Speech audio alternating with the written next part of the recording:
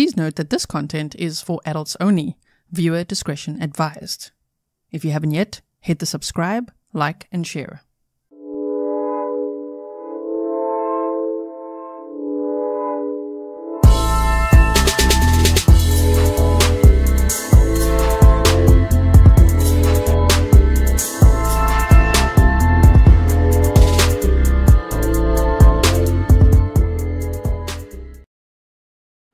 Hello, everyone, and welcome back to another live stream with me, Gisela K. We are back in court, and today, even though it's a bit hot, I've got my blazer on, ready for court. Thank you so much to everyone who's here already. Sorry for the slight little two minute delay there. It literally was Fury. You can't just blame the cat, but it was literally Fury. He's around here somewhere. He's being very demanding. he doesn't want me to be in court all day again. Okay, so we are on day two morning session of the Ronald Anthony Burgos Aviles trial. Now, he's 33 years old right now. He was 28 years old at the time when the crime was committed. And he is charged with the murders of his mistress, Griselda Hernandez, and their son, Dominic Hernandez, who was only 18 months old. And this happened in Laredo, Texas on April 9th, 2018 and it's taken a while to get to trial, as you can see. There was the pandemic in between as well, which means there were huge delays there too. Uh, let me just set this up quickly for you guys.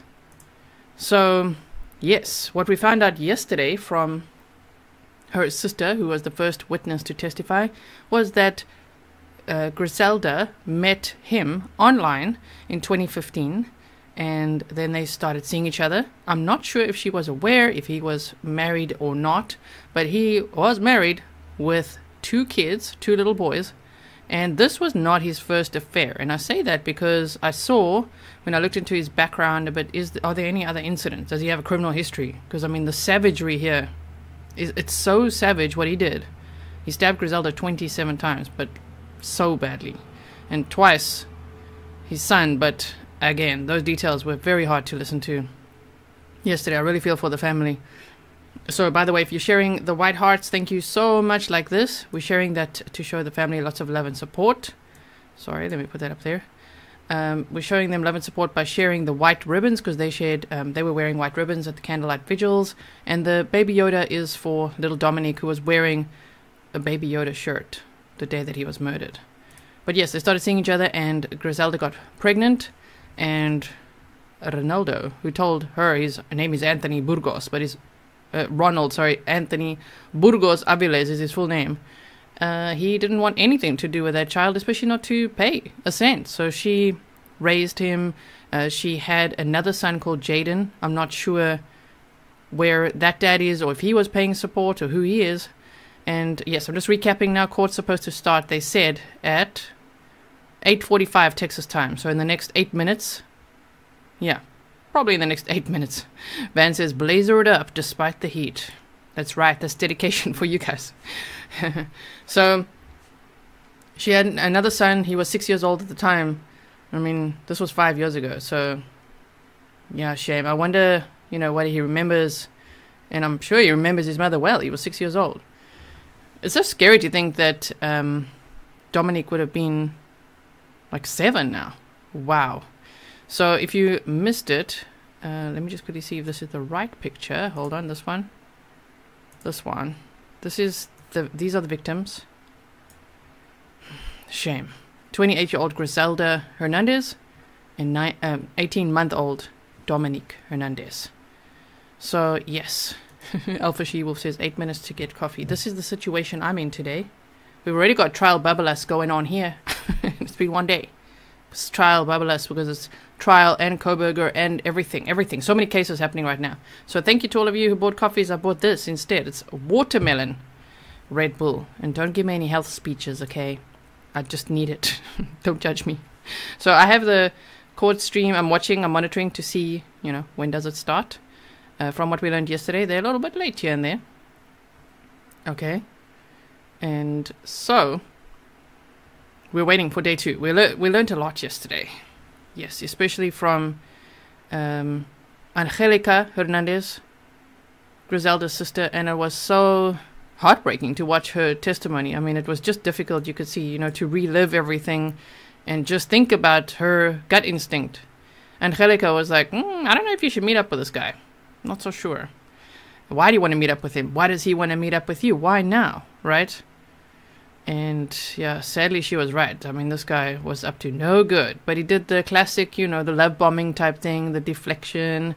Just come on, I, I want to spend some time with my son. And he actually met his son for the first time on March 25th of 2018. So just uh, two weeks before.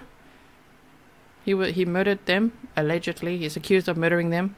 He is facing the death penalty, if I didn't mention that yet.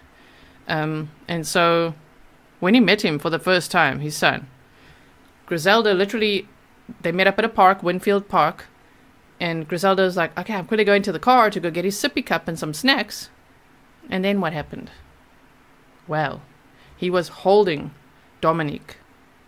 Like in a loving way, like holding him, you know what I mean? And talking to him and saying, you know, and audibly, as in Griselda walking away could um, hear this. So I don't know if she sent her sister a text message. I think that's how we know that. Yes, yes, that's how, because that was on March 25th.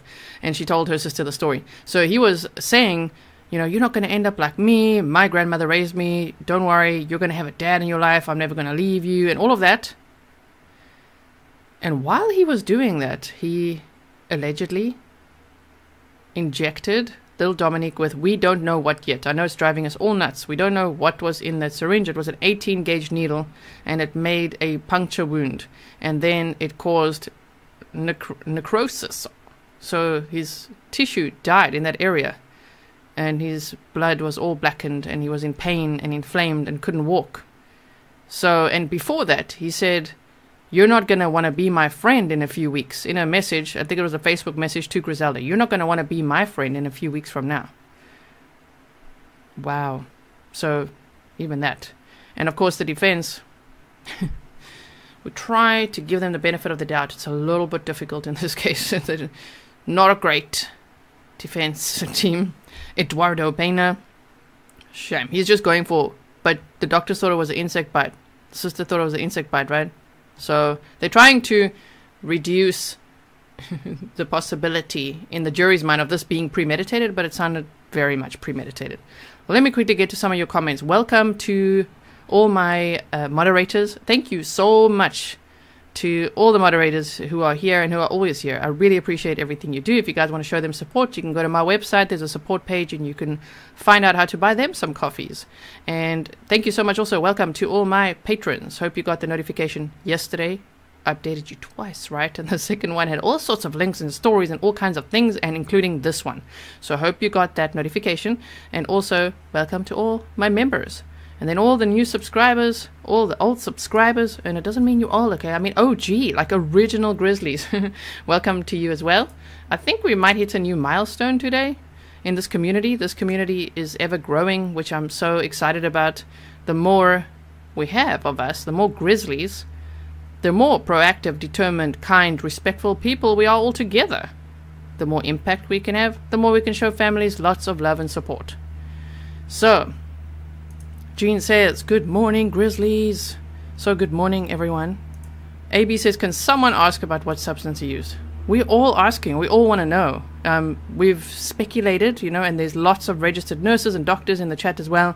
I've got emails as well, and everybody's saying either it was like a dirty needle, so it could be anything like waste, or it could be steroids, it could be acid, it could be anything he could have access to from Border Patrol. So if you didn't know, he was a Border Patrol agent, actually a supervisory officer in charge of five other Border Patrol agents. Uh, so let's see the time. In two minutes they should start, otherwise I would do some map time. We've done some map time before, but he basically lured Griselda to this uh, park, the Father McNaboe Park, Father Charles McNaboe Park in Laredo, Texas and said, Meet me there. I want to first check on my son before you take him to the hospital because his leg was not doing well after being injected, right? And so she parked the car there. She used her sister's car. And he said, But don't meet me there. I'm not going to meet you there. Meet me at a secret spot. So, as always, we do not uh, victim blame. victim shame on this channel. But what we do is try to learn. So if Griselda had a gut instinct, which she seems to have from the text messages we saw between her sister, like, I don't know, maybe I should meet up with him. I mean, I want him to pay child support. He says he wants to get to know his son. You got to look at the whole history of behavior of that person who blocked her on social media when she just asked for child support already, you know, and then suddenly unblocked her and is like, hey, yeah, I want to meet up with you. Let's, let's go because she filed um, a child support claim with the Texas courts. Uh, Kathleen says, Dr. Patrice Berry, psychologist, responds, Welcome. Thank you for joining. Yes, sorry I missed your message, but welcome. Nice to nice to see all all all the people in the chat, especially all the professionals as well. Lots of professionals here. Thank you so much for being here and lots of locals as well. From Laredo, Texas, or from Texas in general. Thank you so much for being here too, and welcome to all the family and friends of the victims in this case. And I must say of the defendant as well, I guess, because I mean this would also be really hard for them. Except his mother's in denial, I must say. The defendant's mother's in denial. Annie P sent me an article yesterday which says that she believes her son is innocent. So there's that. Uh, 99 pink balloons. Thank you for being a member for two months. So anyway, I'm watching the court. Don't worry. We're going to boost it as well because have you have you tried to watch the the replay? The only cameras that have access to this trial would be the Court TV and Law and Crime Network cameras. It's actually Court TV. They've got the camera rights. They're the media. They are there physically. And Law and Crime Network and Court TV, Law and Crime Network streams it. Court TV shows segments of it. But man, the sound, huh? We gotta we gotta boost it. So we're gonna we're gonna be boosting, okay? Sure. And yesterday some parts. Imagine imagine Eduardo with no boost. Wow. Pivotal says I'm professional, retired. Okay. Sorry, I don't know why the chat's not popping up now. Pop up, chat. Sometimes it's giving me issues. Friggin'. Yeah, Patricia, you can ask the mods that. the mods decide when we slow chat or not. We've got some mod managers in the house, and they will decide. There's reasons why we do and why we don't at certain times slow it down. Oh my word. Okay, so Bai says her son has been in court. He's 12. Wow, okay. So let me take this picture off here. Do you want me to continue on with the recap story? Because I can. I just really want to get the border and everything ready. Yes. I've got that. Got that. And let's move me over here. We're waiting. We're waiting. There we go. Ah, there the chat popped up for a second. Uh, Christine Wilcox says, This guy's hard to look at with his narcissistic face. So let me... Have you guys... Do you remember what he looks like? Let's find, let's find him. Let's find a picture of him, shall we? Again, you'll be like, no, we don't want to see him. Yeah, you, you're going to see him now. let's bring him over here. This is him. Ronald Anthony Burgos Aviles. So, let's see the time. Yep, they're two minutes late for today. Mm-hmm. and we are waiting. Nation Simmons, thank you for being a member for two months. Let me move the chat over so it's not over my face like this. There we go. Stormy says, why do these lawyers get to sit while questioning the witnesses? Wait. And why does the defense get to question again after the redirect? I don't know. Any lawyers, do you know? I mean, I know it works differently everywhere, but I get what you're saying. I'd be like, why are they always late? It's my number one question. Why are always late? Said 8.45. the judge said he doesn't want to start at 9. He wants to start at 8.45 today. So we are waiting. Yes. Anyway, so shall, shall I continue on with the story that I was? He lured her to the park, the Father McNaboe Park, and said, meet me in a secret spot, which is like in nature, in the bushes. So she parked the car and then walked along the walking trails. To her death. He was hiding in the bushes. How do we know that? They say cell phone data. Hiding in the bushes. Jumped out with a knife. They've never found the murder weapon though, but they say the sharp force injuries indicate a knife, right? Jumped out of the bushes and stabbed her 27 times. They said it was a cluster of injuries on her neck. It was so bad, and she was lying face down when she was found. And then he unbuckled.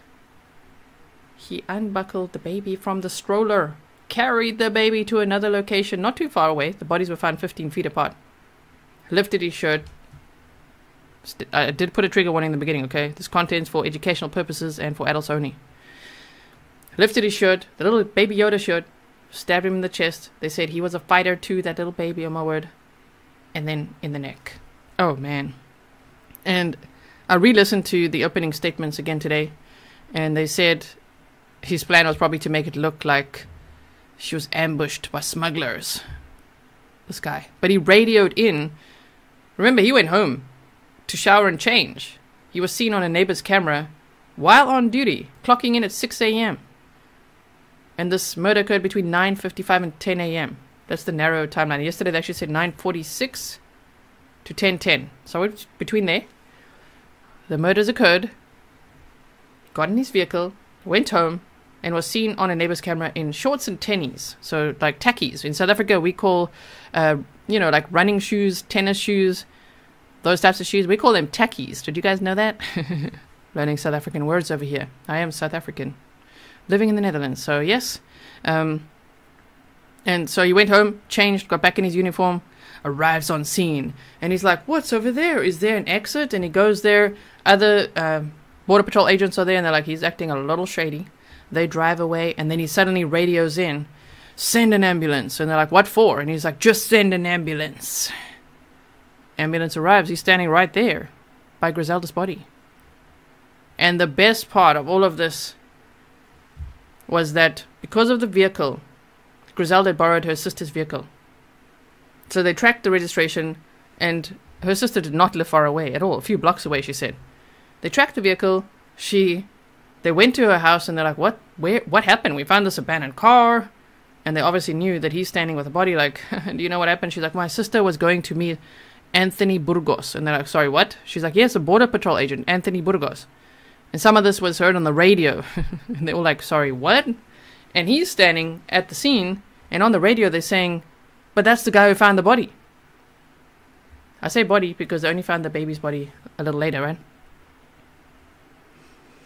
So he was like, No, my name's Ronald. like, do you know another Burgos? There's a border patrol agent that's here? That was meeting this lady? You see? Yes. Christine Wilcox says, I can't believe someone could have so much anger. Okay. The Ronaldo says, Your heading uses the word um, mistress that implies something indig- indigent. Uh, consider using mother to child. I agree. I just the the reason I I will change it. I will change it. I take your advice. I'm not loving it either, but that's you know that's man. Social media is cate- categorizing it as the the mistress and child murder trial, and I'm like, oh man. Okay, so hold on. I will change it. Stand by. Wait. Title. Is it on my thumbnail? Where is it? Oh yeah. Okay, it's on my thumbnail. No problem. Murder of mother and child. Okay, okay. I like it. I like we like good advice. so we'll we'll do that, okay? Thank you so much. So how old are the other children? Jaden, her other son was six at the time, so he's twelve now, is what someone said in court. Eleven just turned twelve, I suppose. And yes. And his other children, I don't know. I don't know. And let me just quickly change this one. Thank you, the Ronaldo. Morning. There we go. Okay, so what I'm going to do, I'm just quickly going to update that uh, thumbnail, and I'll be right back, okay?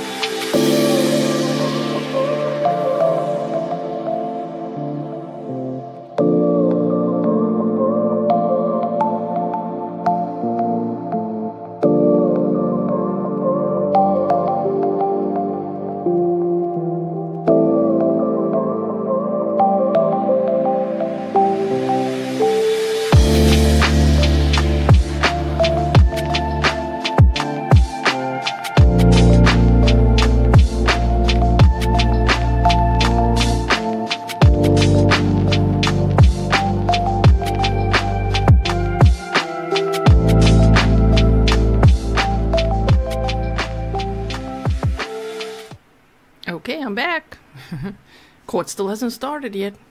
I mean, they're probably going to start at 9, aren't they? so thank you to the Ronaldo. I mean, yeah. Sometimes it takes one to bend the arm. I'm like, I'm not loving this mistress word either. She wasn't even his mistress at the time. You know? She'd met him in 2015 online, and he sounds like he was such a liar. So I don't even know if she knew that that she was a mistress. You know what I mean? So thank you so much. Yes. Okay. So it's change on my thumbnail. Title. You see, this still says his mistress. We could change that too. We're all good, everyone. we will do it. Um, thank you all for for being here. We are waiting for court to start. As soon as it does, I'll put it on. Okay. I'm not T-Pain. Says thank you, Gizla, for changing it. Absolutely. Um, Murders of his... I'm just going to say murders of. There we go. How about that? So don't worry. We'll change it in a moment. Okay. So let's see what you guys are saying. Yeah, Emily says apparently Anthony and Griselda did not have a long affair. As soon as she got pregnant, he didn't want a relationship. Exactly. He clearly didn't want to see his child for 18 months. There was no relationship. Exactly. Exactly that. Okay. So, here we go. How's that? It's changed up there as well. Yes, this is it. Yeah. Woman catfished by psycho. Mm-hmm, and he's an online predator. A lot of coercive controllers, DV abusers, and uh, yeah, predators hang out online. So be careful online, okay? Because they're fishing in the same pool. Yes. Humphrey says patience is what you need as a grizzly. And this case is testing our patience for the trial days. Yes. So the red stiletto says, I agree to change it. I hate to think that she will always be remembered that way, regardless of her relationship with him. Same. Very nice. Suzanne says, Can we work on the phrase presumed innocent? Due process is what they are entitled to. I like that. I like that. Due process. Yes. Um, so Tony says, I wonder what triggered him to do this. Child support? Apparently, yes. That's allegedly his motive. He didn't want to pay child support. He wanted to make, in his mind, I'm not saying it was a problem, in his mind, the problem go away, right? My word. So ridiculous. So, yes. Um, no, I think that would be. I don't think it said for years. It said had unprotected sex until got pregnant. I'm not sure if it was for years. Did it say for years? I stand corrected. But I think she was making her case. Like, can you help me? I know that he's the father. Um, because her sister testified that they met in 2015. Yes.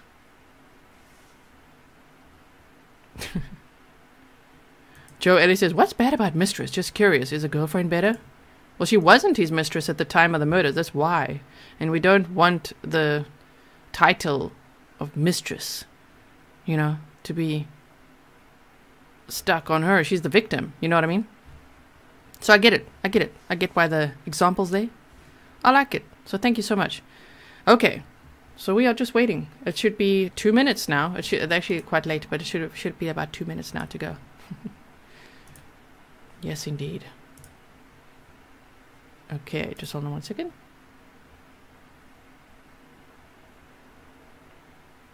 Oh, thank you. Heather says Burgos Aviles was married with two children, ages 10 and 3. Oh, okay, 10 and 3. Okay, wait, wait, wait. Let's write that down. So they were 10 and 3 at the time of the murder.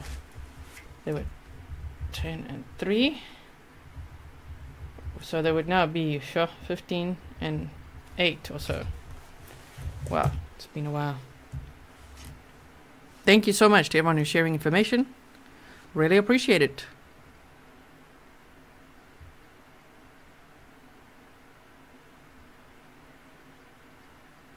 Sweetie Pie says he must have despised her and the baby so much to be so vicious. I wonder, or is he just that psychopathic cold? Is this how he solves problems? Which does make us think, well, damn, what's in your past? How did you treat your wife? Right? I think it's only normal to think that. Of like, wait, what? Because this was so savage. Wow. Uh, Paula said, do we know anything about his wife? We don't, but yesterday someone in chat said that she is standing by his side. So I'm not sure if she's in court or not, but apparently apparently they're still married. Somebody's messing. Kathy says so his wife was pregnant when they started seeing each other in 2015. Interesting. Maybe. We'll have to work that out exactly. Yes. If so, now I'm basing this all on what you guys are saying. I don't know any of this to be fact. It's just locals that are here, family, and people that know sharing some things here in the chat. So we're just looking at that. Oh my word. this really is the hurry up and wait trial.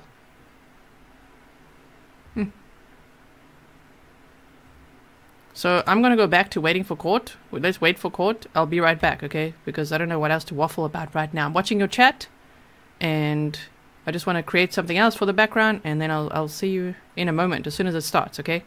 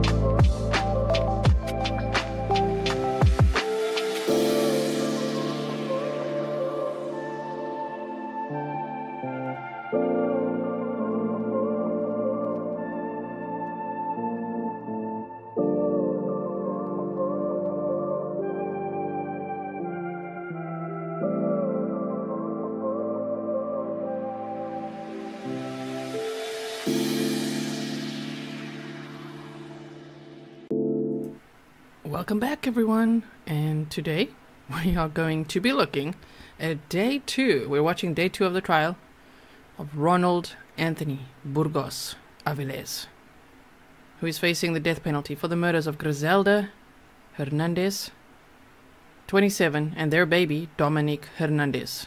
This happened on April 9th, 2018. And so, let's get this going. They haven't there's no sound yet, no one in court yet, but uh, that we can see. But as soon as it's on, we'll be here together watching it. Thank you for joining me. If you could take a moment to please like and share this video and let others know that we are live for day two of the trial. It really helps, especially on Twitter. We'd really appreciate it. And as soon as the sound is on, I'll boost it as well so we get the best sound possible.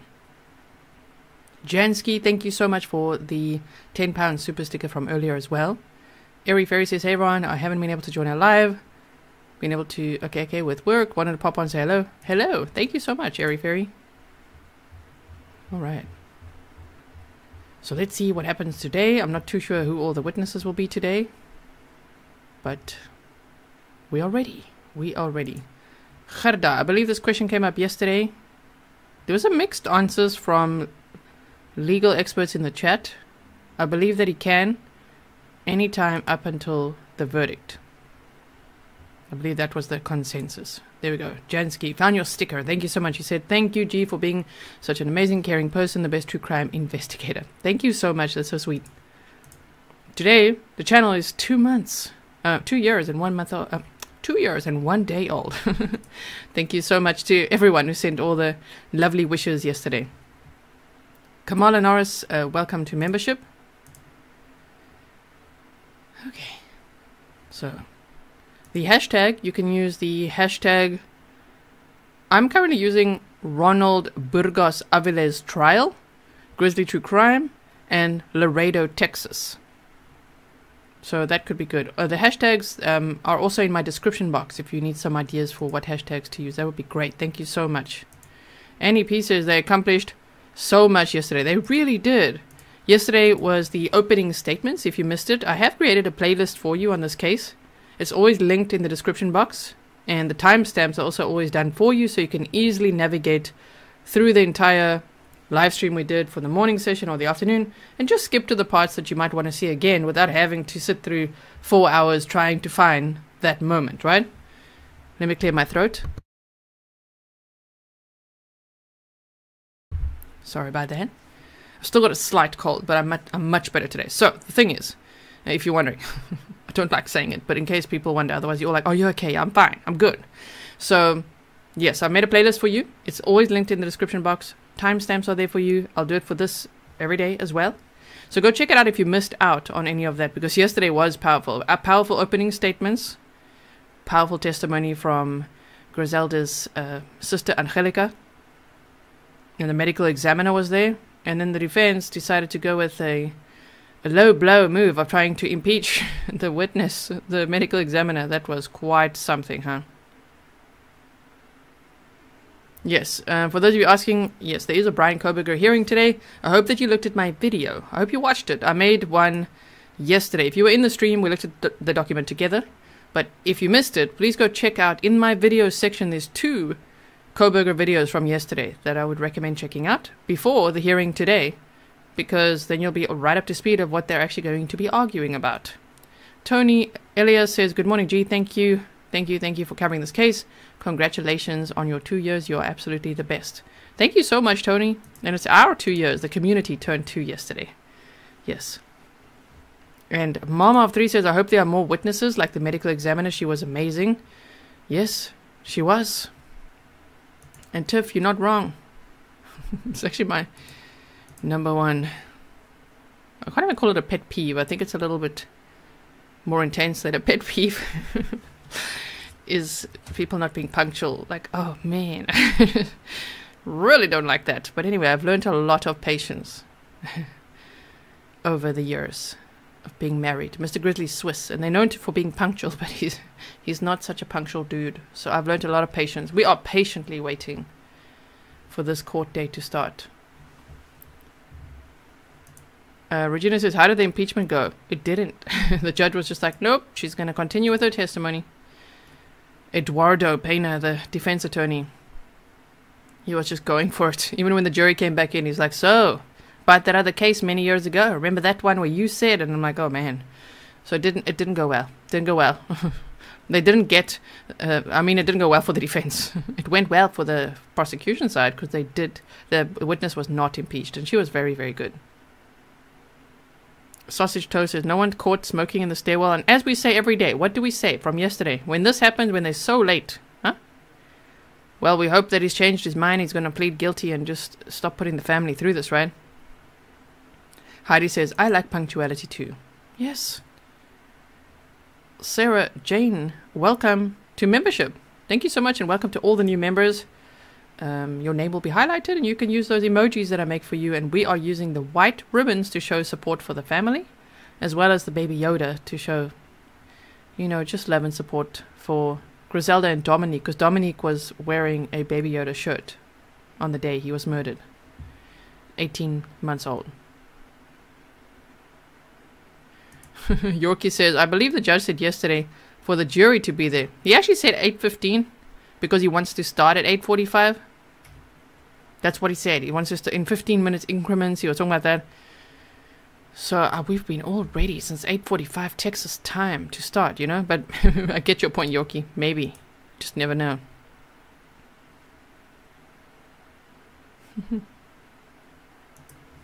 okay, so while we're here, let me look through my notes quickly just to see if there's anything I missed telling you about.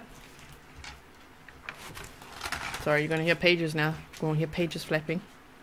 Oh yeah, there was also a doctor that testified yesterday. Dr. Antonio Rodriguez. So there was Angelica Hernandez, Griselda's sister, and then Dr. Antonio Rodriguez. And he was talking about Dominique's leg and how he saw inflammation and redness. And he thought, well, maybe it's an insect bite. He wasn't too sure. He did some blood work as well. Everyone was asking about the blood work, not toxicology though. Um, and it showed some anemia. And so, yeah, he was just looking for what could be the problem. And many medical professionals in chat said that's what they would do. You wouldn't immediately think, oh my word, like somebody injected him or something, right? Yes. Thank you for sharing the white ribbons and the baby Yoda. Thank you so much. Sherry, thanks for being a member for one month. Oh, that's true as well. That's a good point. Emily says, Emily53, they mentioned yesterday that interpreters would be needed. Maybe they're waiting for them to arrive. That's true as well. Yes. So we're definitely going to need the boost and we have to listen very carefully today to make sure exactly what's happening. Aussie Mel says, so many new members today. Welcome. We'll have a member stream again soon. At the moment, damn, I am working many hours a day trial prep and trials and all the other cases, it's a lot, it's a lot. But we will have a, a members only stream again soon. We she started off members only yesterday. So we were chatting there before the trial. A lot of waffle time. Waffle means babbling like we're doing now. Birdie B, there's the judge. He says, uh, "What was it with the doctor? He seemed very offish. Maybe he was a little defensive." Yeah, put the put the sound on court.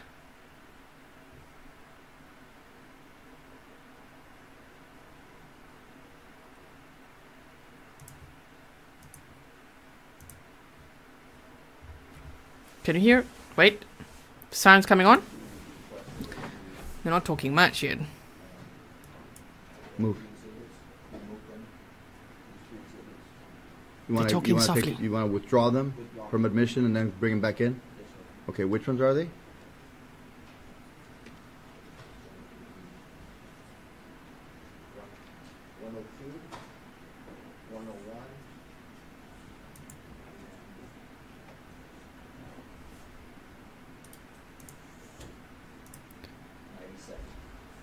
They are talking very softly. Um, but as soon sure as your, your client is out, please. All right, Mr. Burgos is out in the courtroom. The the request. Uh, you have missed anything, Mr. Burgos? We just started. Uh, the DA's state just uh, uh, requested to withdraw a state exhibit 102 from admission. State exhibit 102, 101, 101 and 97 for the purposes of of uh, with planning to readmit them at some point sort out the after witnesses have gone through that exhibit. Any objection from the defense? No objection, Your All Honor. right. They will be then withdrawn with uh, the intent to, at some point uh, during this trial, that the uh, exhibits will be reoffered. Okay, thank you. Uh, I apologize again for the delay this morning, but uh, we had a, as you all know, a technical glitch with our audiovisual system. We're up and running. We're good to go. Okay. Yes, sir. Judge, we have, um, I've spoken to the district attorney's office. Technical glitch. Witness Who will not testify uh, at guilt, um, a family member who may testify at the, a possible penalty phase, and we asked if there was an objection if, um, she was in the courtroom observing the guilt phase. It's the same. All right.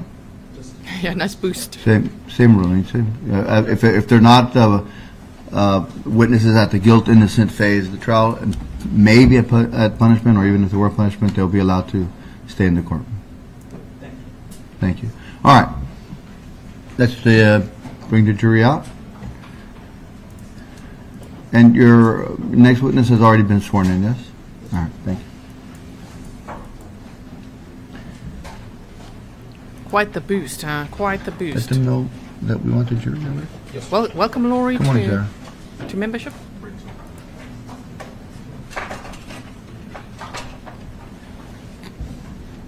Okay, everyone. So like, share, so everyone can know we live now. It's happening. Day two.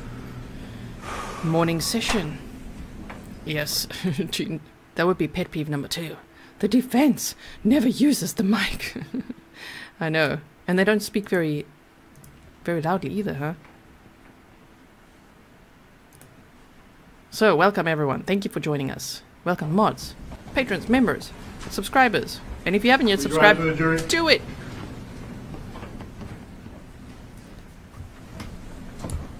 Yes, the prosecutor, Mr. Alanis. Me too. Judge Joe Lopez. Defense is Eduardo Pena. Little paper. There we go. Isidro Alanis, the district attorney. Defense Eduardo Pena. Judge Joe Lopez. There we go. We can only see his head now. Okay, so that's the camera angle right now.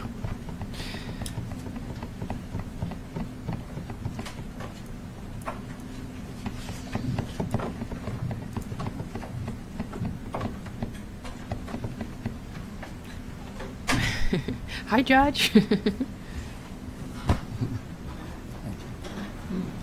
Please have a seat. Good morning, members of the jury. All right, we'll get start with your next witness, Mr. Alanis. State calls Adriana Flores. Adriana Flores, please, please. Sergeant Adriana Lawrence, please bring her up.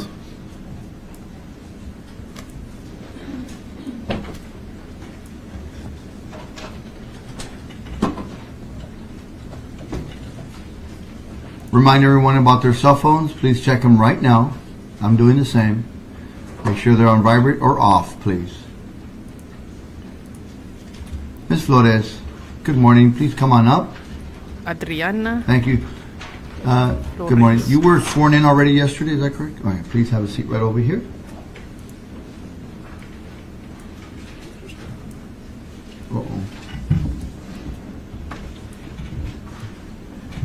Uh-oh. Hmm, I don't see it there. Hold on a second. Yeah, no, it's on, it's on, it's on. Correct. I'm sorry, I didn't see it. All right. Ms. Flores, if you could sit up a little bit so that we can get you right good on the microphone, Ms. Flores. Uh, you can pull the chair up a little bit. There you go. Yeah, Okay. Good morning. Good morning. I'm going to ask you to uh, scoot up and speak into the mic so that the court reporter can hear you. Thank you. Can you please state your name for the record? Adriana Flores. Adriana Flores. Okay. Do you know why you're here today? Yes. Uh, why is it that you are here today? Um, because I was Griselda's best friend. Okay. I'm going to ask you to, to try to speak a little louder. Uh, you have a soft voice. Uh, what is it, your relationship with her? Is that as her best friend? Yeah. How did you know Griselda? Um, we went to school together. When you say school, uh, can you be more specific? Um, I met her in middle school and throughout high school. And were what grades uh, did you all share grades or in different grades? Can you please tell us? We were in the same grade. Um, yeah, we were in in middle school together, and in high school we were freshmen together. And when did you all become uh, best friends? Um, throughout high school, um, we were really close in, in freshman year. Then um, I did. I didn't go to school. Um, I got out of school in my junior year, and then we reconnected um, in 2014. How did you reconnect in 2014? We had each other on social media, and we just started messaging each other. Yes, Tracy. Why did I ask? Do you know why you're here today? That's right, NC. How did your relationship uh, evolve after that? Like, how did it grow? um, we just started hanging out more, um, doing like the mom things, going out together. Now, when you say the mom things, how many children do you have? I have four. Okay. And uh, you reconnected with her in 2014. How many children did she have at that point? One. Okay. And eventually, uh, did she come to have another child? Yes. Uh, who was that child? Dominic Dominic Hernandez? Hernandez. Yes. Dominic Alexander Hernandez. Dominic Alexander. And, and uh, did you know Dominic? Yes. So in 2015, um, you start doing mom, uh, mom things with her? The bestie. Yes. Like what? We would just go out. Um, we would go out to eat, um, shop with the kids. Um, at that time, she only had her first son, What's his name? Jaden. Okay. Um, did you have any children close to the age of, of Dominic? Yes. Who is that? Uh, my two youngest ones. They were um, a few months apart from from each other. Like, yeah. Do you remember when uh, Griselda became pregnant with Dominic? Yes, in 2015. Uh, let's let's talk about about that. How did you, did you how did you learn about her pregnancy? Um, she texted me, and she told me that um, she was pregnant. Did she did she did she tell you or discuss anything about the father of the baby?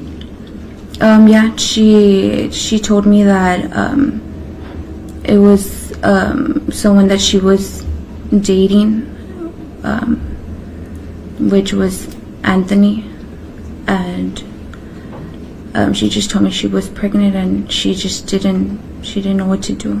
Everyone knew him as Had Anthony. you ever met this Anthony No, at the time that uh, the time that she said she was pregnant from Anthony?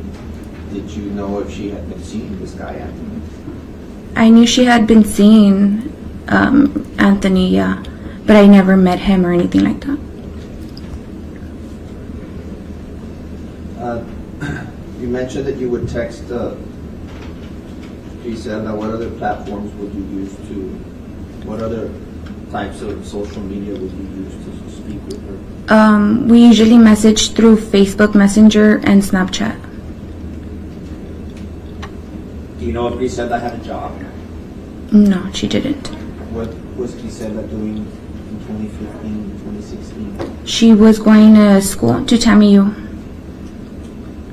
Do you know what she was pursuing? nursing. Do you know how she was able to to handle the the jobs of school and being So mom? much, right? Um, mm, How what was she doing it financially? oh, she, um, I do know that she was struggling a bit and she was getting, um, like, um, student loans and helping herself out with that. Okay. And she would the student loans would help her with, with daycare. With daycare, um, with the school, daycare, and anything she, she needed at that time. Did you all did you all live uh, near each other? Yes. Uh, in what neighborhood per se, or what neighborhood can you tell the jury without the address? Um, we she lived on Dillwood, and I lived on a neighborhood over, which was like Rancho Viejo, around there. What do you call that part of the city? Off of what? It's Mines Road. Okay, in West Laredo. Yeah. Um, I want to go back to April the 9th of, of uh, 2018. That's the day the crime you remember that day? Yes. Did you remember coming in contact with Griselda on that day? Yes. How, if any, did you come in contact with Griselda? On April 9th, Yes. um, she called me to tell me to ask if she can use my restroom, and she went over to my house. Do you remember more or less what time this occurred during the day? It was like around nine in the morning. Right before 9 or? Right, right before nine, um, or nine. Okay. And when she arrived uh, to your house, uh, How did she get there? Um, she was in her sister's car. What type of car was that? It was a white Mercedes. Was anybody else in the car? Dominic. Her baby. Okay. And where was he? He was in the back seat, in the car seat. Do you remember what he was doing? Um, he was with his little phone. He was watching um, a little cartoon or something. On his own phone. How did you go out and, and greet Dominic? Yes, she went inside the house to use my restroom, and I stayed outside with Dominic, and I stayed inside the car for a little bit. Did you have any discussions with her or offered to take care of Dominic? Um, I don't recall if I offered to take care of him. Um, but I did. Um, I just stayed with him for a little bit and and just waited till she came out. Do you know where she was going? Yes, she yeah, to the park. Where, when you say the park, what park is that? Um, Father McNoby. Father McNoby or Father McNaboe Park? Yeah, that one. Exactly. That one, even And, I'm like, uh, what? Do you remember seeing any food in the car? Yeah, I saw Chick Fil A.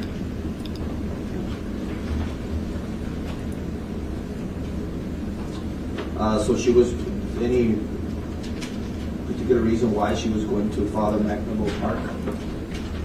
You she was going? Yeah, she mentioned she was gonna go to the park to meet Anthony. The father of the baby. Yes.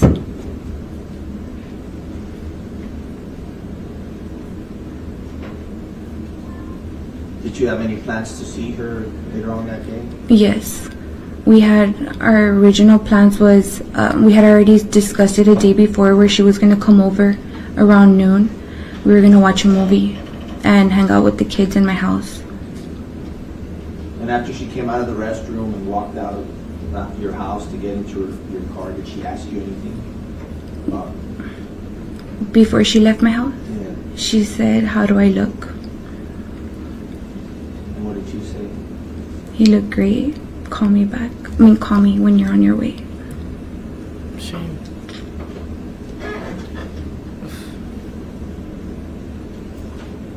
Did you see her again that day? No, I didn't. Let's go and talk about about this Anthony. Did she ever tell you what his last name was? Yes, What was his last name? Burgos. Anthony Burgos. What kind of information did you did she share with you about Anthony? Um, at the beginning, she just told me that he was a border patrol. That, that was at the beginning. What else did you come to learn about Anthony? Well, um, when we first talked about him, he was, she just mentioned that he was a border patrol and that um, he was separated, and that's that's pretty much what I knew about him. Did you know if he was living Trusted him, yes. No, um, from my understanding, um, he wasn't living in Laredo. Like he worked, but he he would just come sometimes. So, But he did live there. else? Yeah, I believe so. So I thought.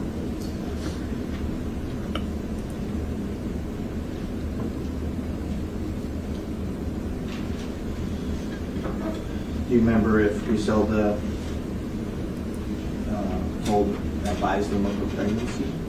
Yeah.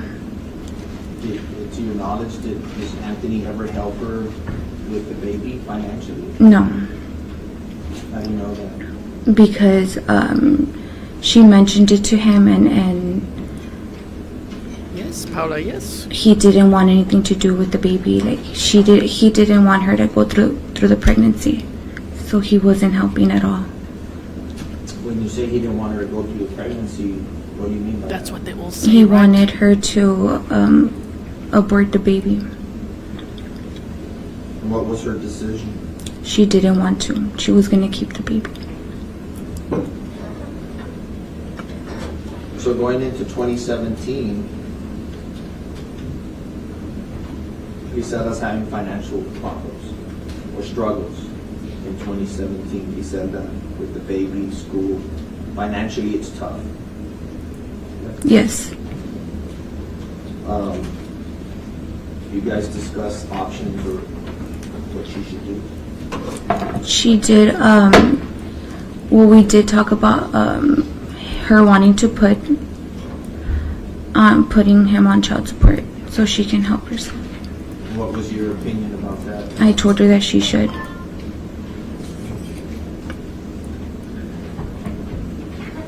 Oh, he's frowning now. So, at that point in time, did you, did you, did she know before the decision? Ultimately, did she decide that, yes, she's gonna pursue child support? Yeah. Up until that time, did she know where Anthony lived? No. Did, did uh, you or her or both of you try to find out more about Y- Anthony? yes. So tell us, uh, were you, did you help her try to find stuff out about Anthony?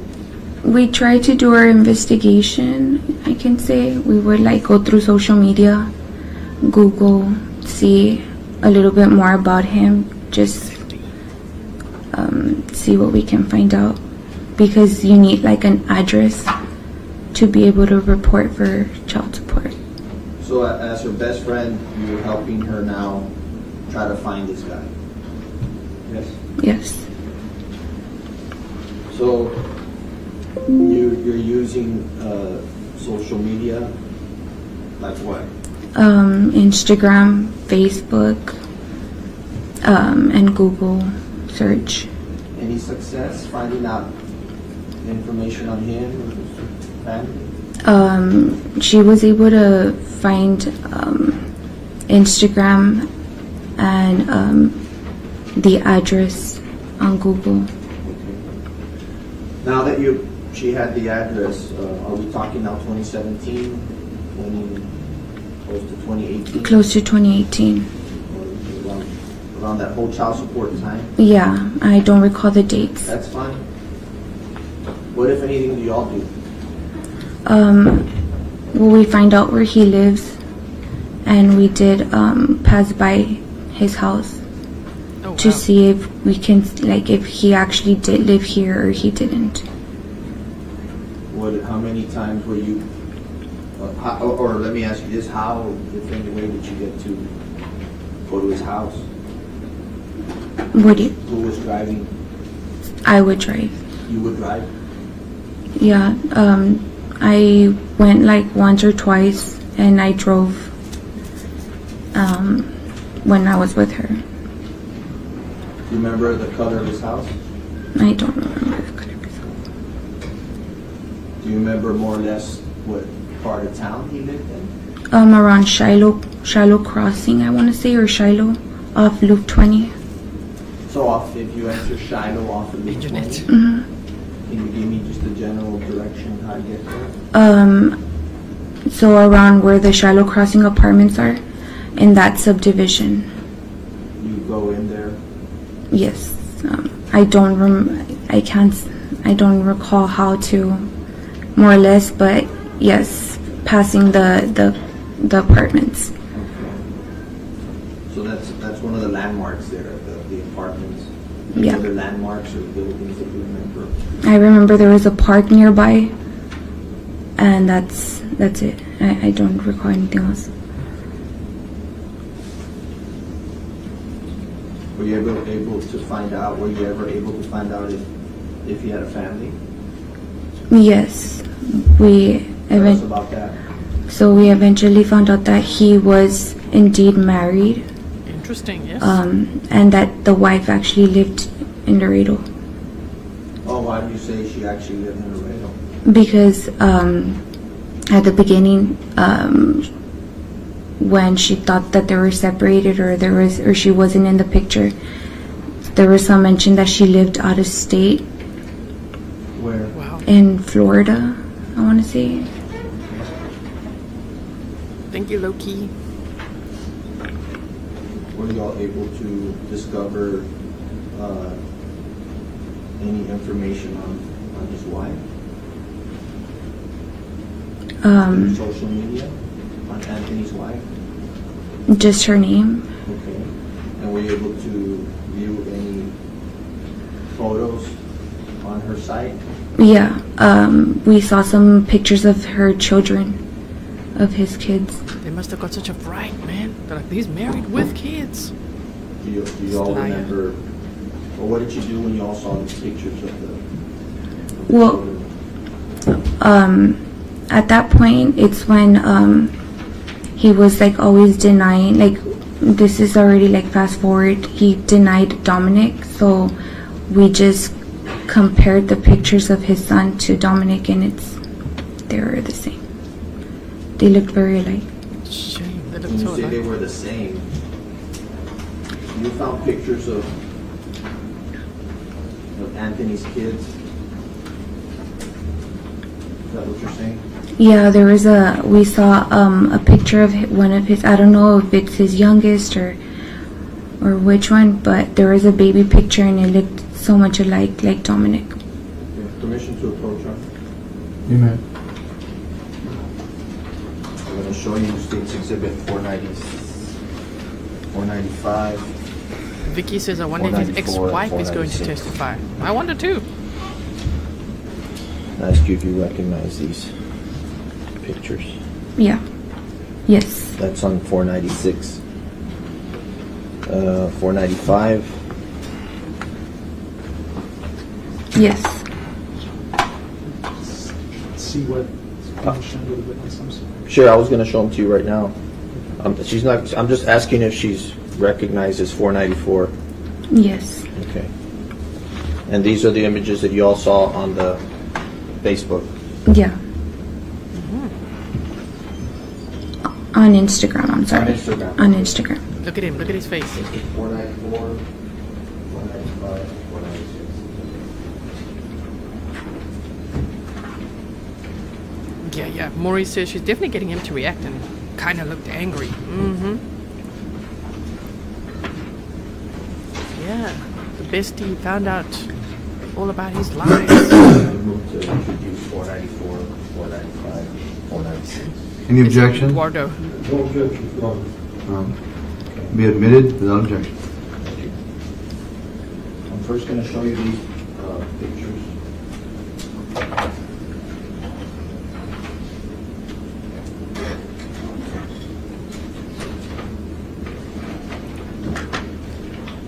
Shame. You recognize the little baby? Yes. That's Dominic. Shame. That's Dominique. Dominic? Well, Dominic. Yes. You recognize these little shoes? Yes. Yes, I do. Let me ask you, you saw Dominic on the last day he was alive. Was he walking? No. Oh, he was in the car seat. Okay, but was he, was he okay? No, I had seen him days prior. He was not walking. And we'll- get to that. Thank you, Jamie. Shouting from the rooftops. She's not an ex-wife. She's his wife. So she and he, he and she have um, immunity not to testify. Dominic. Oh no, gonna show you shame. Look at little Dominic.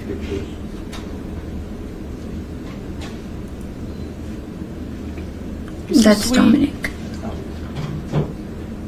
Who's this little baby?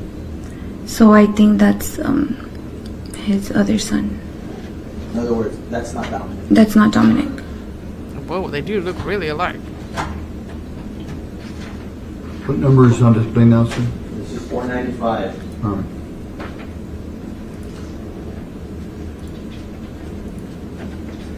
So the, the these little lips of kisses on Dominic.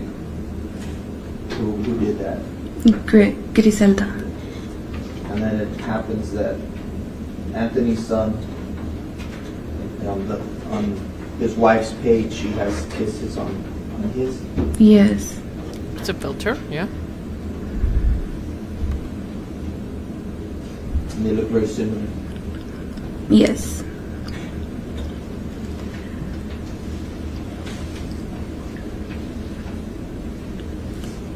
Kelsey, I know, right? They look the same.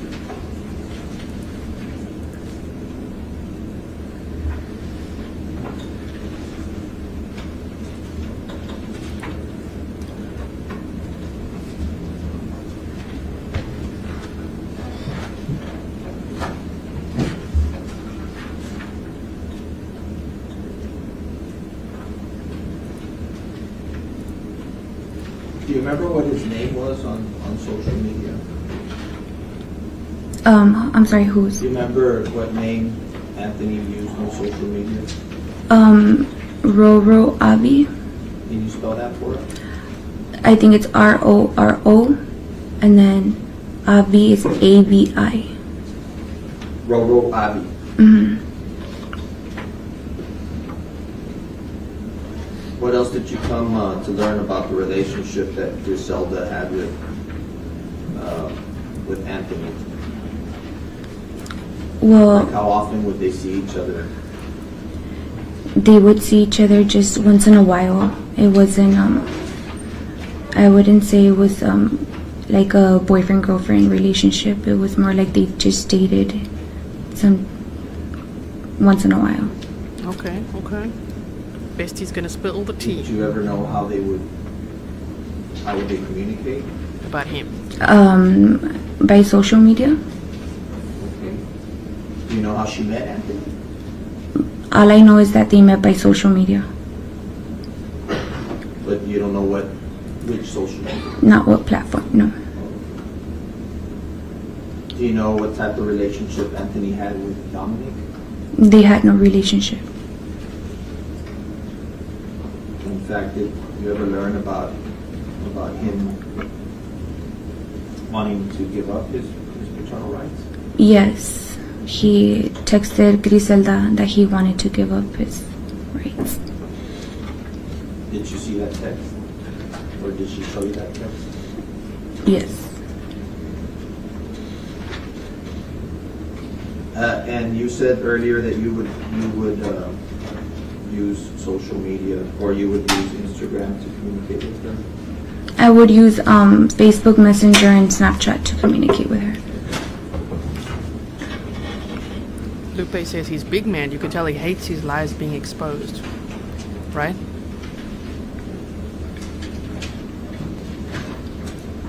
Oh man, you make a point. Mace says, ooh, maybe that's why he covered Dominique's face. Scary thought, scary thought. Yes.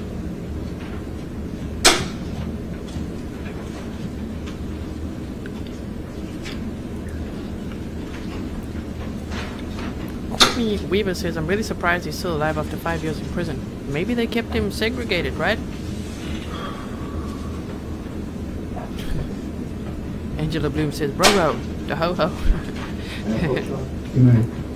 That was his profile. His social media profile name was Roro Avi. Oh, he's not loving this. I'm gonna do your honor for the, to be more efficient with time. I'll show her all the the text message uh, printouts we have and have her identify them all instead of having to come back each mm-hmm. time. So I'm gonna show you what's been marked as States Exhibit 47, 48, 49, and have you look at 47. Mm-hmm. You recognize this? Yes. Okay. You can look at the next one. Roro.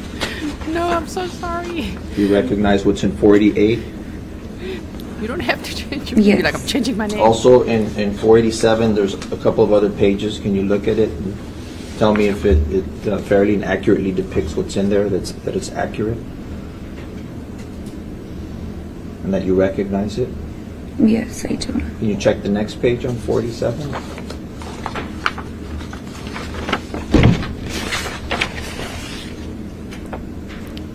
We learn, right? See my Yeah, ops. yes, I do. Okay. Now go to 48, so you can check 48 and tell me, and tell the court if it fairly accurately depicts what's, what you're Just see. quickly gonna read this. After seeing Yes. too many cases Okay. where a man kills the woman And and in the baby, 49? if a guy told me he wanted nothing to do with my child, I would forget he ever existed and not ask anything from him. Is him. that fair and accurately We depict see patterns in true 49? crime, right? Sadly. Yeah, that's my that's my That's you? Yeah. Okay, thank you. Yes, this. Mm. Always try to imitate, see how he's feeling. Mm. This is him right now. Like, mm.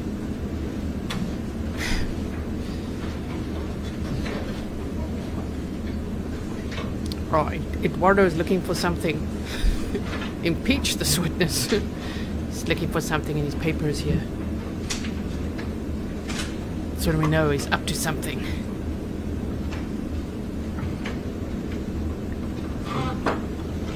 Thank you all for being here and watching with me.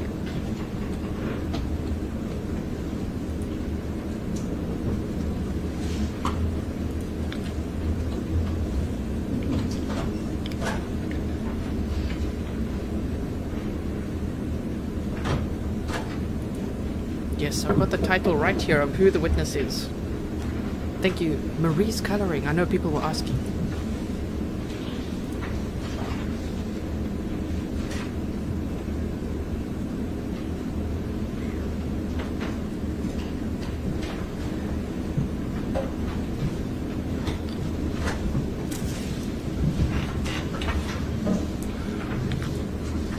Algoma once says his hand over his mouth is protective and indicates deception, even though he's not speaking. Yeah, you see, Eduardo's doing things here. We know from yesterday. Just looking through the messages. Seven, four eighty-eight, forty-nine. 487, states 487, 88, and 89. Any objection? No objection, Your Honor. Will be admitted without objection. Sorry for the typing. Each one of them just have one page? Forty nine 489 is one page, 48 is one page. For the record, 487 is three pages. All right, thank you.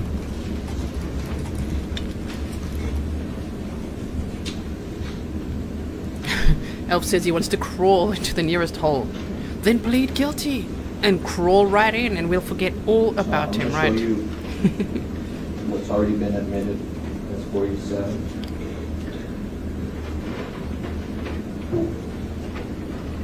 Wait, we gotta see some of this here. We'll put this back here, down here, okay?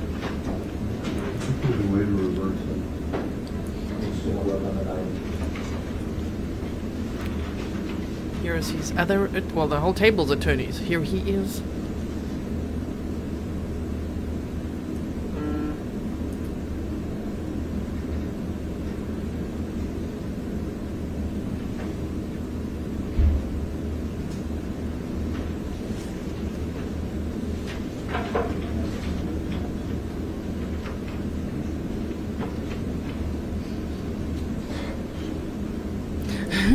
It's me. PK says, is there a court reporter typing or am I hearing things? It was me typing. Guilty as charged. I was typing.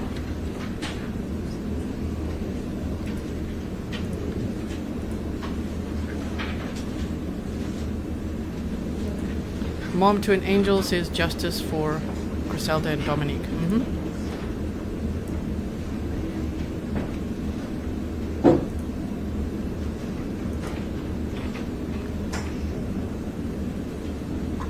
Just remember, if you guys don't want me to chip in and you don't want all the pictures and the borders and the everything that makes this mine, you could just watch the raw footage on and Crime Network. That's where the stream is from. So I could just let it There's the trial source.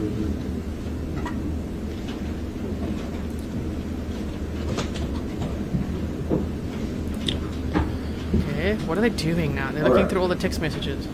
This is, uh, line eight three three four. Oh, You. I can't it? see a thing. Yes. You Cameraman. recognize the, the date? That's very unclear. Twenty eighteen, January the Yeah. thirteenth. Okay.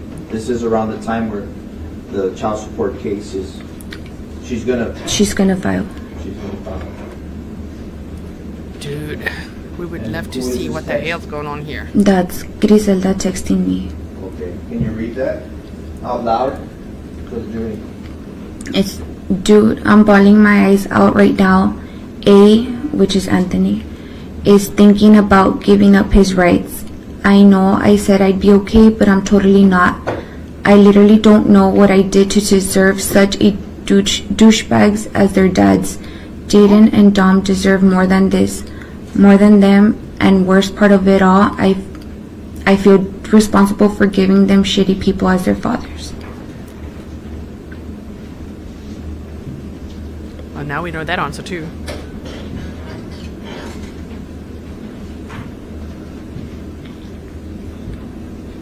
I'll fix the color now again. I just wanted to change it so we could see what they actually wrote there.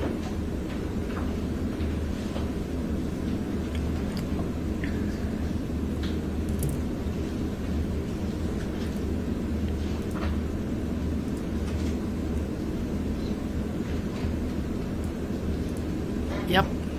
Were just called a douchebag on text.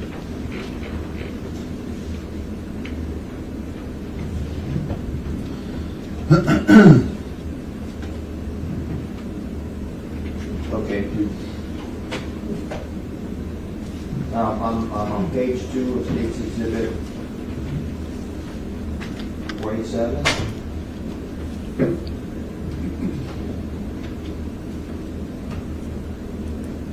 Thank you, Teresa. Better together to chat about it, right? Starting at the top, can you tell us what, uh, what date that is? Um, January 14, 2018. Okay, this is from who to who? Oh, I believe I sent that. okay, I sent it to Chris. and what do you say? When did you send this? Because I just got it. And then? Dude, fuck him. Way, he's such a douchebag. He doesn't deserve to ever see nor have anything to do with Dom. yes. Call him a douchebag more. Yes. Okay. Go on. Dom doesn't need anyone but you and your family. He has everything. Don't even try talking with A anymore. Okay, Do- so now you're gonna say a slang word Um, yes, in Spanish. Spanish, and I want you to say it, and then we're gonna wait for a translation. Is that right, Judge? Oh, okay. Okay, so, uh, what do you, what slang Spanish word do you say here? I say que chingue su madre. Fuck him. Do you hear the translator? And then continue. What else do you say? I said fuck him with CS, meaning child support, y vámonos. Y vámonos que se vaya. And it's a slang word. Or if you could read it real time, just say it. It's okay, just, uh. Yes, good good advice from the bestie, right? it how you said it. Okay, I said fuck him with child support, y vámonos que se vaya a la verga. Fuck him with the, with CS, and that's it. He can go to hell. Que se vaya a la verga. It's his child biolog- biologically, so he needs to support financially. No más hasta ahí, meaning Better. And that's that. And then what else do you say? Dom will hurt more having a selfish person in and out of his life. This is the advice you're giving her? Yes. And it's good advice.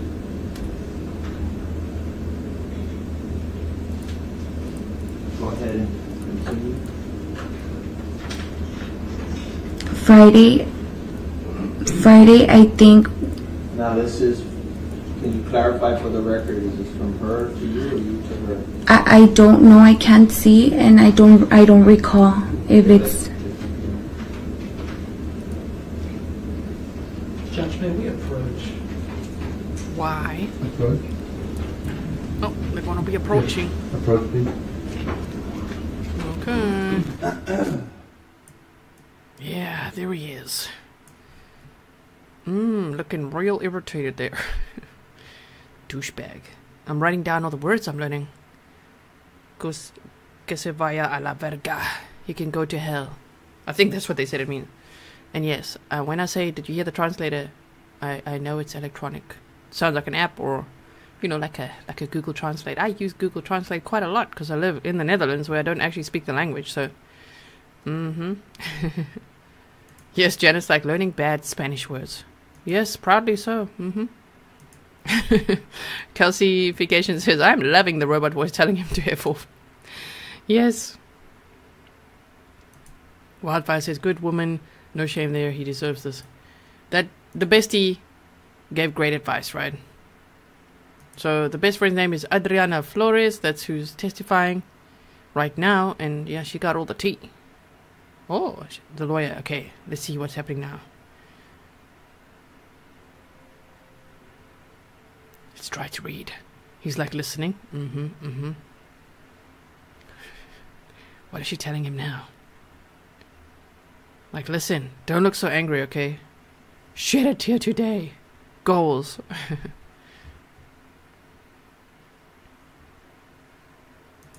Painting with pity says, I love that he's so irritated. This judge is growing on me. How about you guys? It's not like I didn't like him yesterday. I, I like him. We just like the punctuality a bit, you know? if there was any. That's all we like, okay? But it's okay. Well, I like the judge. He's, he's growing on me. What about you? Be nice. okay, I don't know if you can hear the quiet background music. Judge Joe Lopez. Oh, here's Eduardo Pena. He's standing here. Now, what are they approaching about? This one. What? What are you saying, lady? Because we're watching you. Cameras are on you.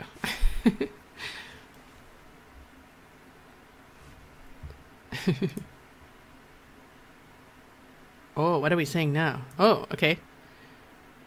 How do we say that? Is it que? Que es tu prisa? Or is it que las tu prisa? What's your problem? Buenos dias, everybody. We're learning some Spanish words in this trial as well. Que se vaya a la verga. I like that one. He can go to hell. Gotta remember that for sentencing. Why would I speak Norwegian in the Netherlands if I'm from South Africa? Please explain. Do you think I'm in Norway? I'm in Holland. Netherlands. Yeah, we ride bicycles, windmills, stroopwafels. Yeah, that. Okay, now what are we what are we looking over? See, I told you this guy's up to something. He's found something to be like. Can we approach? This witness will be impeached. I think that's his uh, strategy. So what have we learned so far? So 2015 or 2016, Griselda was going to nursing school, which is also what her sister was saying. She did say on the day she was going to meet, she's going to a park to meet Anthony Burgos. She also said she was going to come over around noon to hang out and watch movies, which didn't her sister yesterday also say that they were going to meet for lunch? I wonder if they were all going to meet up together, you know, for lunch. So he was separated. She said he was. They thought he was separated because you know, freaking lying, cheating predators online are like, oh yeah, I, I was married, but I'm separated now. And also, don't live in Laredo. Meanwhile, you live right there. You live within six miles of that park with a wife and two kids. Oh man. Okay, let's see what else. So yes, they found out Bestie, Adriana Flores, and Griselda found out he was married. He had a wife, lived in Laredo with two kids, and they even did some drive-bys past the house just to be like, "Oh my word!" And yes, they communicated via social media,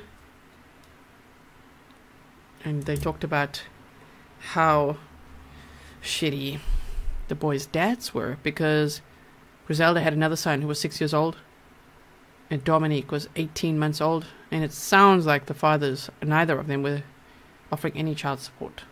Yes. Oh, interesting. Okay, Annie says, I wonder if the sidebars about the interpretation is not fully accurate. Oh, that's. That's a good point. And Annie, I got your emails. Thank you so so much.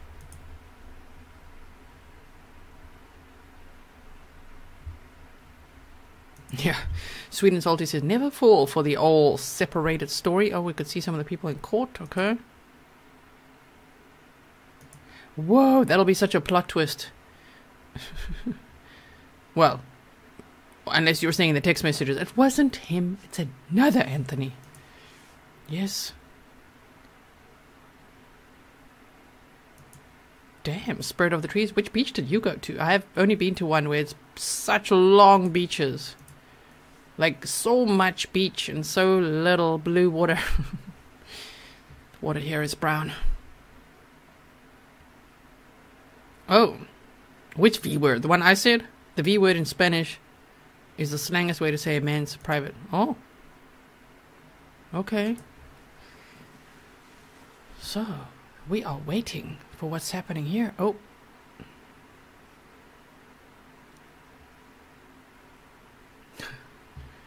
This lady looks like she's annoying this one.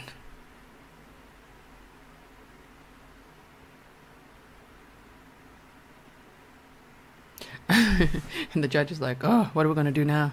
Sorry, what? You don't like the translator? we don't know that this is what's happening. I'm just filling in the blanks here we're watching. It could be. And look at him. He's just always sitting there like.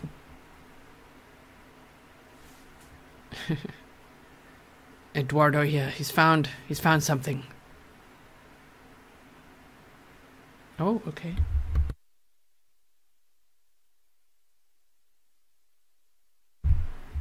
Atheist answered, "Why not let the human who's fluent yeah, interpret her own words?" Good point. Good point. Oh, Lupe Fuentes says it's got two meanings. Yes, and thank you for being here, everyone. We are busy waiting as they chatting here on sidebar. See what's going to happen next. They're looking through all these text messages, and I'm not sure what the issue is with them right now. But yes, he's not happy. Go plead guilty, please.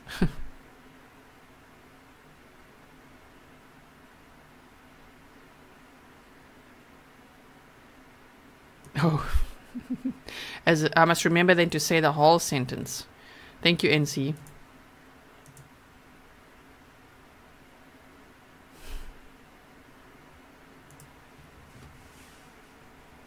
I do my best afterwards, always with these long trial days, to edit out all this waiting and fluff so that if you do watch the replay, in case you're watching now and you're like, oh my word, it's just too long. Firstly, you get timestamps. Then you get the fluff edited out most of the time. And then you also get a, a redo of the timestamps when that edit is done. So I hope you like that. Okay, here we go. So what's happening? What's happening?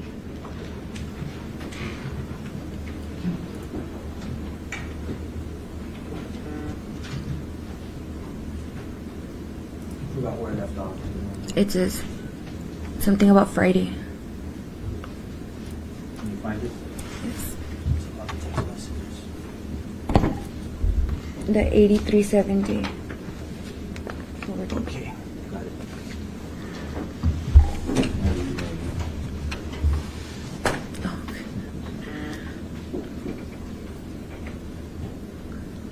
Okay, so now we're, on message eighty-three seventy, line eighty-three seventy. It says two, to Adi. Who's Adi? Me. Me. Your name's Adriana. Adriana. She would call me Ari. Ari. Okay. All right, so, and I'm gonna ask you for the record to also say this to and from, or I sent this to, or I received from her, Okay. okay? Yeah. So on this that's what it's about. go ahead and Start there. So Griselda sent me Friday, I think. I'm sorry, it's just it's super small. Can you It's tiny. that's that's a bit better. She put Friday, I think, where he was like, I'm not saying I am, it's just a piece of paper, and that's never going to stop me from seeing him. The only who can say, fuck it, I'm never going to see him is me. That's just a piece of paper that's not going to stop me from seeing him. What was, what was, what were y'all talking about there? I think she was telling me that um, that it's just the paper, I, I guess, because of him giving up his rights. The next message? And I was, oh, she sent, and I was like, look, that's what you want. Tell me so we can get it over with. And he just said, no, you've never done anything for me to do that to you. So she's, what is she telling you that's what you told her? What do you, what do you make of that message?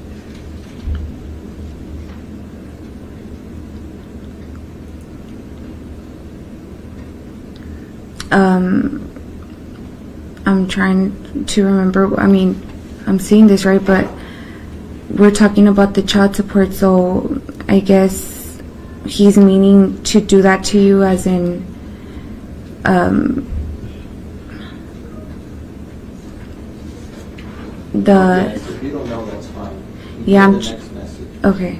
Why can't they show it again? Like And so I don't know, like I'm telling him later that I'm just I'm just going this coming week because I can't anymore. I was like literally bawling my eyes out that night. I felt so fucking depressed. Like first Jaden, now Dom. Like really? Wait, what the fuck is wrong with me? No mames. Like, really, dude, what the fuck is wrong with me? Shit. Okay. I'm typing, you guys.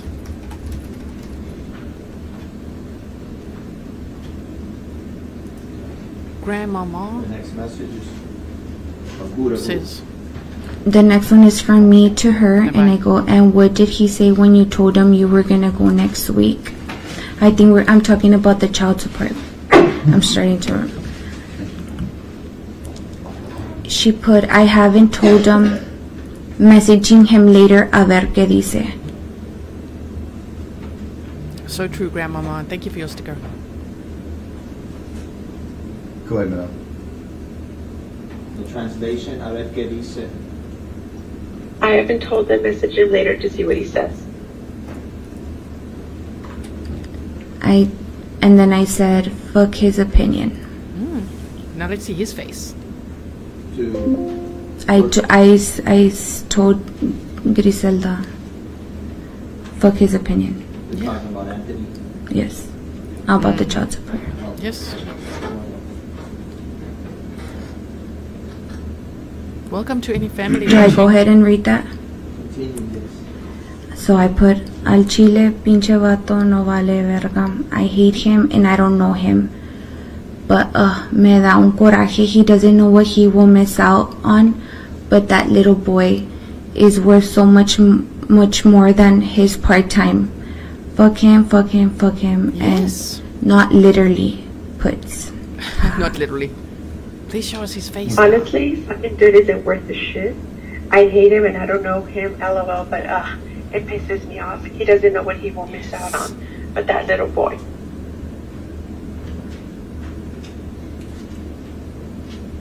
The next message is that that little boy's worth so much more than his part time. Fuck him, fuck him, fuck him. Not literally. Um, Not literally.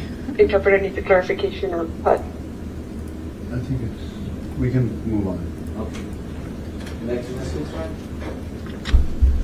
He- She put not literally with emojis. I'm I'm guessing it was like laughing faces and no mames, haha. Not literally. Um, Look at him, look at him. fuck, haha. yeah, dude. He's like, oh man.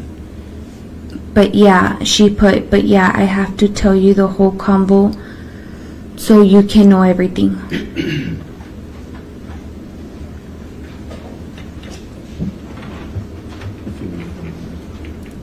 Thank you.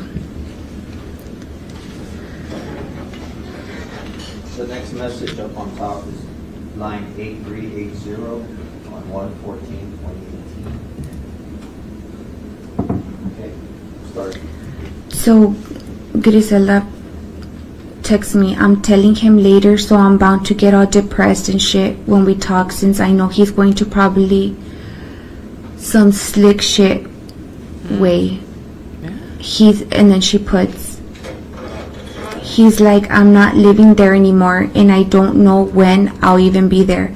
Like I do we we catch up we catch up tomorrow but bitch don't let your phone die. Oh, just in case I get all but hurt. So she she wrote that to me. She was such a good bestie. Um that she's gonna that she's gonna talk to him that they're gonna talk. So she's gonna end up being all sad and depressed. So f- for me to have my phone on standby, just in case she needs to call me. Oh. Next line. She put La Falao no, but really culerita. Hello, no, but really, pussy. Nope. And she put, and yeah, that's what I told him that he literally had no idea if he he's if he's thinking or is going to give up his rights. Pero pues I dude, I don't know. Emoji faces. I bet he's never seen these And yeah, messages that's before. what I told him. or That maybe he he literally has. had no idea if he thinking or is going to give up his rights. But oh well, dude, I don't know. Next line. I I texted her, I'll be on standby. Love, don't worry, but message me through Facebook or something. Cause I don't know why I'm not getting messages all day a day late unless I message first. So I was having issues with my phone.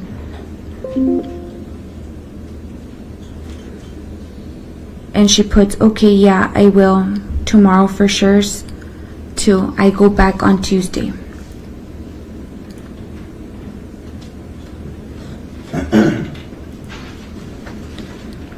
Yeah, Rando says, I wish I had a bestie like her. She's a really great bestie. And to your knowledge, did she ever um, file for child support? Yes, she did. I really hope he does stand up and say, guilt. Okay, I'm pleading guilty. That would be amazing. At what point will he crack? Yeah, dude, you got options. Mm, Did- it's embarrassing. She, uh, who, if anyone, did she advise that she was going to be filing? He looks really uncomfortable.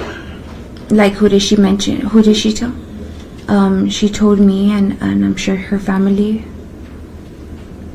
And I don't know who else. And Anthony.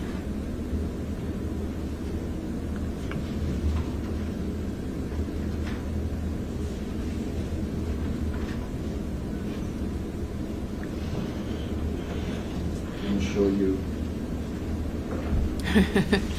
Are you regretting it? Look, he looks mortified. Honestly, he does. He does. 48.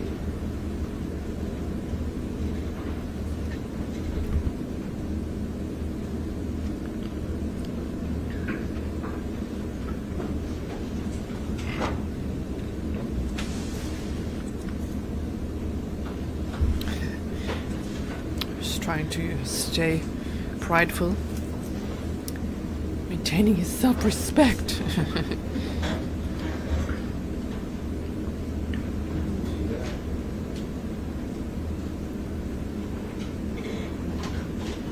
mm, pleasant day.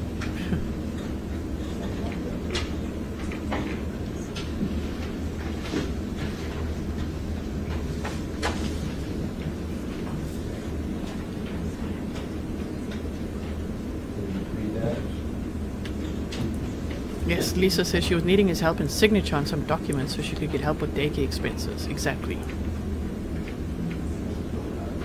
If you just Yes, leave it up. think about that, sir. It'll focus on its own. If it'll take a little bit, but it'll try and focus.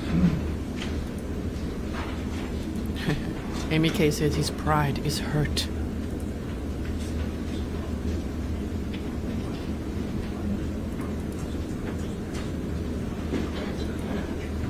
Caroline, usually a narcissist will never crack and admit, right? They want the last word, they want control. Usually, yes? Oh, he's regretting his decisions now.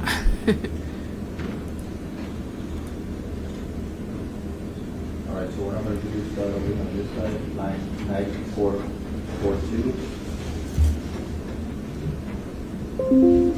This is to you, Yes. and this is on February the twelfth. Right, so now, gone from January, now on Yeah, a month later.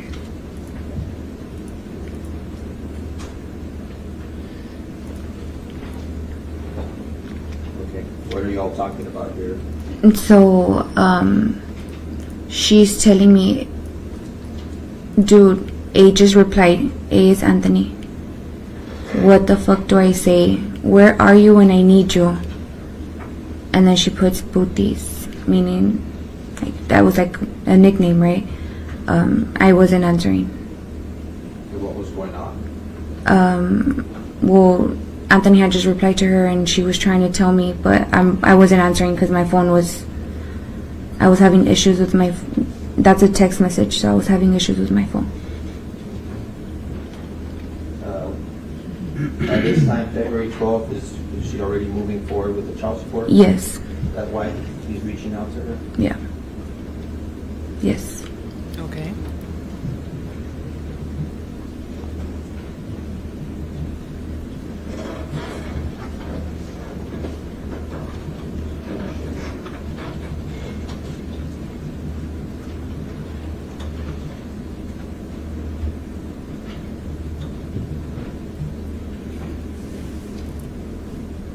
On March 25th.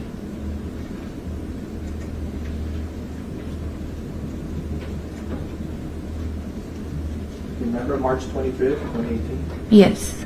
Remember anything significant that happened on that day? Um, yes. March 25th. That was the day of the spider bite.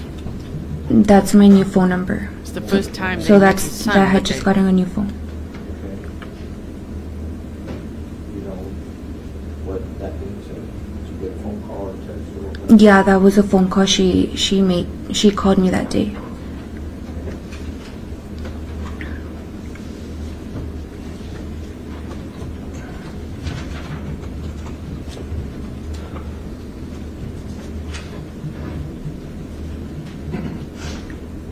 You remember that day of March 25th? Yes. And this is about 15 days before, uh, prior to Dominic's death, correct? Yes. What can you tell us about that day, uh, from that morning, if you remember anything that happened? So um, I she and she goes to meet up with Anthony at the Winfield Park. March 25th. Okay. Were Um, you aware of this meeting? I don't recall if I knew beforehand before her going. I just received that call around noon. Um, and that's when she starts explaining to me what had happened. And what happened? Um, from what I remember, I don't remember the whole conversation. Um, I just remember her calling me crying. Okay, let's talk about that. She- calls you crying. Yes. Uh, Please tell the jury what was her emotional state when she, when she called. She was crying. She was really emotional, very. Uh, she was angry that um, she had gone to the park. She was regretting her going. oh. And while she was, she was crying on this conversation? Yeah, she, she was just crying and crying. What kind of things was she, was she saying? She was just saying that, um, well, I can hear the baby crying in the background. Um, she was just like, um, that she was regretting going over to go meet up with Anthony. That um, it didn't go as planned. She just wanted him to see the baby, you know, to have a little relationship, you know, just to meet him. Um, and, you know, talk about the child support. Um, and he had said something along the lines with um me vas a odiar por lo que voy a hacer meaning you're gonna hate Okay, Go ahead, go ahead. Not sure, but I'll be there. Do I keep on Go ahead. go ahead no, no, I'm gonna ask you. You're going to hate me for what I'm going to do. Is that accurate Oh. to what the translator just said? yes You're gonna hate me for what I'm about, what I'm gonna do? yes and And what, what if anything do you say or do? well i told her that she sh- that sounded like a threat so she should put um, a restraining order against him You're gonna hate me for what I'm going That to was do. your advice, for her to go get a restraining order? yes i told her to and just to be careful to be careful and and not to meet up with him again that was around that time Yes, good advice, bestie. Did she ever go and get a restraining order? Not not that I know of. No. Did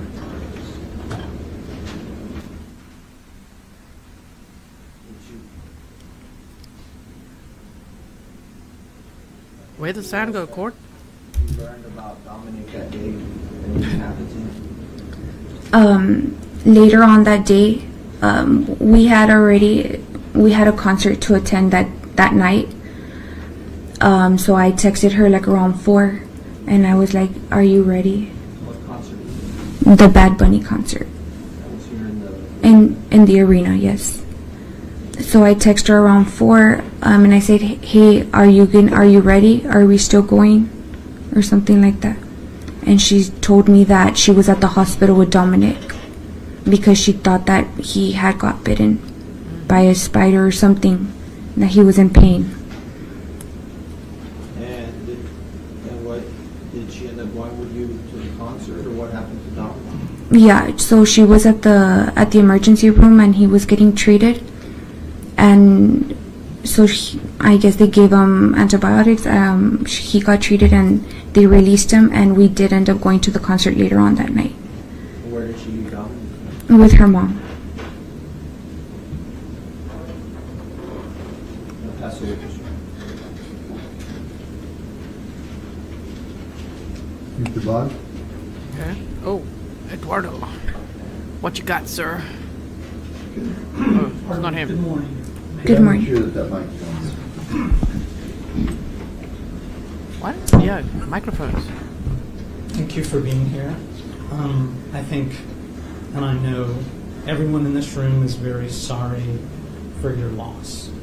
Um, you were Griselda's best friend. Yes, And more than that, you were the last person to see both Griselda and Dominic alive. Yes, And that that's a very heavy burden, isn't it? yes, And uh, ma'am, you uh, you you testified on direct examination that you never actually met uh, Anthony. Is that correct? correct, Right. And you never saw Anthony and Griselda together, correct? correct, So everything that you know about their relationship is from Griselda. Is that correct? correct. Okay. And uh, just very briefly, I want to talk about uh, the evening, or actually the 25th. And uh, the 25th stands out because that's the day that you went to the Bad Bunny concert. Is that correct? Correct. Okay. And uh, you testified on direct examination that Griselda called you from the emergency room. Did I understand that correctly? No, she did not call me from the emergency room. Okay. So she called you, and that was the exhibit that the state showed you. Is that the record? Is that correct? From the text messages? Well, the last exhibit they Oh, okay, showed okay. was a, a phone call, as I understood. Yes, she, but she was not at the emergency yet. She was on her way to the emergency room. I don't. She was not on. Oh, I didn't know about the emergency room until she texted me. And uh, you actually had uh, messaged with Griselda earlier um, that day on the 25th in the morning. Isn't that correct? I messaged her. Um, I'm I'm pretty sure since we did speak daily. So um, she messaged you on Facebook very early in the morning on the 25th. Isn't that correct? I don't recall. I I'm sure she did. I'm I'm not too sure. Okay. Would it refresh your recollection to see a, a copy of your Facebook Messenger? Yeah. Judge Mantrich. You may.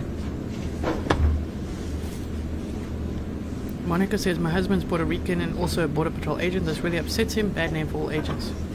I'm so sorry. Yes, he's giving a bad name to all agents. And so did David Ortiz, right? That was another Border Patrol agent, also from Laredo, Texas, unfortunately. That one was sentenced in December last year. He was a serial killer. But welcome to the stream. Thank you for being here. Can I pass it for the judge? Do you intend to offer that? These are the Um, bad apples. Depends on what. Okay, go ahead. But I'll, I'll take that. So, uh, look at, uh, look at those messages and uh, let me know um, when your recollection is refreshed. Exactly. True. Too true life. Don't stare at her over your glasses, mister. She ain't scared of you.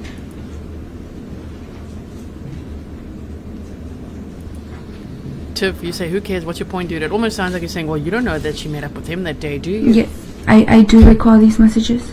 Okay. And um, are those um, Facebook messages, do they accurately uh, reflect the messages that you exchanged with Griselda on the morning of the 25th? Um, yes, it's just not the morning. It's like after. And So um, I know you're looking at it, and you say it's the afternoon because it says 13. UTC uh, 140, 1340. Is that why you're saying it's the afternoon? Yeah, it's like after. Okay. Um, so, uh, They should be five hours behind UTC, I think, so it could be the morning. They better clarify that.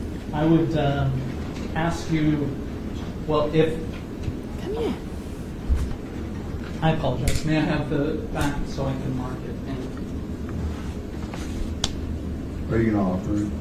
I am going to. Okay, because there was no objection from the Say state. hi quickly, for- say hi so That's quickly. why I was trying to avoid that. Okay. What is your, the number on it? It'll be D1. They're all sir. asking for you. Defendants defendants one, Yeah. being offered the objection? Admitted. Okay. Hand that back.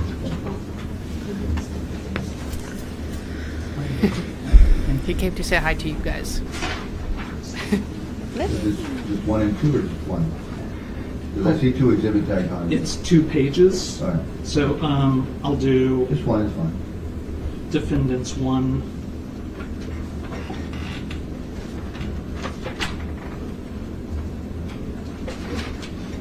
Defendants 1.2 will be page 166. And defendants 1.1 will be page 165. Oh. Well, Defense one point one and one point two are, there is no one. Purring so much.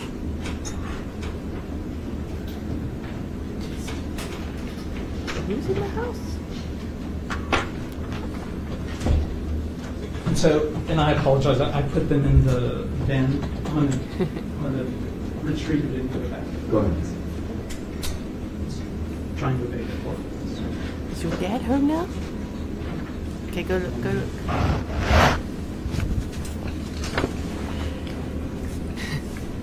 Mr. Grizzly just got home too. So ma'am, if I could have you look at uh, page 165. I I apologize, uh, page 166 as it's marked at the top, which for the record is defendants 1.2. Um, And uh, at the bottom of the page, it's the fourth message from the bottom. It says author Adriana Lynette. I- Is that you? Yes. Okay, and uh, and that's where it says sent, and then it's 2018 325. Yes. Is that correct, ma'am? Yes, that's what it says here. And then it says 133556 UTC. Is that correct, ma'am? 1335. Yeah, UTC. Mm-hmm.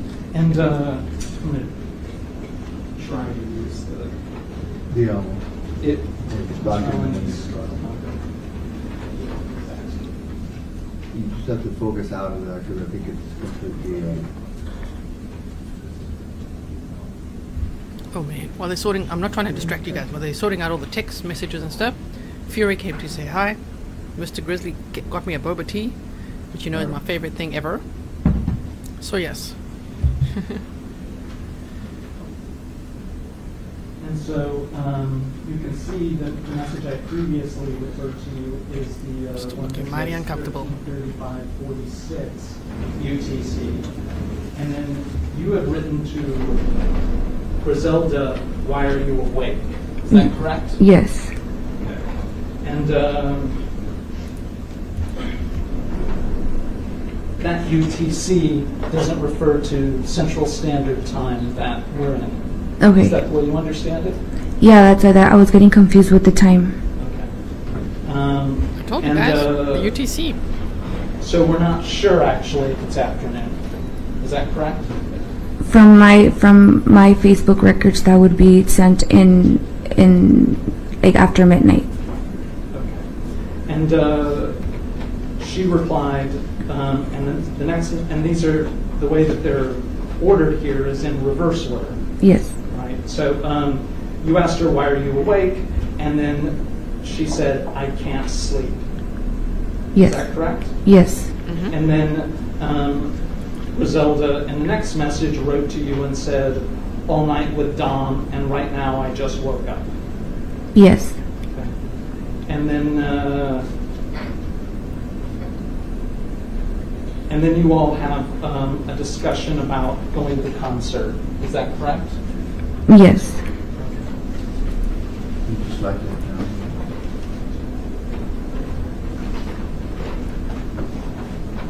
And uh, I'm, I'm pointing you to what is labeled as 133656 UTC. It's the fourth message from the top, and you said, "Yay! What are you wearing?" Correct. Right? And then the message above that is from Griselda to you, where she says IDK, which you understood to meant I don't know um, what he has. Is that is that correct, ma'am? Yes. Okay. And uh, Yes, sweet and salty. you understood that to mean in Amazing reference stuff, to defense. Not. Dominic. Is that right? Yes. Griselda was telling you she doesn't know what he has because she'd said that she was up all night with Dominic um, and that she'd woken up. Is, is, is that correct, ma'am? Yes. Okay. And just so everyone understands, this is the morning of the 25th before um, she was taking Dominic to see Ronald. Is that correct? Correct. Okay. And uh, I'd ask you to look at page 165, which has been uh, admitted as Defense Exhibit 1.1. The defense Um, is questioning then, right now. Um, Griselda, and, and again, everyone, so everyone understands these are in reverse order, way Facebook uh, provides them, um, writes, uh, yes, and he's coughing, and could you read that next line? It's the bottom of the page. Yeah. Yes, and he's coughing. Así como que se va a vomitar. His eyes are really watery. He just wants to be carried in I know way. Shame. One, one second. Like he's going to throw up. I don't know. dude.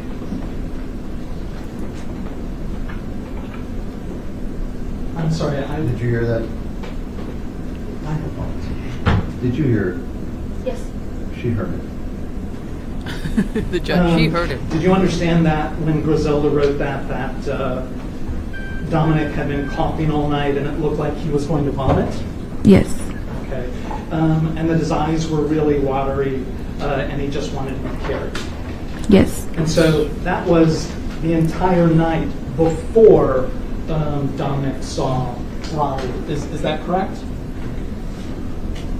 Um, according to the to the date, yes. Okay. Um, and you have no reason to suspect that Facebook has altered the date or anything, is that No. correct? Okay. And uh, matter of fact, um, He's like rubbing his two head. Messages him. up, so it's three messages from the bottom. You respond to her um, with, "That's Aaron right now, dude." Ugh. Is that correct? Yes. And uh, Aaron, is Aaron your child? or- Aaron is my child. Yes. Okay, so your child was sick at the same time, is that correct? ma'am? Yes. Okay. And uh, Griselda, in the next line, she describes in more detail about uh, Dominic's condition, and it was all night was waking up crying and with the fever and whatnot. I- i- Is that correct, ma'am? I like how she looks at Yes. him like, thank you, Lenny. And then eventually, as you've already described, you both decide to go to the Bad Bunny concert. Is that right, ma'am? Yes. Is he trying to guilt trip her about the concert or what? Look at her face. She's like, So- what are you trying to get at? And I just want to, this is summarizing it, and uh, from your understanding and what Griselda had told you, Dominic was sick prior to seeing Ronald on the 25th. Is that your understanding, ma'am? According to the messages, yes. Okay.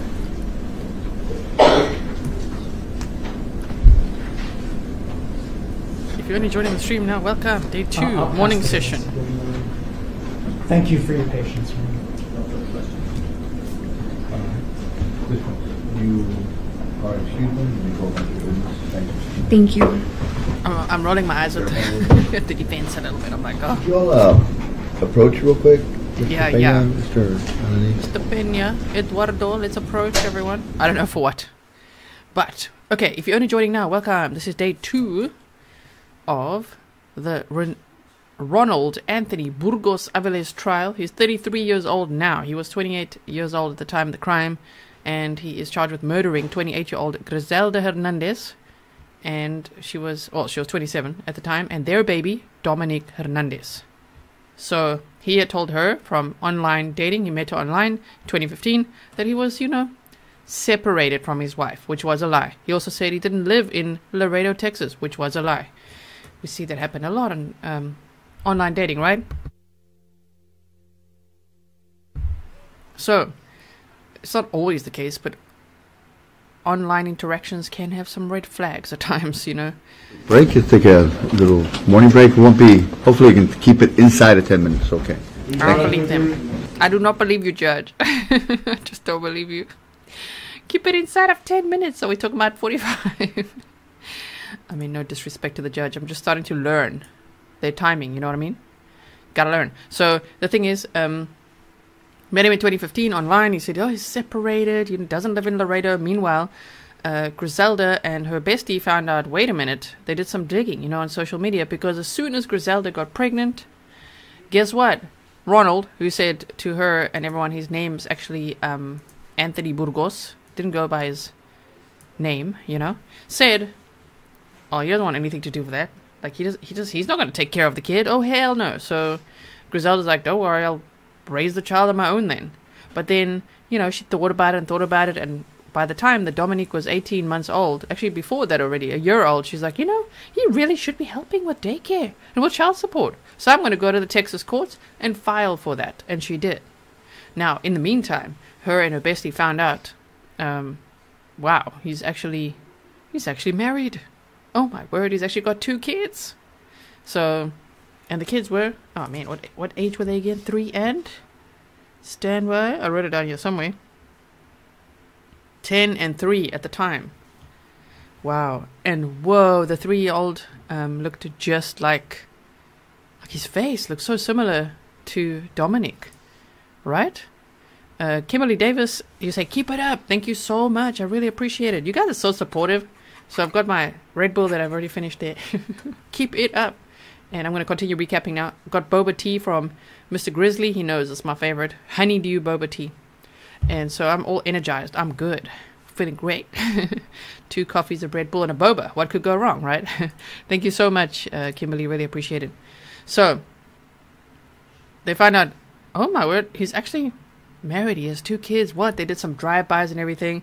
And Griselda was set on two things. One, that he needs to also chip in, you know, for child support. She was tired of these two dads who were not chipping in because she said that in text messages we learned today that the dad of her six year old son at the time was also not really helping. Did I understand that correctly? Because that's what I got. And so the thing is that she's like, he need, he's, I'm to take him to court. I'm going to go and file for this. He needs to chip in. So she wanted that. And she also wanted him to have a relationship with Dominic. She wanted Dominic to have a dad, right? Even though he's surrounded by such kind and loving family members. I mean, why wouldn't she want that? So, yes, unfortunately, um, he managed to to lure her there on April 9th, 2018. They had met on March 25th. Oh, sorry, 2018. So April 9th, 2018 is when the murders happened. Two weeks before that, on March 25th, he had already said, okay, I'll meet up with you. But then he injected Dominique with something, and we still don't know what that is. We don't know um, because they said with the bit of tissue they've still got left samples, they would have to know exactly what to test for. They don't know exactly what to test for, what could have been in that syringe, and we were asking, why can't they? Could they not have tested the syringe? What's in it? What's in his bag? Did he have steroids? Did he have something? What did he have access to? All that kind of stuff. Maybe narrow it down. I don't know. The thing is, um, maybe we'll never know. That'll be a tough one to accept, right? And so, when the first time he meets his son, uh, from a relationship that he had, which is why we've taken the title mistress out now, because it's not like she was aware that oh I'm a mistress. She she was dating him, thinking oh okay, he's separated from his wife, he's not living in Laredo, like cool guy, you know, he's taking me out, and he probably did all the love bombing as we can hear sometimes, um, from yesterday's text messages and today's. So they went out from time to time, and then she got pregnant at some point in 2015, and then he was like, oh hell no, that's not for me. Yep. So, um, yes, he lured her to the Father McNaboe Park in Laredo, Texas, where he was actually a border patrol agent supervising. He was a supervisory officer supervising that area that day, and so he knew it well. And he was going to try. This is based on what the prosecutor said in opening statements to make it look like smugglers attacked her, just random smugglers attacking her. Like, oh my word, the guy, honestly. Janet Murphy, is that for Fury? Thank you so much. If you guys didn't see the YouTube short I put on my second channel today, go check it out.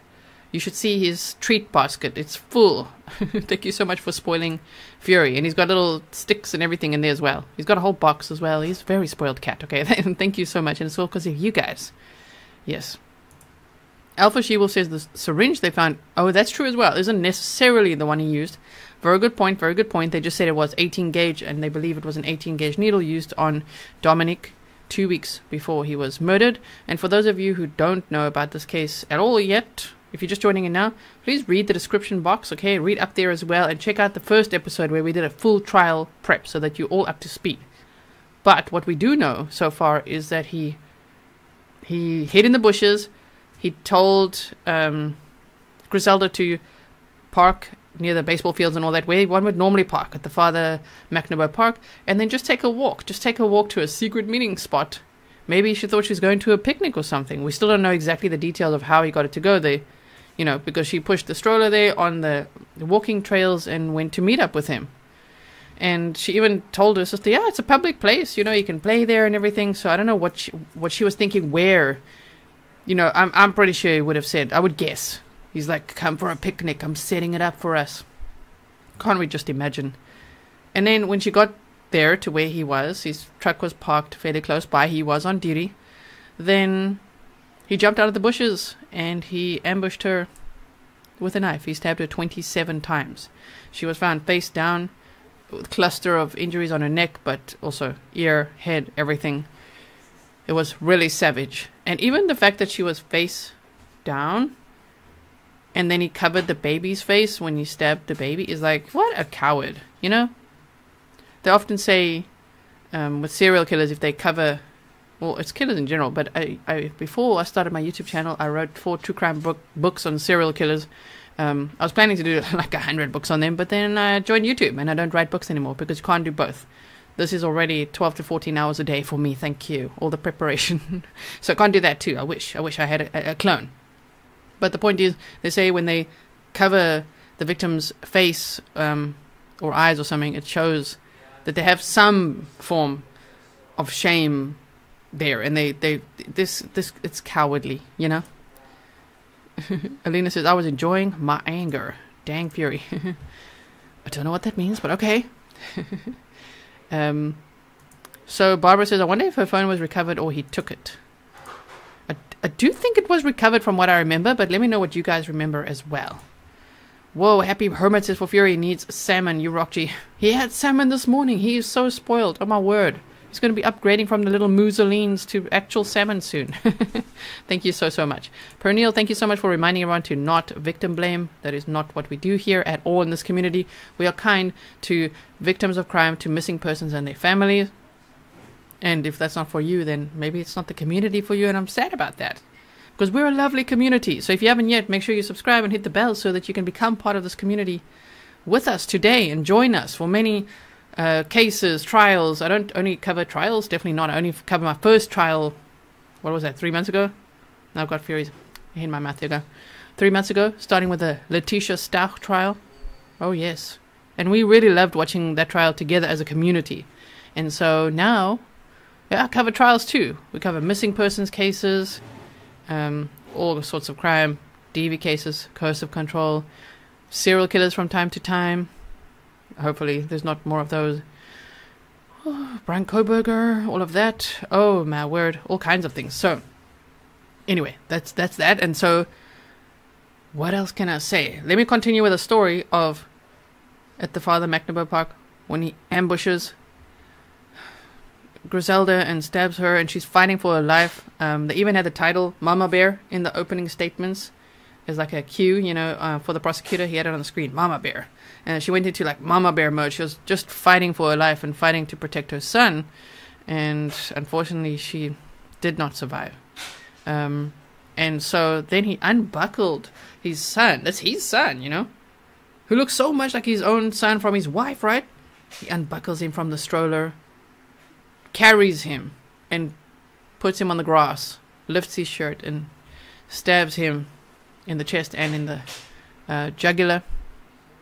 I won't go in, I keep on wanting to say more detail of what they shared, but it's too hard. It's too hard. But big injury on his neck. That's all I'll say. Oh my word. And so, um, yeah, he died like that. And then what did he do? Went home, shower changed, got back in uniform, came back and was like, whoa, look what I found. what a dumbass, honestly. It's one of those that I'm sure on my second channel at some point, Karin will have to weigh in on this guy.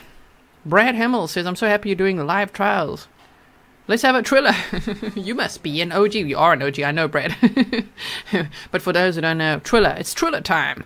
Um, you can see you've got your badge as well. You're an OG. Thank you so much, Brad. I am loving live trials with you guys. I just wish the courts would more often have like Zoom links or WebEx, just like Letitia Stauch's one. That was so cool. You know, then we can really see every angle because then they had multiple angles of the courtroom. This is pretty much just one. You know, one camera. So where that cameraman is looking is where we're looking. Whereas when it's Zoom or WebEx, then they have multiple cameras that the court controls, and then we can see many different views and zoom in and stuff. That was really nice. So let's hope for more of those. Yeah, this is true. Dana said, Did he not tell Griselda he wanted to see the baby's leg injury before she took him back to the doctor? Maybe that was how he got. That is how. That is exactly how. So he lured her to a park on March 25th, and that's when he the baby got the leg injury, which is allegedly uh, Ronald injecting him with something. And then he lured her there on April 9th by saying he wants to check out Dominic's leg before she takes him to the hospital. So you're right. What I'm saying is, how did he get her from the parking area, which is a public place, playing fields, basketball field? Oh, sorry, uh, baseball fields. I think there's basketball there, but baseball. Okay. How did he get her to then walk on those dusty walking trails and then meet up with him in the bushes? Basically, is what I'm saying. I wonder if he said, "Hmm, come for a picnic" or what. You know, what did he say to get her to go there? Uh, Karin Brinsler, welcome to membership. Karin, are you from South Africa? What? Diamond Heart says, How bad were the bruises on the sweet baby's face that they knew he covered it? Oh. Maybe, I think they. No, it's because they found the shirt lifted up. Right? And there were no holes in the shirt. That's how they know. Because there's no holes in the shirt. Olivia, everyone keeps asking this. I'm not too sure. I'm not 100% sure. I, I believe so. Yesterday, I'm still looking at all these articles that people are sending me um, about his wife. She's apparently a customs agent. Um, and people are saying, some people said yesterday that are local, that are in the chat. So if you do know, let me know. um, that she, yes, she is, and others say no, they're divorced, and others say they are di- getting divorced. I don't know. I wish I knew the actual answer right now. Okay. Janet, I'm only saying this as a safety lesson. Janet Klumper says, Where in the Netherlands do you live? I'm Dutch. Can't just give up my address on the internet, you know what I mean? but generally in Utrecht. yes. Oh my word, Mermaid Danielle. Okay, now the chat is glitching again. YouTube, you make me so mad. So, Mermaid Danielle says, Congratulations, G, on 166,000 subscribers. Really? Did we hit the milestone? Damn, let's have a look. Let's have a look. We love new milestones. Yes, we hit the new milestone. Thank you so much. You got a keen eye, Mermaid Danielle. Thank you very much. Very exciting. All right, so I, saw I saw the court cameras move a little bit. Right, like this. How about this? Okay. I don't recall this. Didn't they say texted her to say meet along the trail because it's so beautiful? I don't recall that. Wish I was superhuman and could literally absorb every single fact. You know, I, I wish I could remember all the things, but please remind me of things like that. I don't remember that. That it's so beautiful. I don't remember that because I'm still wondering how exactly did it get it to to go there. I know they described how beautiful it is. They did describe it's like nature, beautiful, right by the river. I'm just wondering, man, because yeah, to think that he actually managed to isolate her like that. Wow. Uh, Cheryl. Cheryl DW. Oh wait, am I reading it right? Yeah, Cheryl DW. That's a cool name. Thank you. Thank you so much for becoming a member. Welcome to all the new members. Andrew Mack, do you cover murder trials in the Netherlands or are they not as excited? I don't know what excited means, but they're not covered widely in the media, number one. They don't happen as often, number two. And number three, I'm very concerned about my own safety and wouldn't really be covering a trial right here where I live because then I'm just putting myself at risk. And number four, 83% of my audience is American and the rest is really Canadian. American, Canadian, and then the small percentage is 0.1% Dutch. So, yeah. And the, the rest, UK, a little bit Europe, Australia, huh? so, but mostly American. I'm not 100% sure of this. Debbie says, is the wife actually in blue there or no? Not from what I can see. I will bring this over quickly. I don't want to. Don't don't bug this lady, okay, guys? I want to bring this over for a second. Wait. This is apparently. Um, apparently his his wife. CBP officer. So is that also border patrol or what? See, CBP officer. This is the these are the articles you guys are sending to me. Was born in Orlando, Florida, grew up as one of eight siblings in her household. After high school, she attended Valencia College in Orlando, where she pursued a degree in criminal justice. Wow. So I'm not sure if this is her or not, but this is what you guys are sending me. You know, so if you do know, let me know. But, I mean, if that's her, is she in court? I'm not sure. We'll have to keep an eye out. Again, I want to say, don't bother that lady. We don't show articles and photos for you to bother her, okay? It's, it's so sad we even have to say that. But you know how it goes on YouTube sometimes. Sometimes YouTubers themselves are freaking doxing, harassing, knocking on doors. Just, oh no, no, no, no. Lex Lux says, reminder, meet people in very public places. And the thing is that she had told her sister, yeah, it's, it's a public place, it's the park. They knew the park well.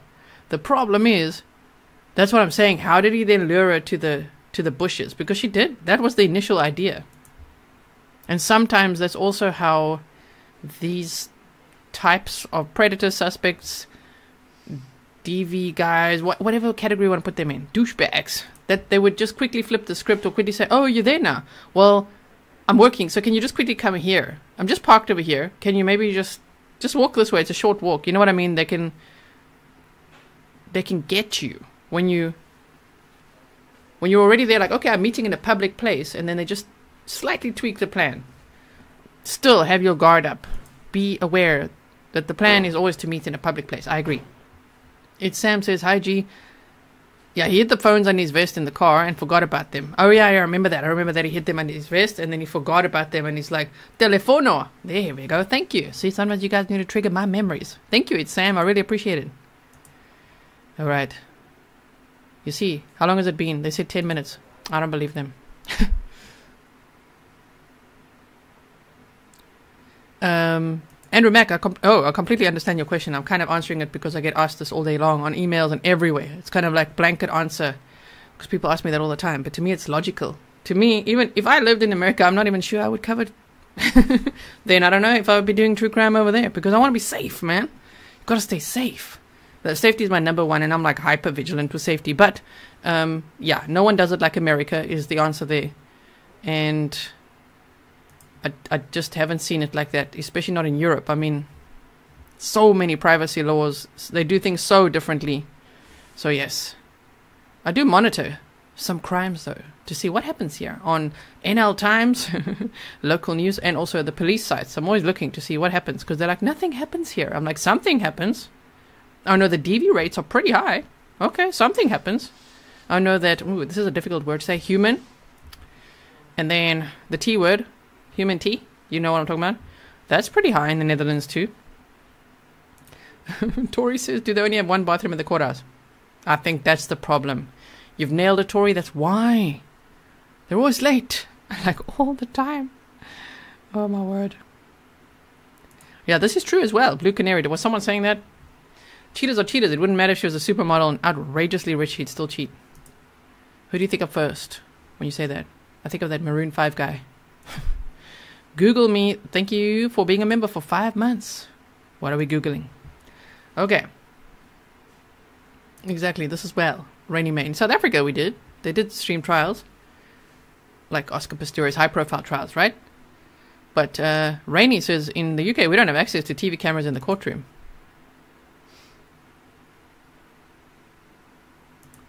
Susan says, "Is it possible he chased her to the bushes?" No, it's a little bit of a far walk. She walked there, and they said that they saw um, camera footage of her walking with that stroller, walking along those trails. Okay, they're back. The judge is back in the house.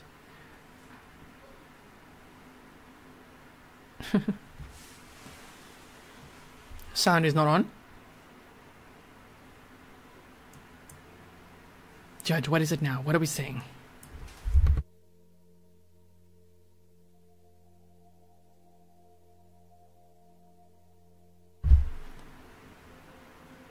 Oh, did we have a snack? So, what's the time in Texas now? Okay, firstly, let's look at quickly, quickly. The time in Idaho is 10 o'clock in the morning. Kohberger's hearing is at 1.30. I think we'll be in the afternoon session when it happens, which is fine, because sometimes that's delayed. Court sound still isn't on.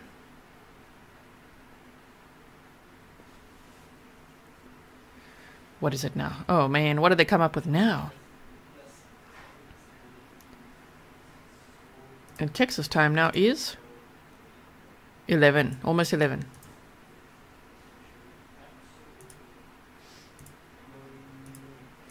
Yeah, almost 11.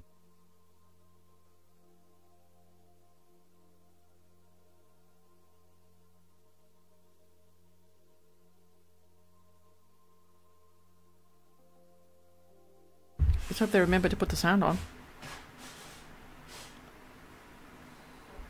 What?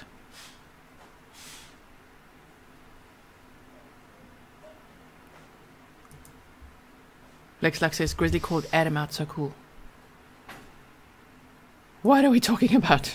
Did I miss something? Kerry says, yes, if you guys are wondering, just look on the top, okay? If anyone's asking, is death penalty on the... Look there. Ronald Anthony Burgos Aviles is facing the death penalty for the murders of Griselda Hernandez, 27, and their baby Dominique Hernandez. It's all up there, okay? If you're looking for info, look at the screen, look at the description box. You're gonna know. You're gonna know. I'll keep you informed, okay? oh my word. Miss Frisco says, Imagine us here for hours and no sound. oh no, no, no, no. Imagine that.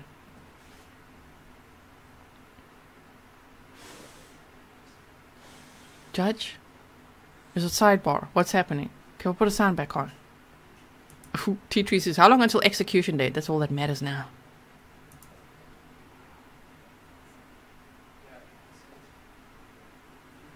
Ooh, yeah. So uh, Roro says, anyone else love his chair? I do. Look at that nice high back chair. Very nice chair.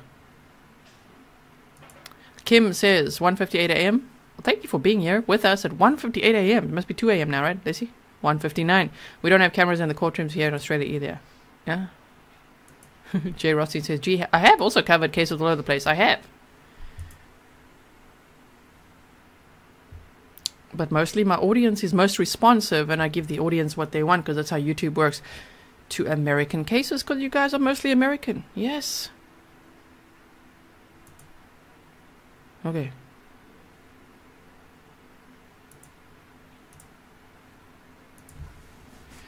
Uh, what is happening? Sorry, I'm typing. Little ASMR typing sounds. I think this judge is it just me or is he getting annoyed with the defense at this point? This Subson Boba.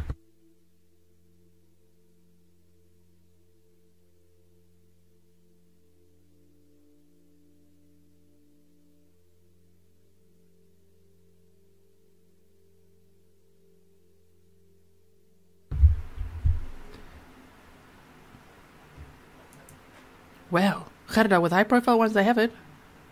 Henry van Breda, Oscar Pistorius, and many others. Um, but, whoa, yeah, I imagine it. I know what you're saying. Oh my word, are they 3.5? Let me check. Damn, a lot of people watching. I think there's three, three, three point, yeah, 3.5. You're right, Debbie. Welcome, everyone. If you are new here to this trial, if you were like, oh no, I need to catch up, watch the, the trial prep, okay? Watch it at 1.5 speed if you want. I love 1.5 speed and 2, 2 times speed. Watch that first episode. And then for the other days, which was only yesterday, day one, there's a morning and afternoon session. It's clearly labeled for you on a playlist. You could just go to the timestamps and just see, you know, what did you miss? What do you want to skip to? What do you want to see? I've labeled it for you. So you can catch up real quick. I'm saying that because I used to get overwhelmed by seeing trials, long trial days, and just like, where do I even start? And like, oh my word, it's like an eight hour stream or a four hour stream. So if you feel like that, don't worry. I got your back. I know how you feel then. Oh yes, Pampered Glampus is way past ten minutes. You see? You see? We cannot we cannot trust the ten minutes. Jackie Letendre. Letendre. Letendre, I feel like I've got to say. Thank you so much for your two dollar super sticker. That's so sweet. Okay. Jory's coming back in. Sound back on. Oh, we're drinking is that water?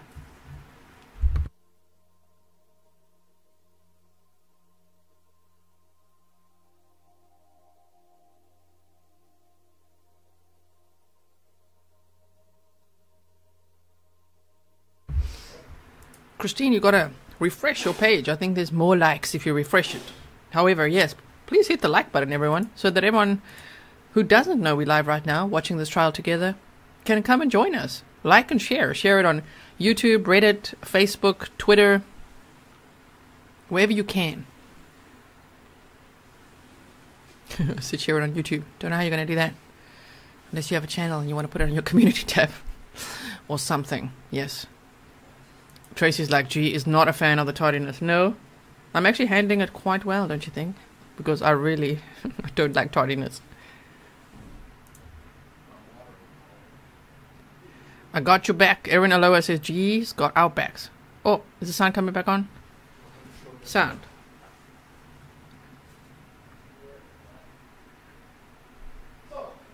Can't hear a thing. Next witness, please. There we go. Next witness. Bradley Dennison. Ooh, Border Patrol agent. Dennison or Dennison? Dennison. Bradley Dennison. All right, thank you. Bradley Dennison. I hope I spell it right.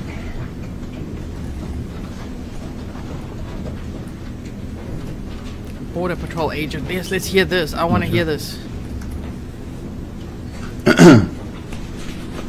so who's it now? This is the witness name. Okay, here we go. Good morning, sir. You've been sworn in already, have you not? Yes, sir. Yes, sir. Yeah, please have a seat, please.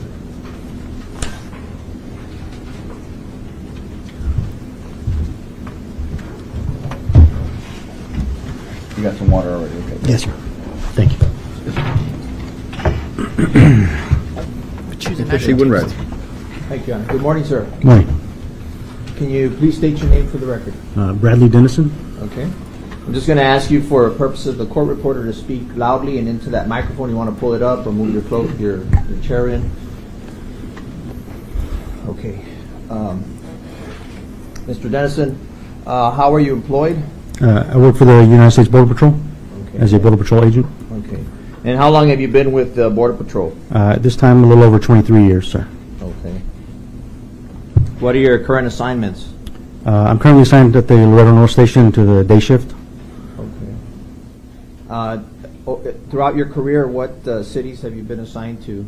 Uh, I've only, my, my entire career, I've been here in Laredo. Okay, great, great. Before we get started, I, I want to go over some terminology uh, that the, that's unique to the Border Patrol Thank you. and uh, or law enforcement rather, but uh, and also discuss a little bit of what the standard uniform is. Um, you know how it is you all wear your your uniform. I see today you are in uniform. Yes, sir. Okay. And as part of your uniform, you carry a, a, a, a Sam Browne or a belt. Yes, sir. Okay, and, and what does that uh, consist of? Uh, so our, our typical duty belt is, uh, we'll carry obviously a firearm. Uh, we're required to carry two magazines, uh, spare ammunition magazines, a uh, less lethal use of force weapon, uh, handcuffs, radio. Uh, also consists it consists of an inner belt that goes in on the pants inside the belt loops, outer belt that goes outside, and those two belts are held together uh, with a minimum of four uh, belt keepers. Belt, Belt, keepers. Okay. belt keepers, Uh, yes. would you mind? Uh, do you do you have that equipment? Some of that equipment on today? Yes, sir, I do. Your Honor, can you show the ladies and gentlemen? Stand up. yes, please you show us the belt stand up keepers. and Show, uh, do some show and tell with, with Oh. the jury so that Oh, no, can, can we see you. it? You can, come, I guess. can you come down here? Yes, um, And uh, I'm asking you this. Mm. Over here. This is important part of the Disgraced. Uh, just kind of walk us through what you. Now they what show us. So obviously, like I said, inner belt goes on the pants itself inside the belt loops. Um, outer belt, as you can see, holds all of my heavier uh, equipment, uh, sidearm magazines, uh, flashlight, uh, et cetera, et cetera. Uh, keepers that I mentioned uh, will be like here. I have four of them uh, fastened, two in the front, one behind the firearm, uh, one in the back. And the purpose of those is uh, while you're moving, it keeps that belt, those two belts from separating the outer belt that has weight on it from moving around your body, either shifting side to side or moving up uh, or down further. It just holds everything in place because it does have. They won't said, it show us. supports They're quite a bit of showing the jury. All, the, all your equipment. Would it be trouble to uh, unbutton the keeper? so they just they just snap off like that. Um, most keepers are, are the same way. Some will only have one button. Most have two buttons. Uh, snaps, I should say. They just they just be. They're not showing us because they don't want to show the jury, obviously. There we go. Flip it over. then That's a good angle. Place the holds those two belts together. Okay. Uh, minimum, we're required to wear uh, the floor keepers by our uniform standards. Uh, some guys will wear more, Okay. four or five, maybe six. Thank you, sir. For the amount that weight. Thank you. Thanks, Jinxie.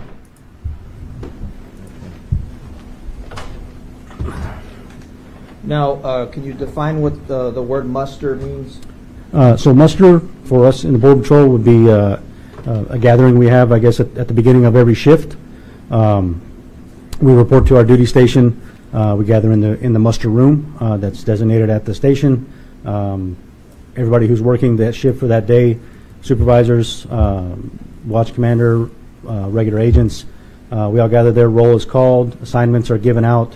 Um, Any information about uh, you know, patrol information from the day before, what, you know, things, things to expect that day, uh, things that might be going on in the community, uh, information like that, significant arrests.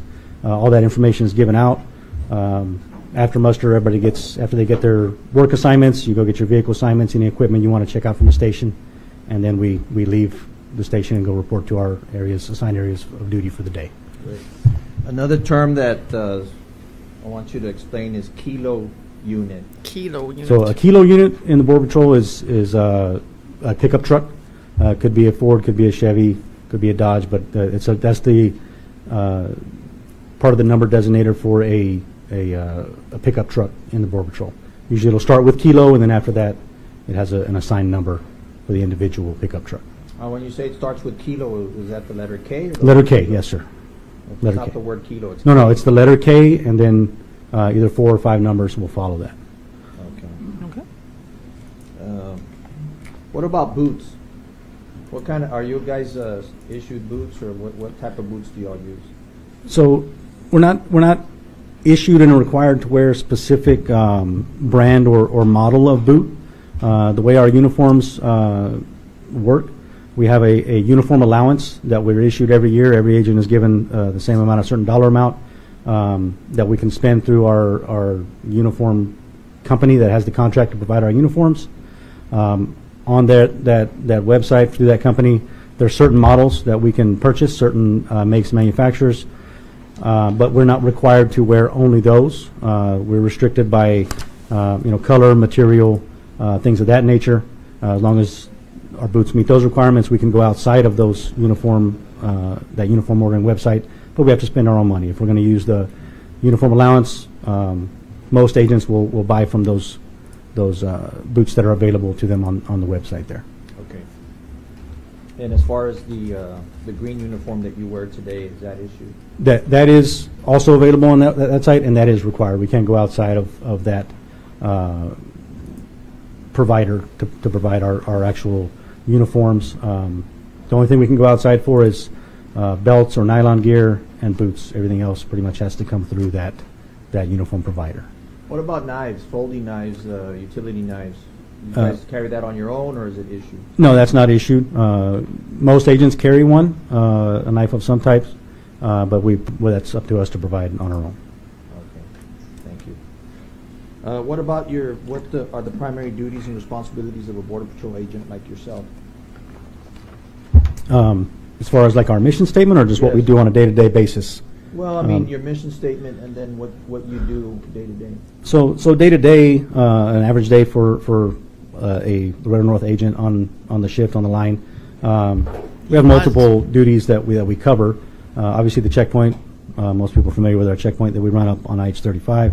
Um, And then uh, main, mainly, um, other than some support roles, it's going to be to patrol uh, the river areas of, uh, of Laredo, uh, also the highway areas, the ranches north of town, um, to, to circum, or I'm sorry, to uh, detect uh, any kind of illegal entry into the country, whether it's um, terrorist, terrorist weapons, illegal aliens, uh, other, any other kind of contraband. Uh, That's primarily what we do on a day-to-day basis. Thank you, Denise. Now, uh, I want to direct your attention to April the 9th of 2018. Oh. Do you recall that day? Yes, sir, I do. Okay. Were you on duty that day? Yes, sir, I was. Okay. Uh, Let's start off in the morning. Okay. Uh, Did you report on that morning? Yes, sir. Uh, To the day shift, um, I reported at 6 a.m. that morning. Okay, and uh, tell us where you reported uh, and um, uh, how you reported and what you did. that I hope so, Rotan. Um, So like I mentioned, we, we start off uh, with muster uh, in the morning. Um, So I, I reported at, at 6 a.m. is when, what our start time is for the day shift. So I reported to my station. Uh, We had muster 6 a.m., uh, received my uh, work assignment for the day, which for that day, I was working uh, the area from the Father McNaboe Park uh, up to the World Trade Bridge. Uh, That was my designated assigned area to patrol for that day. Um, So after, after muster, like I said, retrieved my vehicle keys, equipment I was going to use for that day from the uh, armory at the station, uh, went out and went to my area of patrol. And when you say you reported to work that day, where is that station?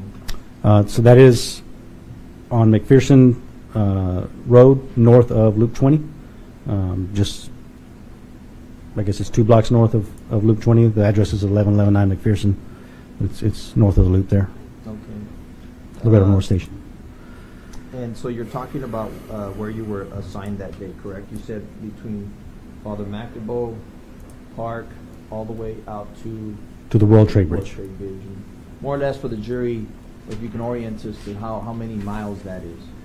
Um, It's probably, I would say, a stretch of about a mile, um, more or less from, I've I've never measured it specifically, but it's probably about a mile from, from the park up to the World Trade Bridge possibly a mile and a half, but probably about a mile.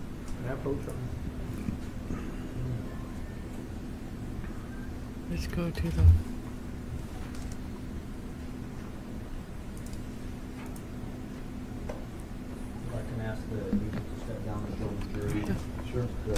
Oh, you may step down, sir. They're doing some map time. Me too. World Trade Center. What? This is now State's Exhibit 102, Three miles. show uh, the fence.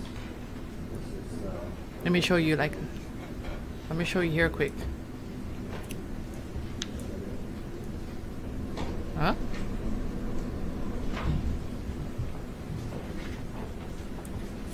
So here's the park. What we want to do is be able Here's the to bridge. show the jury where it is that uh, your area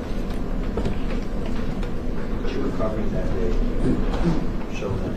It would be from here So to Mayor- here. Day, this is the World Trade Bridge here. You see crossing, this is Mexican side of the river, United States. So this is the World Trade Bridge. My area would have gone from, from that bridge all the way down here. This is where the park begins.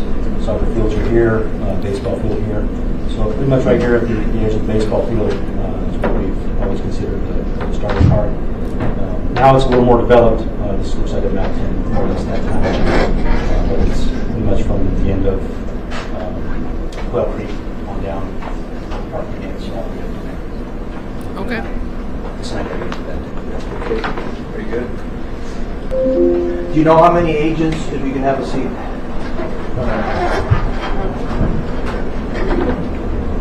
Do you know uh, how many agents Thank you, were Zublu. assigned that day to that region?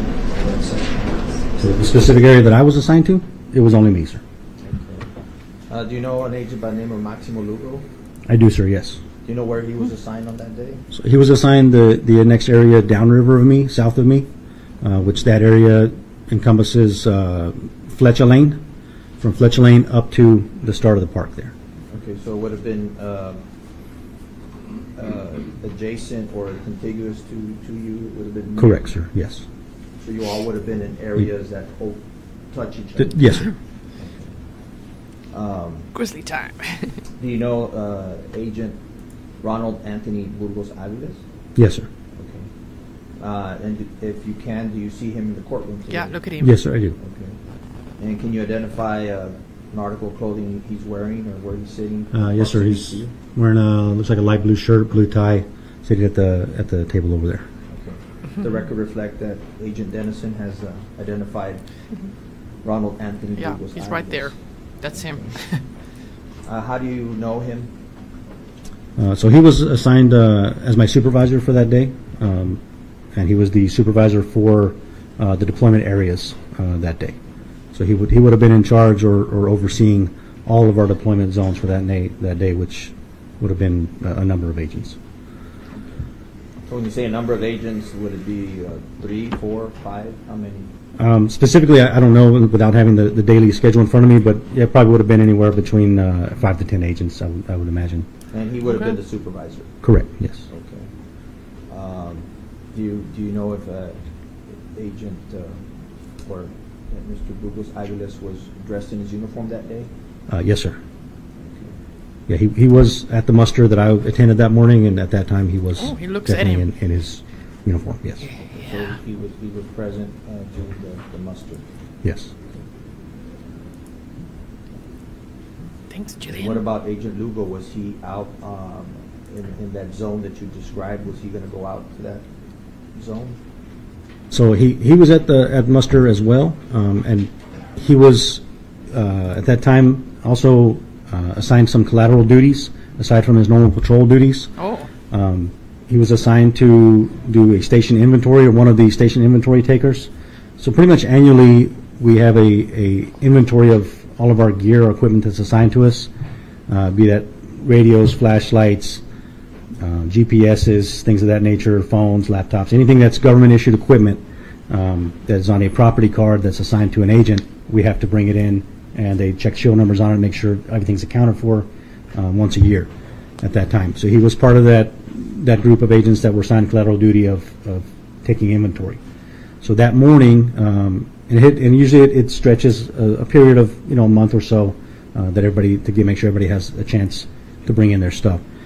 Uh, so that morning it, it had been put out uh, at muster uh, that Agent Lugo uh, was going to be there, be available at the station uh, all morning long to be able to to take inventory of your equipment. So if you had your equipment with you that morning, or if you were available to, to go pick it up, you had it in your locker, vehicle, whatever, he was going to be there available uh, to bring your equipment so that he wasn't, wasn't going to be in his area. He'd be there at the, at the station, available to do that inventory.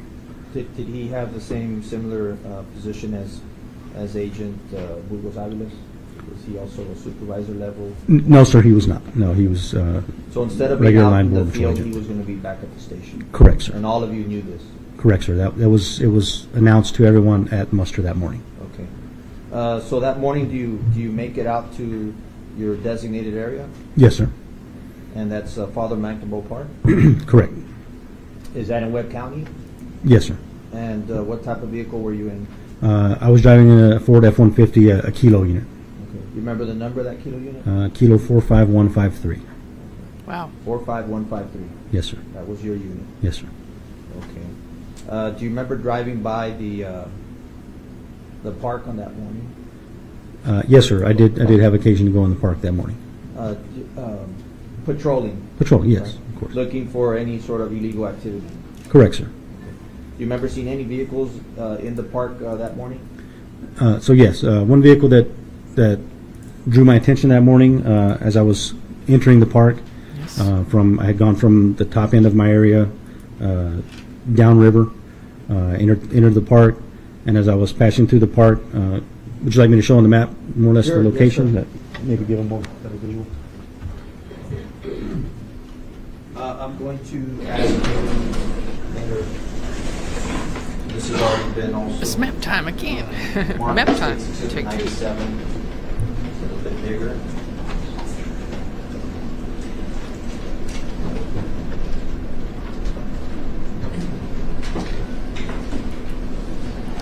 So as I pass through the park. Thank uh, you. Through here, through this center parking lot, it has a a bunch of parking spaces that are lined this way. Yes, yes. As I pass through here, uh, more or less where this vehicle is, I noticed a uh, a white car, uh, I believe it was a Mercedes.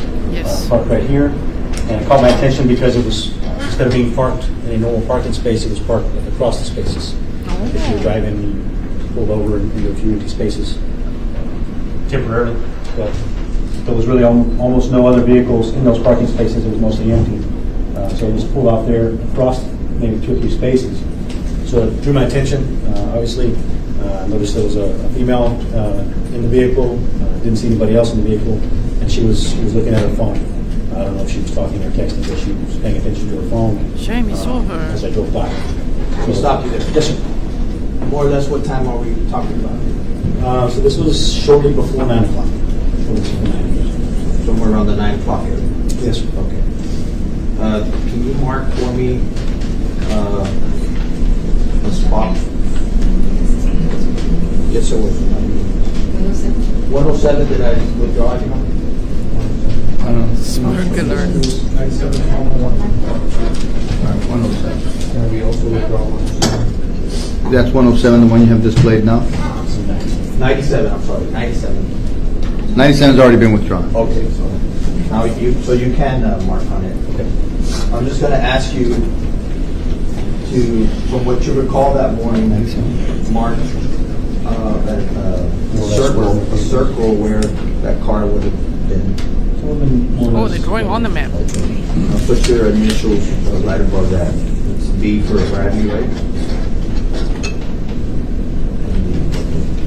So sometime around 9 a.m. you see a car Yes. uh, and anything else, any, anything unusual about that? So like I said, just the way she was parked, obviously she wasn't parked properly yet, so. And it's boosted, Um, Solaris. You should go so check as I- out the as I original stream. Drove past her, I kind of circled over here. sound is bad. uh, Back into a parking space over here in this corner. Uh, Stayed there for just a short time. Uh, I had noticed uh, a Laredo PD unit over at the the north end of the park, you know, several other uh, law law enforcement vehicles that were coming into the park uh, that were, I could tell they were unmarked uh, K-9, K-9 units. Uh, Sometimes they go there to train the park, exercise the canines, things like that. So. Let me ask you, why, why so much law enforcement presence here? Border Patrol, police, uh, I mean, why, what's the importance of the, of your all's presence around? So I can't really speak to the, the police, but for for Border Patrol, uh, for sure, it's, it's historically been a very high-traffic area, because as you can see, uh, very close proximity to the river. Um, You can get vehicles easily into the river, uh, I'm sorry, not into river, it's close, close to the river, Uh, so it's a very short uh, trip or run uh, for smugglers. So no wonder he lured her away.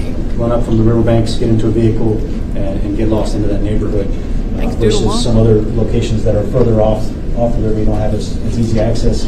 Whereas the park, it's There it's are very easy, cameras in the close park. access to get a vehicle to the river, so it's historically been a very high traffic area for us. What if anything do you do after you, you leave this location? So after I was at the location for a short time, I noticed all the other law enforcement vehicles coming in. So uh, in my mind, I kind of said, well, nothing's going to happen here right now with all these vehicles here. They're not going to try to cross or smuggle anything. So let me go back to the other, other end of my area. So as I started to leave, uh, I noticed her uh, coming, driving back this way. Uh, Looked like the same female driver, same vehicle, um, driving back through this middle section right here. We we passed each other on this little, little drive right here. Um, And again, and as I passed her, she was, uh, she was on her phone. Uh, Looked like she was talking at that time. Okay. On her phone, she had it, had it held up. Uh, Again, didn't really notice anything else out of place, other than uh, she was just on the phone. But to me, it looked like she was possibly going to meet somebody there, because we often see that. uh, Multiple cars will show up, groups of people will meet up and walk and exercise in the park, whatever, and then they all get back to their separate cars. So it looked to me like she was trying to coordinate with whoever she was meeting and and meet there at the park. So I, I, I proceeded out this way, I saw her come into the parking lot here, and I left the parking lot, I left the park, went up through here, uh, like I said, went up to- towards the northern end of my, my patrol, uh, zone over there. Uh, So, just real quick, so your last visual of her is entering this lot? Correct. And the pandemic, Liz. You want to put an arrow here where you, your last visual of her? Okay, put your- I know, right? Angel, they can't.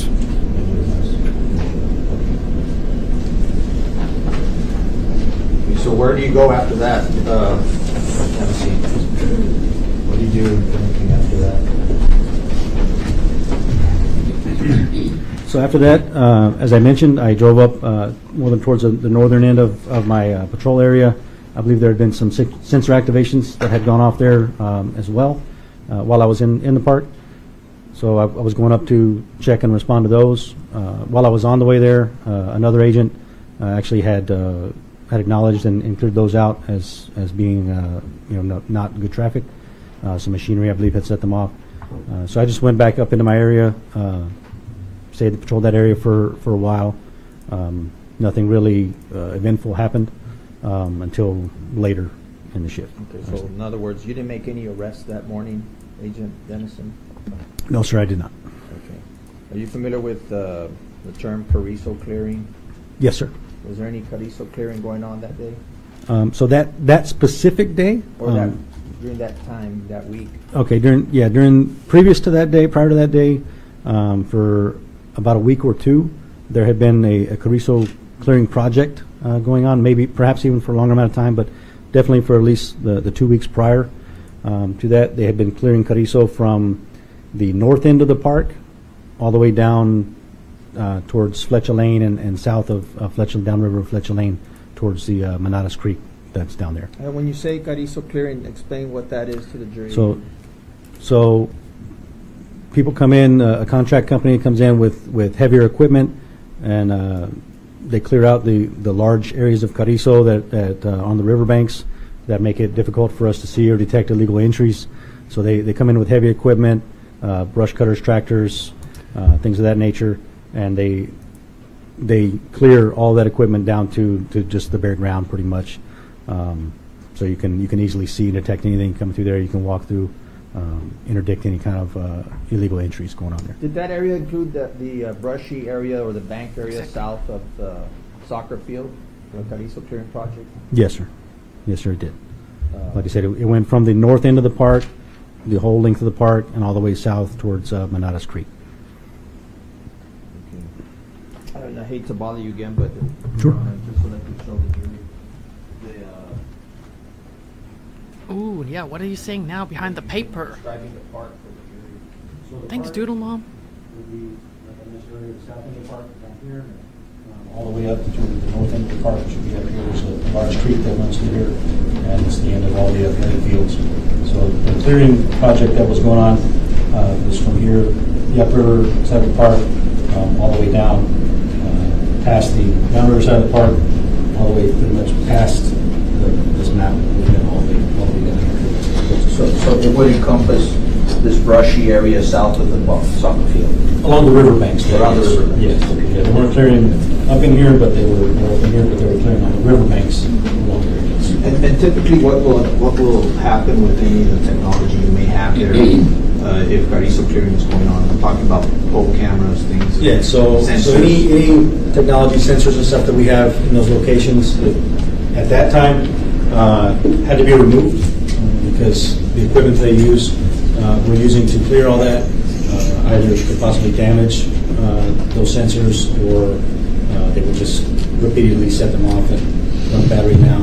Uh, We would just keep getting alerts on them, so that, that stuff was removed uh, while that clearing was being done and replaced.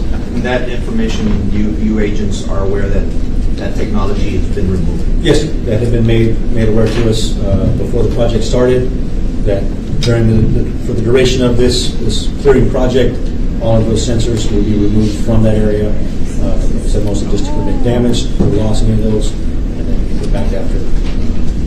To my knowledge, they were, the project was still ongoing, so tho- those had not been placed back yet. uh, as of that day. That is, this is hectic from the prosecution. All the sensors were removed in the area because of the clearing. Oh my word.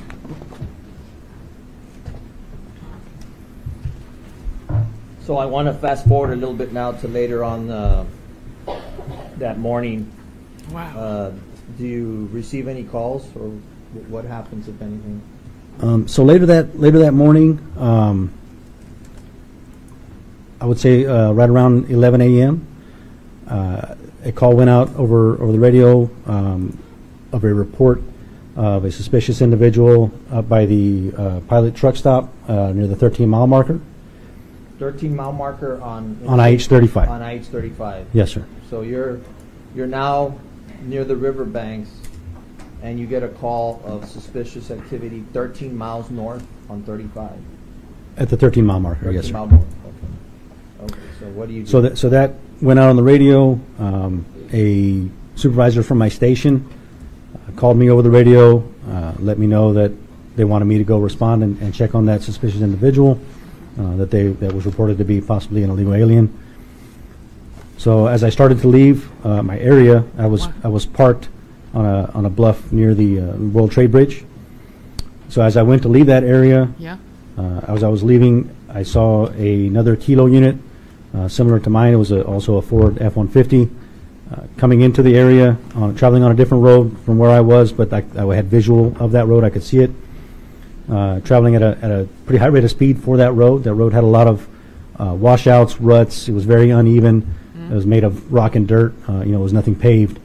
Uh, I was traveling at at what I considered a a very high rate of speed uh, in my experience for that road typically I I would only travel on that road, or I've only seen other agents travel on that road at that high rate of a speed if if they have a reason to or need to, whether they're responding to some type of illegal entry, uh, some type of emergency situation, somebody's asking for help, uh, something of that nature, not just a Wow. as a casual drive down that road.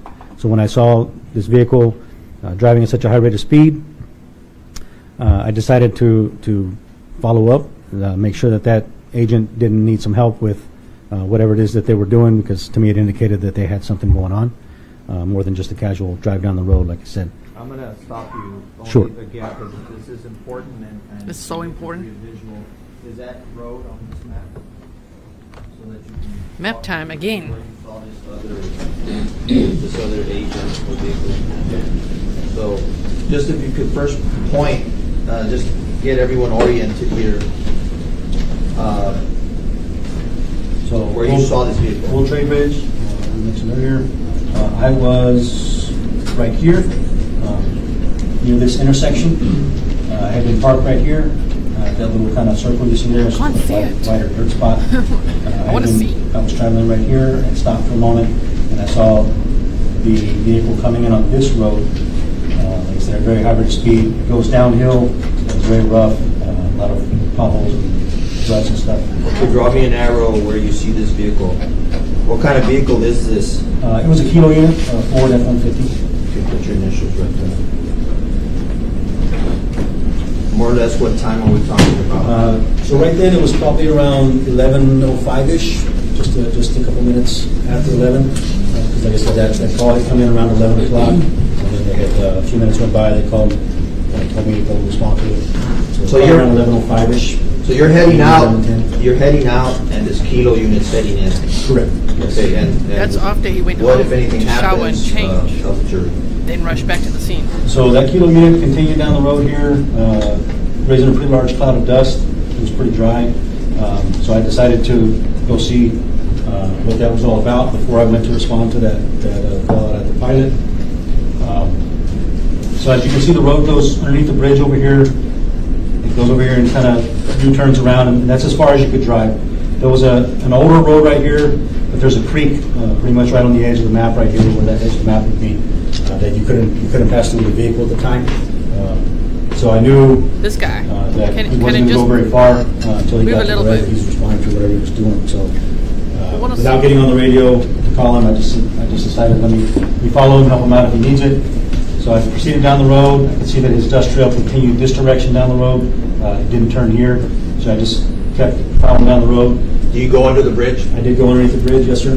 Uh, As I, as I got underneath the bridge, I was able to see um, the kilo unit coming back on this road right here, the one that's closest to the river, uh, coming back towards me, uh, driving again at a at a pretty high rate of speed, making a large dust cloud uh, coming up behind him. So I decided I'll just stop and wait here for him to to get to me, uh, and then find out what what he's got going on. Okay, so the, that kilo unit, you you guys come window to window, Yes, sir. door to door? Yes, sir. So I stopped there, waited for him to approach. Uh, As he got to my location, I went ahead and rolled my window down. Uh, He also put his window down. show you after properly. uh, And we spoke. And who's driving that kilo unit? Uh, That was Supervisor Burgos was driving. What The same Ronald Anthony Burgos Aviles that's sitting here today? defense attorney? Okay. And in your exact words, what do you, what do you tell Agent Burgos? So my my exact words were. Down the map, are we gonna go back to the map for you? Uh, I don't know if you need the agent down there for the map, or you're gonna continue with the map determination. Yes, just All right. one, one. So, your exact words to, So, so I spoke to him, I said, hey, what, what's going on? Uh, You have the traffic, or what- what's going on? He said, no, I'm, I'm just exploring. I said, well, you were, you were hauling ass down the road, man, I thought you had Just something going on, you responded to something. And he said, no, no, I'm just exploring the area. I said, okay. I said, I said, well, since he's my supervisor for the area, and I hadn't had contact with him since after muster that morning. Uh, I said, hey, I don't know if you heard it on the radio right now. They, they just called me to go respond to that pilot, uh, they call out at the pilot. And he said, no, no, I, I didn't hear that. I said, okay, I'm gonna take off up there, so I'll be out of the area for a little while. And, uh, he just responded to me, uh, okay, I'm, I'm gonna, I'm gonna keep going this way, and I'm just gonna keep exploring. Okay. And then he rolled his window up and, and proceeded, uh, Cameras. south, down can you, can you show us, just to finish off here, uh, you see him here under the Yes. bridge and he proceeds which way? Right here in the bridge. So I you don't have proceeded, any of the dogs, uh, Michelle. Down the road here. I don't uh, have them. Back this direction and, uh, Looking for down them. this road here. And I'm what gonna you order them later on the So menu. I, I turned around, uh, proceeded out this way, uh, and then south the road towards, uh, towards Faston. So he told him, I'm just exploring. Yeah, let's see. Meanwhile, he's racing back to the scene, the murder scene, because he went home to shower and change. We'll go over that again if you didn't miss it. If you missed it, don't worry. Ooh, this was this was The word uh, what a great witness. How did, what did you think about that word? Any Yeah, impressions? just exploring. So yeah, at the at the time that I spoke with him, when he, he used that word uh, multiple times, exploring, uh, it, it struck me as an odd word to use. Um, Why? Well, because at, at that time, um, Mr. Burgos had been an agent at, at the same station, at the Red Station, for I believe about nine years.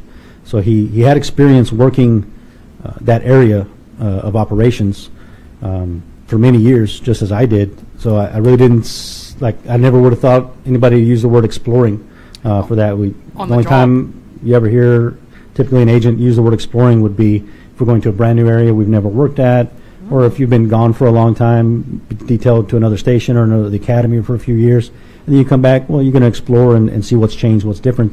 If- if you're going through a location that you've been through hundreds of times or more, exploring just seemed like a very odd choice of, of words uh, Yeah, for that guy that. looks at him. So you told the jury that you received a call that you're going to respond to at the 13 mile marker. Did you go? Yes, sir.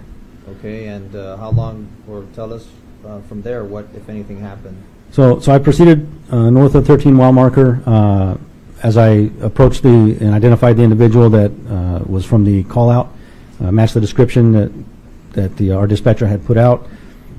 Uh, I, as I approached him, uh, went to exit my vehicle. I heard a, a radio transmission on the on our radio uh, from Sup- uh, Supervisor Burgos, uh, stating that uh, he had found a woman uh, who was injured uh, on the on the uh, near the riverbanks on, on one of the river roads there uh, near the end of Bristol. Uh, and he was asking for another agent that was also in the area to, uh, I guess he had, he had seen in the area another agent there to come and help him, and he was asking for EMTs uh, for the lady because he said she was she was injured. And you more Injured or less lady. remember around the time this happened?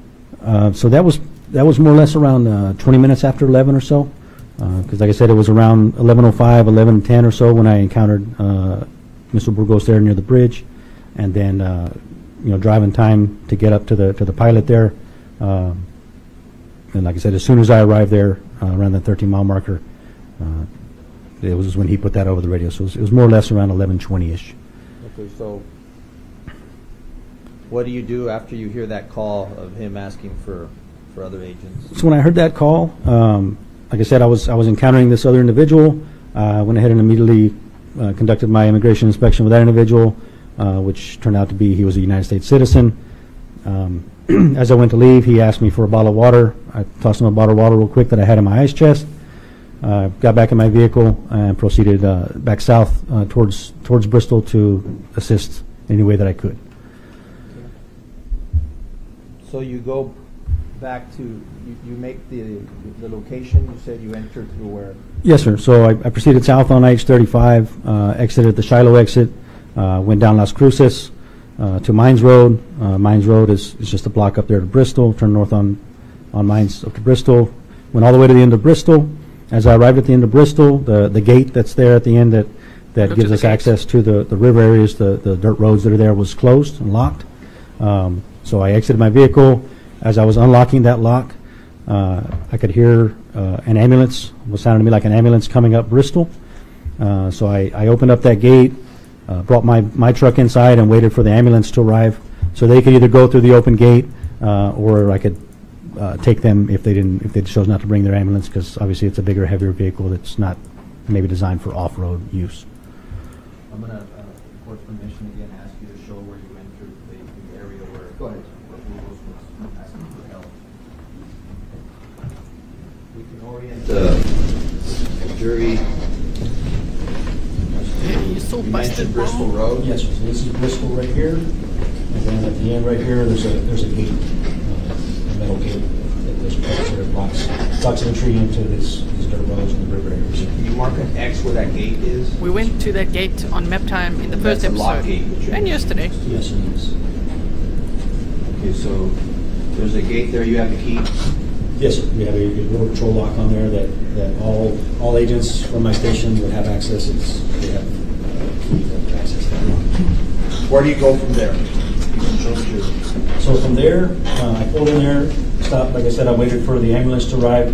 Uh, The ambulance arrived, Uh, they went ahead and stopped right here on, on the end of the pavement. trying to sing. Uh, They got out of their vehicle, uh, and they began to approach my vehicle. They asked me, hey, what, what's the condition uh, of the victim, what's the condition of of the lady? And uh, as I was driving south uh, on 35, I had heard uh, another agent get on the radio and say that they had checked her pulse and they couldn't find a pulse. So I let them know uh, they, they can't find a pulse on her, so she possibly is deceased. So at that moment, they went ahead, and they turned around, they went back to their, their vehicle, they retrieved some other equipment. I don't know what type of equipment it was, but they retrieved some other equipment as well.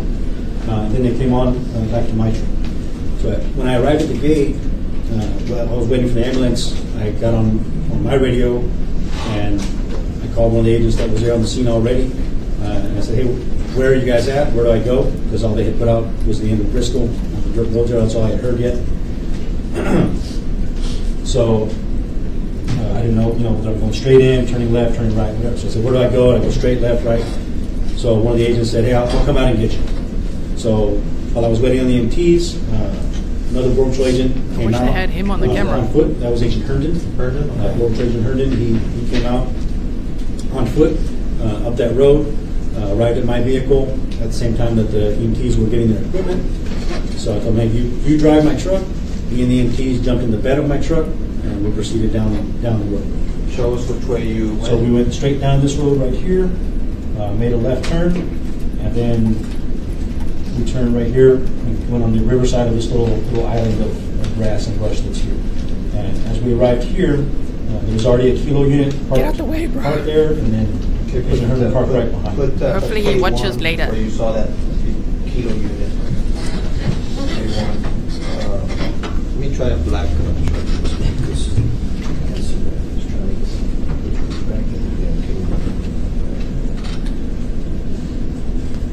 that, that, that kilo's already our future initial.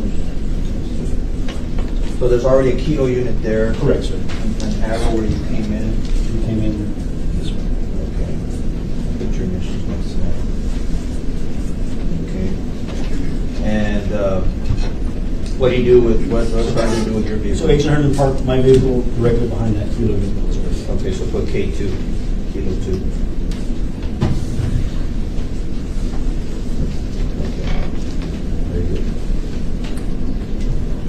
Now you're at the, at the scene. Correct. So as You can have a seat. Just trying to look at my map there as well. Sure. Hectic. Yes, Brenda is like, really would love to see. Could that defense attorney? So let's talk about what you see when you get off the back of your truck. So as we arrived there, like I said, Agent, Agent Herndon parked my vehicle directly behind the kilo unit that was already there, uh, which was Mr. Burgos's unit. They have not, Daniel. I went ahead and me and the EMTs all exited the back of the truck. Agent Herndon also exited my truck. So as, as I got there, um, the EMTs uh, immediately approached uh, the female that was on the ground there. I saw her. She was uh, further down the road in, in front of the, the kilo unit that was already there. Uh, she was laying uh, across the road, kind of at an angle. Uh, she was facing away from me and somewhat face down. Okay, Um, hold on a second. Yes, sir. He's not gonna mark it, but can he show on one oh one where he saw the? the- You wanna go down? I'm gonna have to ask you again, sir. Oh no. Listen, defense attorney, someone on the defense, can you check your phone? Messy bun lady. Please check your phone. Maybe they can't. I just mean, he's gonna stand in front of the camera again. And, and maybe a little further back, just so I know the jurors here on the side. Yes, quickly, on look. right-hand. Okay. All right, Yes. so I just want you to point Now there's no mic. uh, for the jury what you saw. Okay. And You can get closer up if you like. Thank you. So just for, for orientation, um, this is the road that we came in from Bristol, comes right here. And like I said, made this left turn. This is the island that's in the middle. Uh, The first kilo unit would have been parked more or less right here. Uh, My kilo unit was parked right behind that. So as I exited the vehicle, uh, I saw a female's body uh, laying across the road, uh, more or less right around here. Uh, She was, like I said, she was facing away from me, um, somewhat face down. Uh, She had her arm across and then this arm across like that. Um, So I couldn't, I was able to see her face, but I could, see it was a female. She had long hair.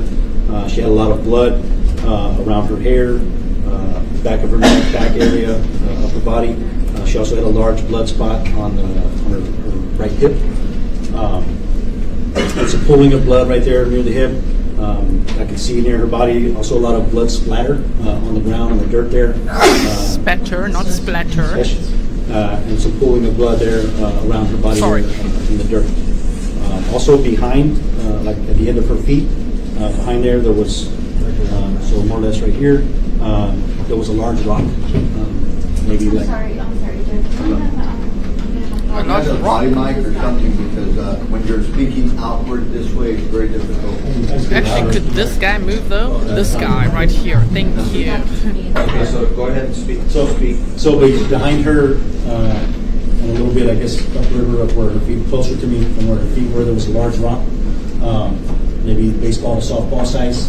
my uh, gosh. rock That was, that was covered in blood, like the whole top of that rock was covered in blood. Oh my Uh, word. Like I said, there was a large amount of pooling and splatter marks uh, in the dirt uh, around her body. Okay, any other objects that you remember noticing there near the body? It's rock. Uh, Right at that moment, um, no. Uh, The, the other agents? remember the- No. Exactly, Jazzy Whippet. He probably put her in the row so he could explore and then discover her. Uh, Wow. further out.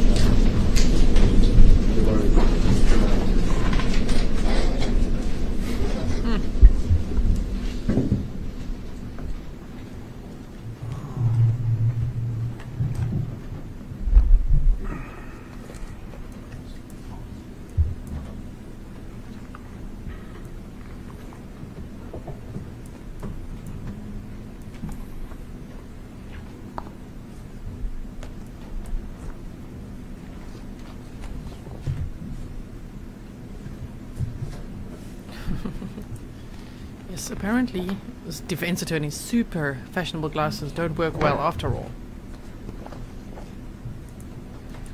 Annette, he's the defense attorney that was talking to the bestie with his glasses down like that and looking at her. so annoying.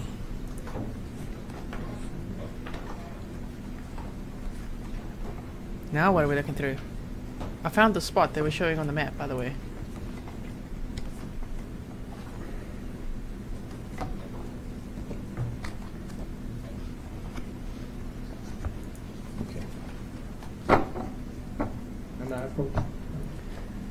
So, Yes.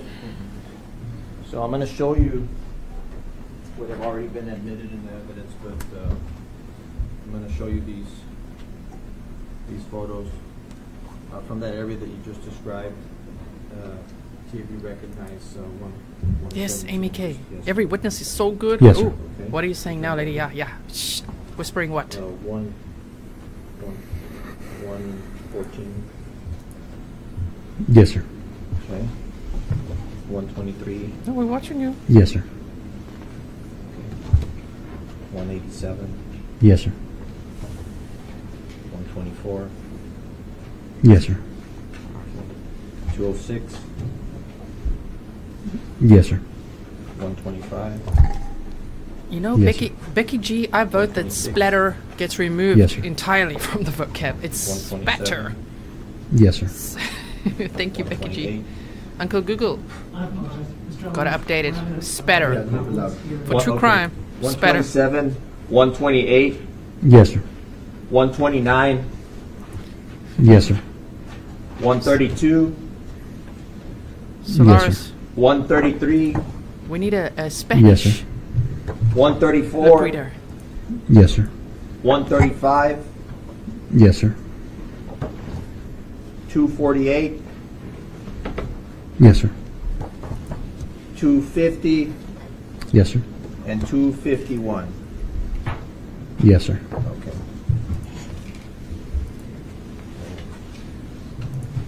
Janet, you need to become a member here on YouTube. Patreon's completely separate. And the wrenches are only for my moderators. I'm gonna show some graphic photos, what he saw. Yeah, I silly little hand. Oh no, okay, they're showing graphic photos. Please don't show us. YouTube will be like, ah. I know we true crimers. So you, you described seeing a female laying face down? Yes, sir. This camera angle.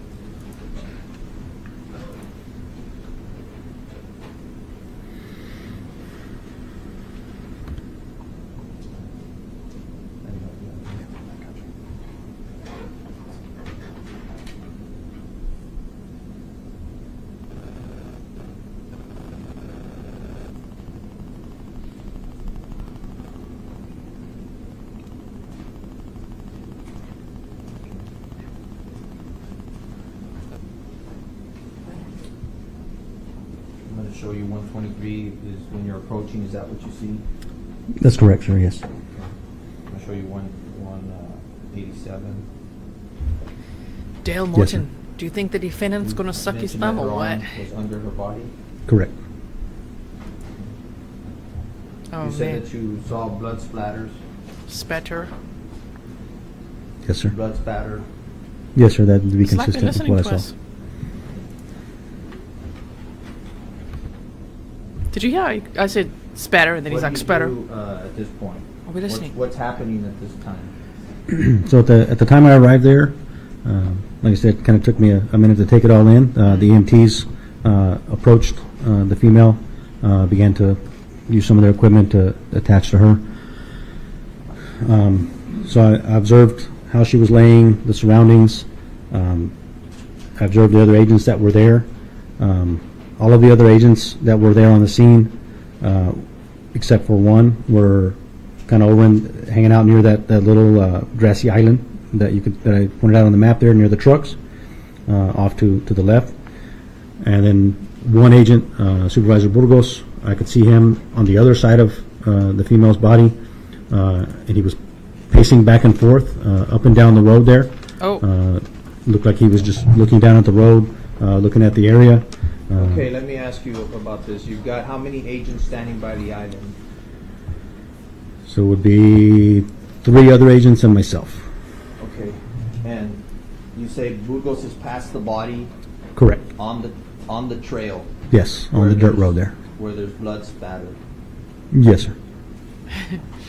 it almost sounds like he heard What are heard your me. impressions It's about what spatter. you're seeing or what's going on? So when I when I saw him down there, um, walking up and down, back and forth, uh, my my initial thought was, well, he shouldn't be down there, possibly contaminating the the crime scene.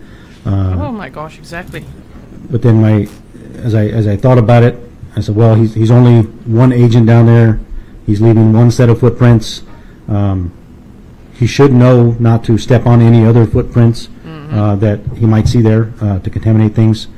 Um, did so he w- his his shoe print footprint should be able to be excluded from any uh, footprints of the any other victims or the perpetrator of this. So at the moment, my initial Stop- Let me okay. stop you there. You Go ahead. boot- Is he wearing the boots at that time? Uh, yes, he was wearing uh, some black boots. Yes, sir. Do you see any prints here that resemble? Uh, yes, sir.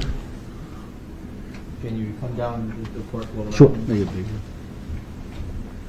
Go ahead. uh, Thank you.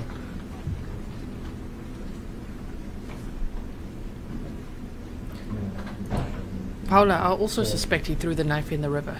Right. A little bit louder on the speaking. Maybe Louder someone, on maybe someone Right could go here, magnet uh, fish. these Blueprints that you can see in, in the dirt right here, those will be, those will match the boots that I observed him wearing that day. Those are a, a Rocky boot, that's one of those boots that I said is, is available on our uh, uniform website to order, um, that a lot of agents wear. Those are the, Oh yeah. the footprint, the foot sign that is left by those particular boots, that, that make and model brand. Uh, will match the system of those. Did you notice any other tracks that were out there as far as?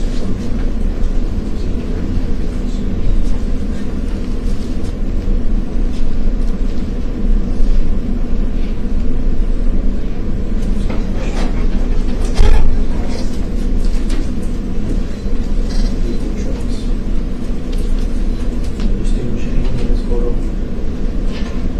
Or just looking at it? And then as well, this, this photo shows some vehicle tracks. Uh, Tire marks, yeah. See some other footprint there, but it's, it's not really all that clear. Nope, they never found them. They never I'll found the knife. one seventeen. So what I'm able to see here, um, was that as I was there observing, seeing and and looking at the other agents that were there, I was able to see uh, some lines that were in the dirt um, that I discussed with the other agents that were there. Uh, At that initial moment, we weren't sure what they were yet. Um, Later, we discovered what they were, but there there would be these straight lines right here, uh, which were consistent with a, with a stroller um, that was discovered there. Um, It looks like it was stopped here and turned sideways. Also in here, I mean, this, uh, right here towards the bottom, uh, you see uh, these same footprints that are right here, these marks, are also consistent with uh, those same boots that Agent Burgos was wearing.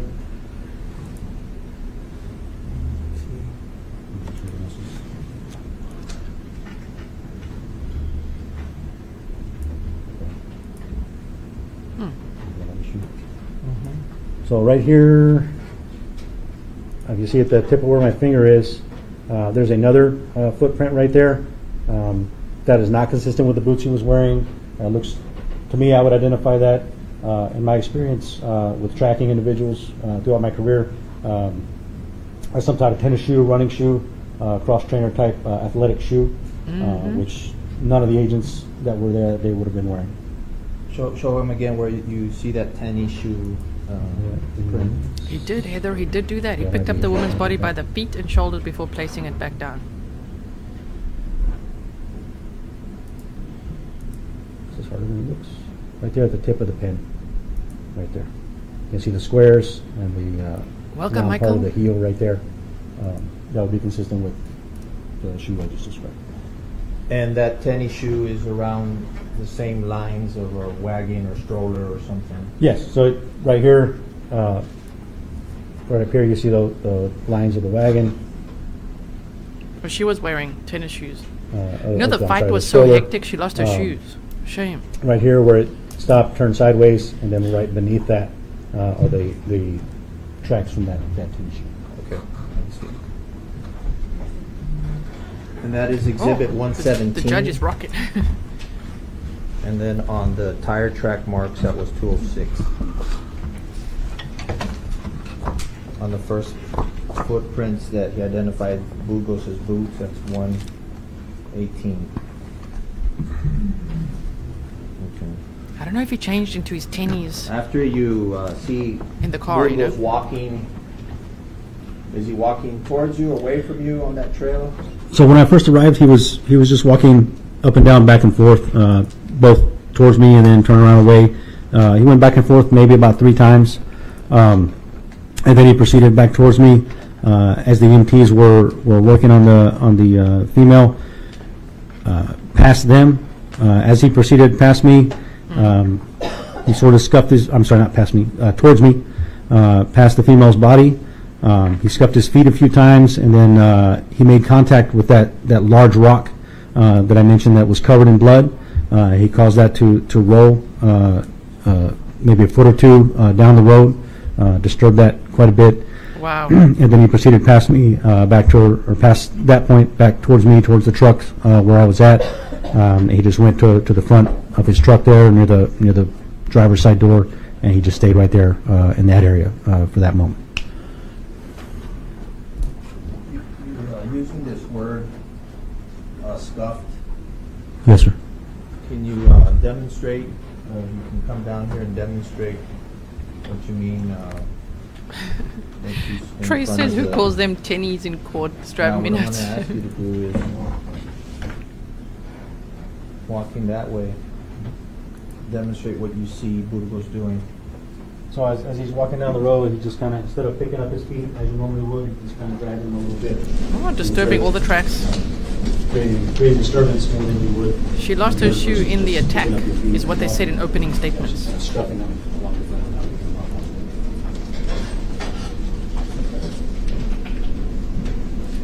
I do know that as well, Phantom. Yeah. I'll see where you go. Thank you. Now, when he's coming back towards you, uh, you say he also uh, kicks that, he literally Literally kicks hits the the rock. rock with his feet. Yes, sir. The same Yeah, rock. I mean, he doesn't haul back and kick it like he's kicking a soccer ball or football or something, but yeah, he definitely, like you said, scuffs those feet, disturbs that rock, kicks it, moves it, you know, a foot or two down the road, causes it to roll. Wow. And that rock in relation to where the body was? So it was uh, a little bit closer to the trucks and kind of behind her feet uh, on the road there. Okay. With- It was within a couple of feet of, of her, of her feet there.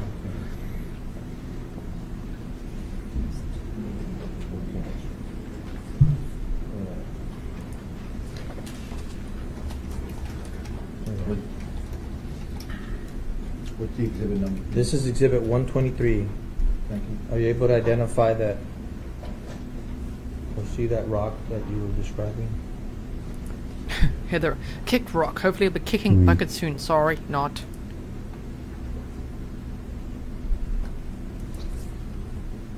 I do wonder. They must have searched. I know there were boats. I'm going to show you On the river. 257, exhibit 257.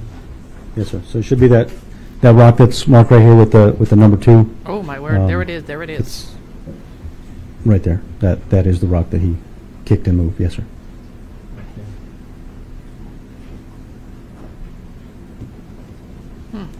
Shame. This guy.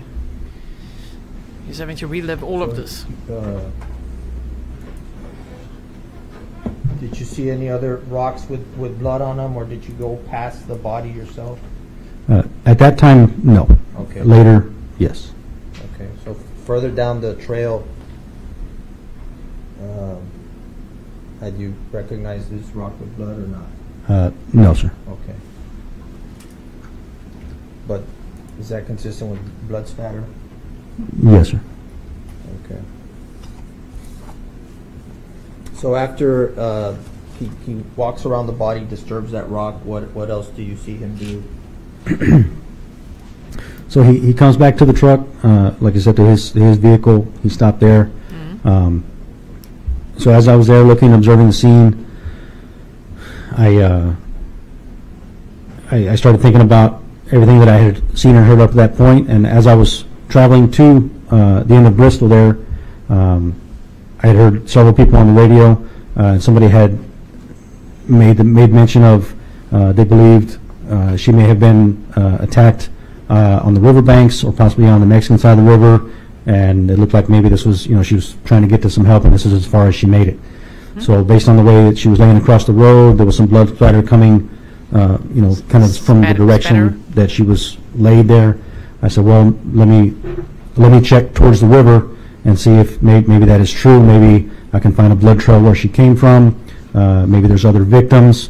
Possibly the perpetrator that, that did this is still in that area near the riverbanks. Uh, so, Let me stop you there. Yes, sir. Are you armed at this time? Yes, sir. So, How are you armed? So at that time, I, I was armed, I was dressed in the same uniform right now, armed with a sidearm. Uh, I also retrieved uh, my rifle from my vehicle. I had a, a service issued in for a rifle. Retrieved that, uh, and I went to Agent Burgos and I let him know, hey, I'm going to go check this brushy area towards the river. If you can uh, step down here and show the jury your steps, where you went, looking around, what you did on- while you were So as, as we mentioned, truck one, truck two right here, body was here, just for orientation. So I left my truck, I went to Mr. Burgos, I said, I'm gonna go get into the grass here, I'm gonna check towards the river, uh, try not to disturb anything, if I find anything evidentiary, and look for any other, any other possible victims, uh, perpetrator, anything where she, where she came from. So. Where's the river here? River is down here. Okay. So this is actually part of the clearing area where they cleared carrizo out. You can see it's kind of clear. right here. So I went into the grass right here near the trucks, near the front of the, of the trucks. I decided because she was laying at an angle this way, I'm going to search from from more or less where she's at back this direction because it just looked at a glance that that's where the direction she was traveling uh, when she she stopped there. So I went into the, into the grassy area there, right off the edge of the road, uh, started searching, uh, kind of zigzagging back and forth, looking for any kind of blood trail coming from that, uh, that direction, any kind of disturbance in the grass, any fresh grass trail, anything laid down that indicate that her or anybody else had traveled from the river that way. Did you find anything? I did not, sir. I went all the way to the riverbanks, uh, did not find anything uh, in that direction. So I came back to my vehicle. Um, I let Mr. Burgos know I hadn't seen, seen anything uh, of interest over there that, that would indicate uh, anything. So I put my rifle back in my vehicle, uh, waited a short time longer. At that time, uh, there had been a couple of uh, uniformed PD officers, and I believe uh, one or two detectives had showed up at the scene as well. Um, the EMTs were leaving. Uh, they had already disconnected the equipment from her. Uh, I heard them make mention that they believed she was she had been deceased for probably about two hours at that point. So as they left, I asked them. I noticed that she didn't have shoes on on her feet. So I asked them, "Hey, did, did you guys take her shoes off?" And there was a there was a shoe laying on the ground next to her. I said, "Did you guys take her shoes off?" And they said, no, no, we, we didn't take her shoes off, they were already, she was already barefoot, uh, but we did cut the back of her pants. They cut the back of her pants open to attach whatever equipment they attached to, to her legs there. Um, But other other than that, they, they said they did not disturb the body.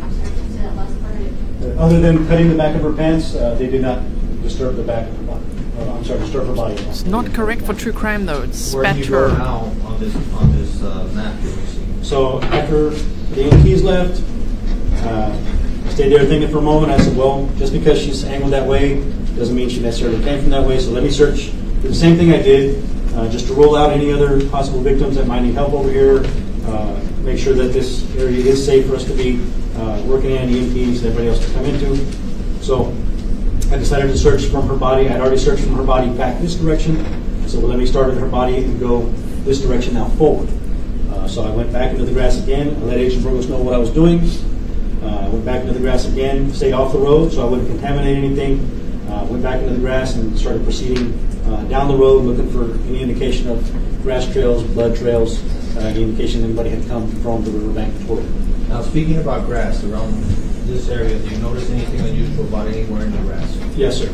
So as I proceeded uh, further down down the trail here, uh, along, along off the edge into, into the grass, um, I got up to more or less this, this location here. Hadn't seen anything yet. Um, and then I noticed a, large area of grass, maybe about four or five feet uh, in diameter, uh, that was all smashed and matted down right off the edge of the road. Um, like maybe a foot off the road right there, maybe two feet off the road, a large area of grass uh, that was smashed and matted down. That looked like someone had either sat there, squat there, uh, knelt down there. Uh, they had spent some time right there. Uh, it wasn't somebody walking through. Interesting. Um, Now, you know, talk about your, your training and years of looking for sign Okay. or cutting. Explain to them what, what that is. So at this point in time, I, I had been in Border Patrol for almost 18 years, just shy of 18 years.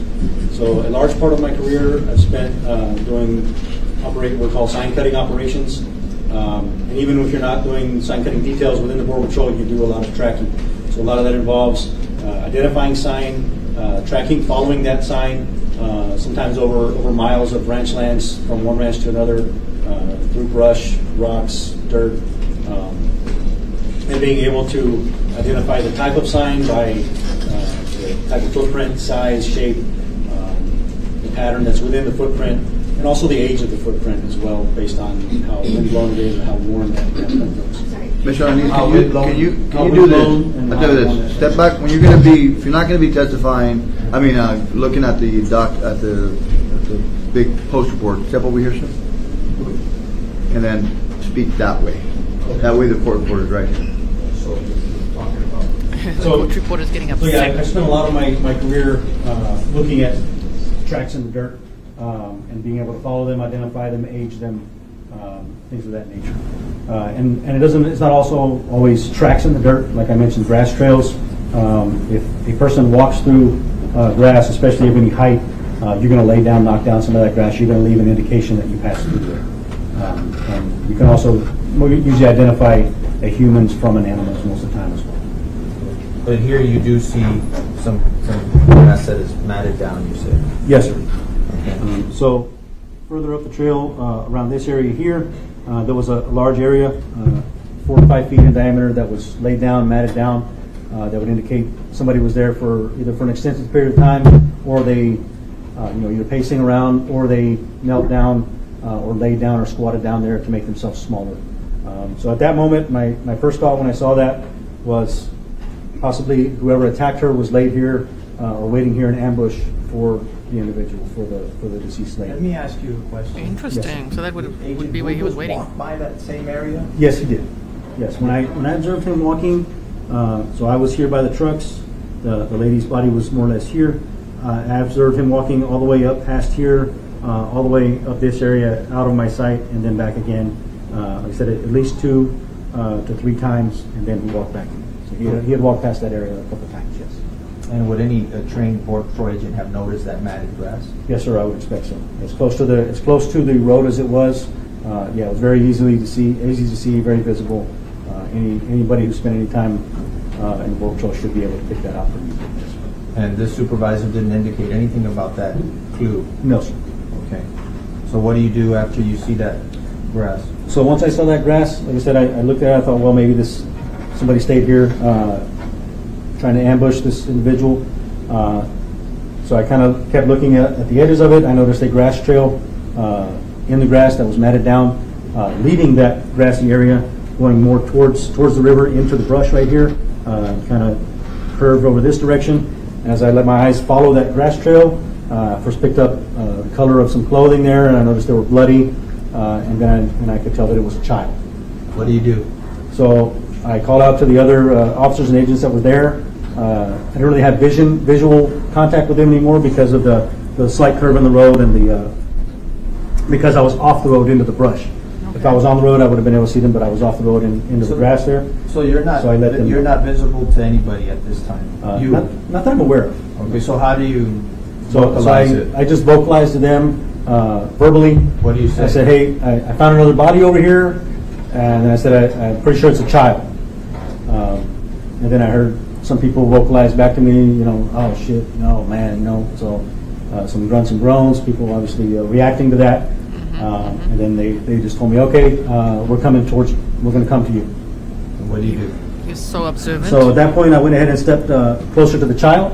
Um, uh, Obviously, first uh, priority there was to see if there was any signs of life from the child, if there's anything we can do to to help the child. Uh, As I approached, uh, I didn't make contact physically with the child. I approached it within about four or five feet. Um, I was able to uh, observe the child there. Um, He was laying face up. Um, His head was turned to the right. He had quite a bit of blood on his uh, his shirt, um, some on his pants. Uh, There was a large, uh, I wouldn't say large, there was a, was a cut here, a visible cut on the, on the side of his neck, uh, right where your, his carotid artery would, artery would be. Uh, there was a, a pool of blood, on the grass, from that. You could see blood, uh, that was coagulated already on, on his neck there. Um, his mouth was, uh, partially open. Uh, his eyes were, were open about halfway. Uh, I watched his chest, uh, to see if I could see any signs of breathing or anything like that. I saw no signs of respiration at all whatsoever. And then there was, there was some flies also beginning to, to That's terrible. gather on him. So as another officer uh, approached me, uh, got to my location, uh, he asked me, "Hey, did, did you touch the child at all? I said, no, I have not. Described to him what I observed. He observed the same thing. Uh, At that point, somebody had already, had also asked, hey, do you need EMTs back? Uh, And I told him, no, I'm pretty sure we're past that point. Uh, once, also with the knowledge that they told me that the the female had been deceased for two hours as well. Uh, So the other officer showed up there, he agreed with the assessment, so now I'm pretty sure the child's been deceased for, for an amount of time beyond our help. What do you do after you uh, see the child? Uh, What else do you do? So from here where the child was, I went ahead and, uh, me and that same, that officer that uh, showed up there, we moved back closer to the road. Um, uh, I believe some other officers and and detectives were also coming towards us at that time. So as I, I was standing inside the grass here, and I looked across the road this direction, I was able to see sticking up out of the grass um, uh, a wheel sticking up there and part of uh, uh, just some, some cloths, the bar sticking up. uh, And it, it caught my attention right away as, as I looked across the road because it was very, very clean, looked new, it didn't look sunburnt, sun faded. Uh, It was plastic and rubber, so usually when those things are outside in the elements, uh, obviously they, they become uh, eroded by the sun, the color will fade on, they turn whitish, grayish. Uh, This didn't look like that at all, it looked, it looked very clean and new. Can you show us where you saw that? More or less? So he threw the stroller as well, which we know, so they showed So that as the well. child was more or less uh, in this area, and there was, it was across the road here uh, in the grass. It was, What, what was it? uh, So that, that was the stroller. Um, So as I, as I looked at it across there, uh, I called out to uh, the other agents that were there, because we had been discussing already uh, those lines that I mentioned earlier in the road uh, that stood out. Um, And we, we hadn't really figured out what they were yet. We had talked about them maybe some kind of cart or wagon. Uh, So I called out to the agent and said, hey, I I think I found uh, the cart over here. And uh, I said, I think it's a stroller. So I called out to them, and then when I said that, I heard uh, Supervisor Burgos from the area where he was at. He was over with all the other agents near the trucks. I heard him respond, and he said, "Oh yeah, I, I saw that, uh, but I just thought it was some kind of something garbage, just some trash thrown there." Uh, Here's your pen. Yeah, Pernille, we already saw a picture of it, but will we see the stroller today? Maybe, probably.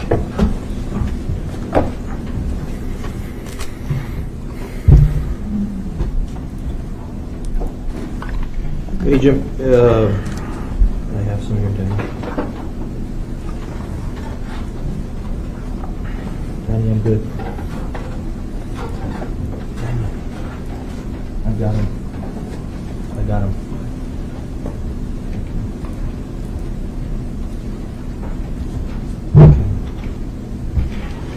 Did you find anything else while you were out there?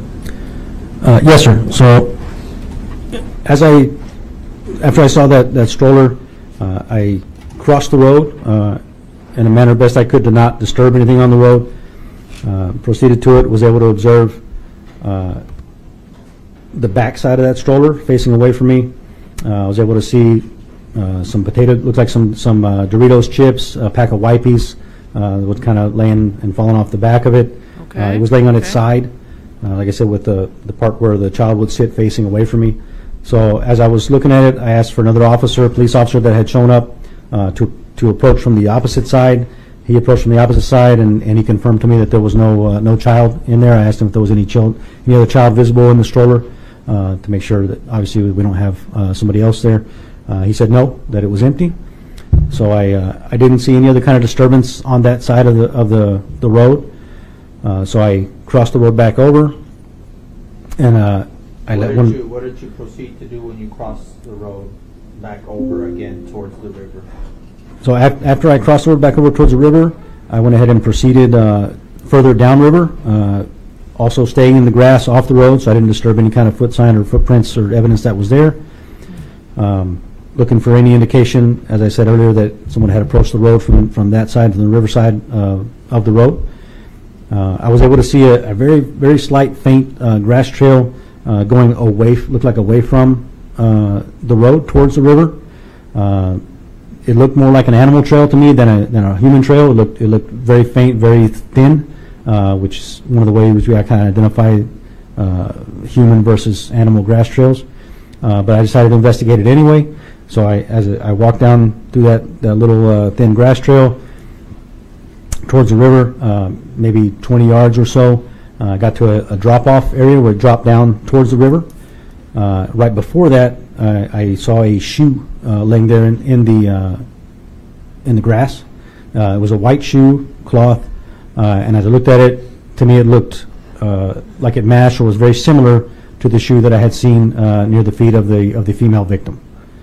Uh, so I Call out again? called out again. Uh, I asked over there, I said, hey, can you get- describe to me the shoe that she's wearing? Is there any kind of markings on it, any kind of brand, anything like that, the shoe that, that's near her body?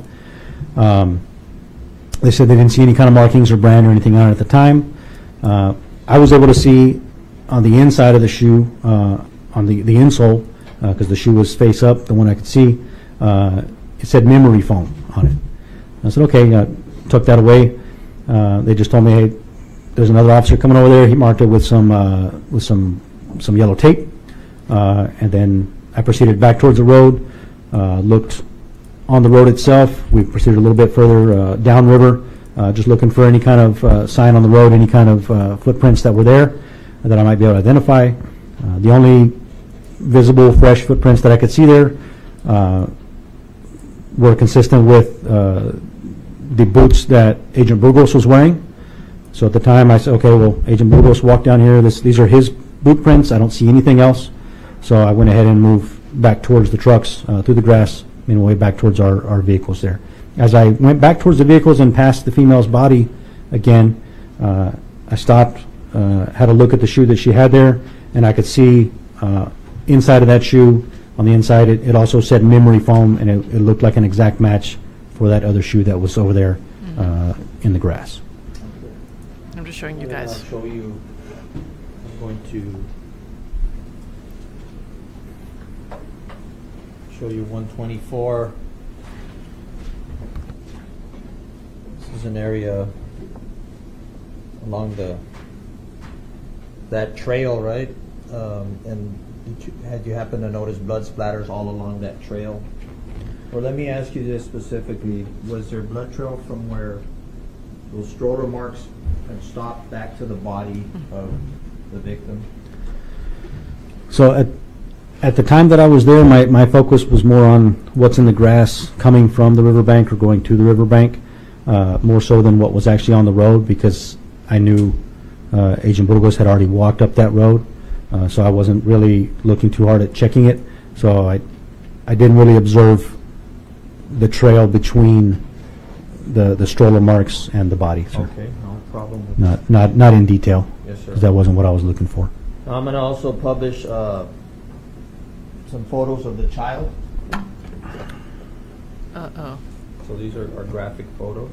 Okay, for trigger warning for the audio then. Sure they're not going to show us. Show you one twenty-five. Can you see what, tell the jury what we see here? Uh, Yes, sir, that, that would be consistent with the view that I saw from uh, the area where I saw the, the matted down grass near the road, uh, looking towards, in- into the brush area, uh, when I first noticed the child. Uh, That would be pretty much the, the view that I had there, or some, something similar to that. I'll show you one twenty-six. How does he Yes, do sir, that would be Such a as you weird way to closer sit. approach the, the child there. One twenty-seven. Yeah, you better look, bro. Yes, sir, that would be consistent with what I I saw that day. Is he trying to look upset?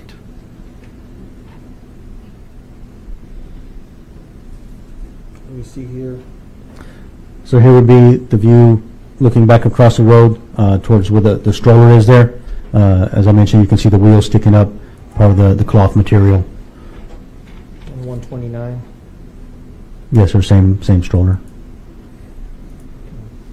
Yes, Johnny Dennison was really working the scene. He sounds like a detective. Yes, sir, that would be the view from So the- the back of it where I could see into it.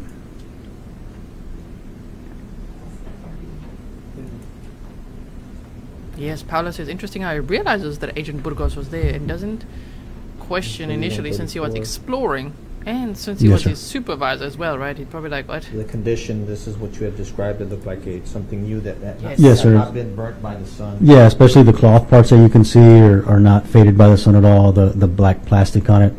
Um, you also said that you had seen uh, some wipes. Correct, sir. yes, sir. The oh, wipes are laying on the ground right here. Doritos are, are right there. Shame. Okay. And that's one, 135. I'm going to show you uh, 248, uh, this picture of the shoe. Yes, sir. Yes, sir. That's the that's the white shoe that I found in the grass. Okay, 251. Yes, sir. Same shoe. And I'll show you a 250. Yes, sir. Same shoe. And he was there contaminating the crime scene. That was near the victim. Yes, sir. Correct. Elaine, yes. oh boy. GG Golfer Girl, thank you for spoiling the mods. I'm gonna show you, uh, one forty-nine, this is an aerial view. Do you recognize this area? Yes, sir. Um, you want me to point out anything specific, or? No, well, these, these particular vehicles, Yes, sir. The bottom vehicle in the picture there would have been Mr. Burgos's truck. The one above that, behind it, would have been my truck. Yes, sir. Oh, okay.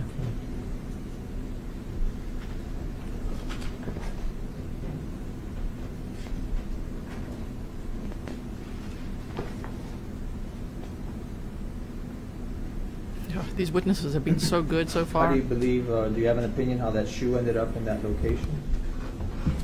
Uh, To me, it looked like it was probably tossed over there because there wasn't, like I said, a, a clear grass trail going to it that looked like a human grass trail. Uh, Like I said, there was just a a hint of a- an animal grass trail starting towards it, and then after that, there wasn't really anything until I just, I got to that area and looked around and found that shoe. So to me, it it appeared like somebody tossed or threw it over that direction. Same thing with the stroller. Uh, When I looked at, when I crossed the road from where the the child's buddy was towards the stroller, Uh, I was able to observe the, the tracks of the stroller there, the lines, and they, they went forward and then look- they turned sideways and then they just disappeared. It didn't look like it was rolled into the grass. It looked like it was probably picked up and tossed into the grass. And there was no grass trail going from the road to the stroller. It was just there. Let me follow up on that. So, from the tracks that you saw, the stroller tracks had a stopping point. Correct. Is that? Yes, sir. Yes.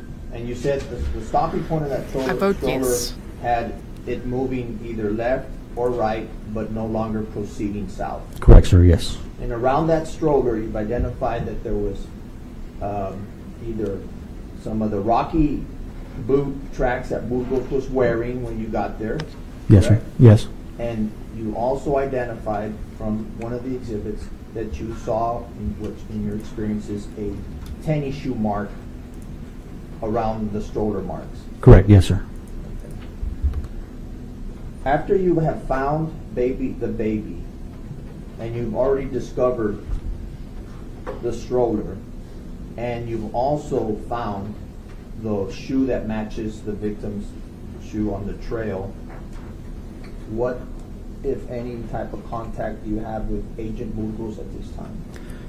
So after I went back to our, our vehicles, uh, I, I should say on the way back, uh, I was asked by one of the detectives there uh, to write a, a written statement, uh, synopsis of just what I had uh, seen and observed that day.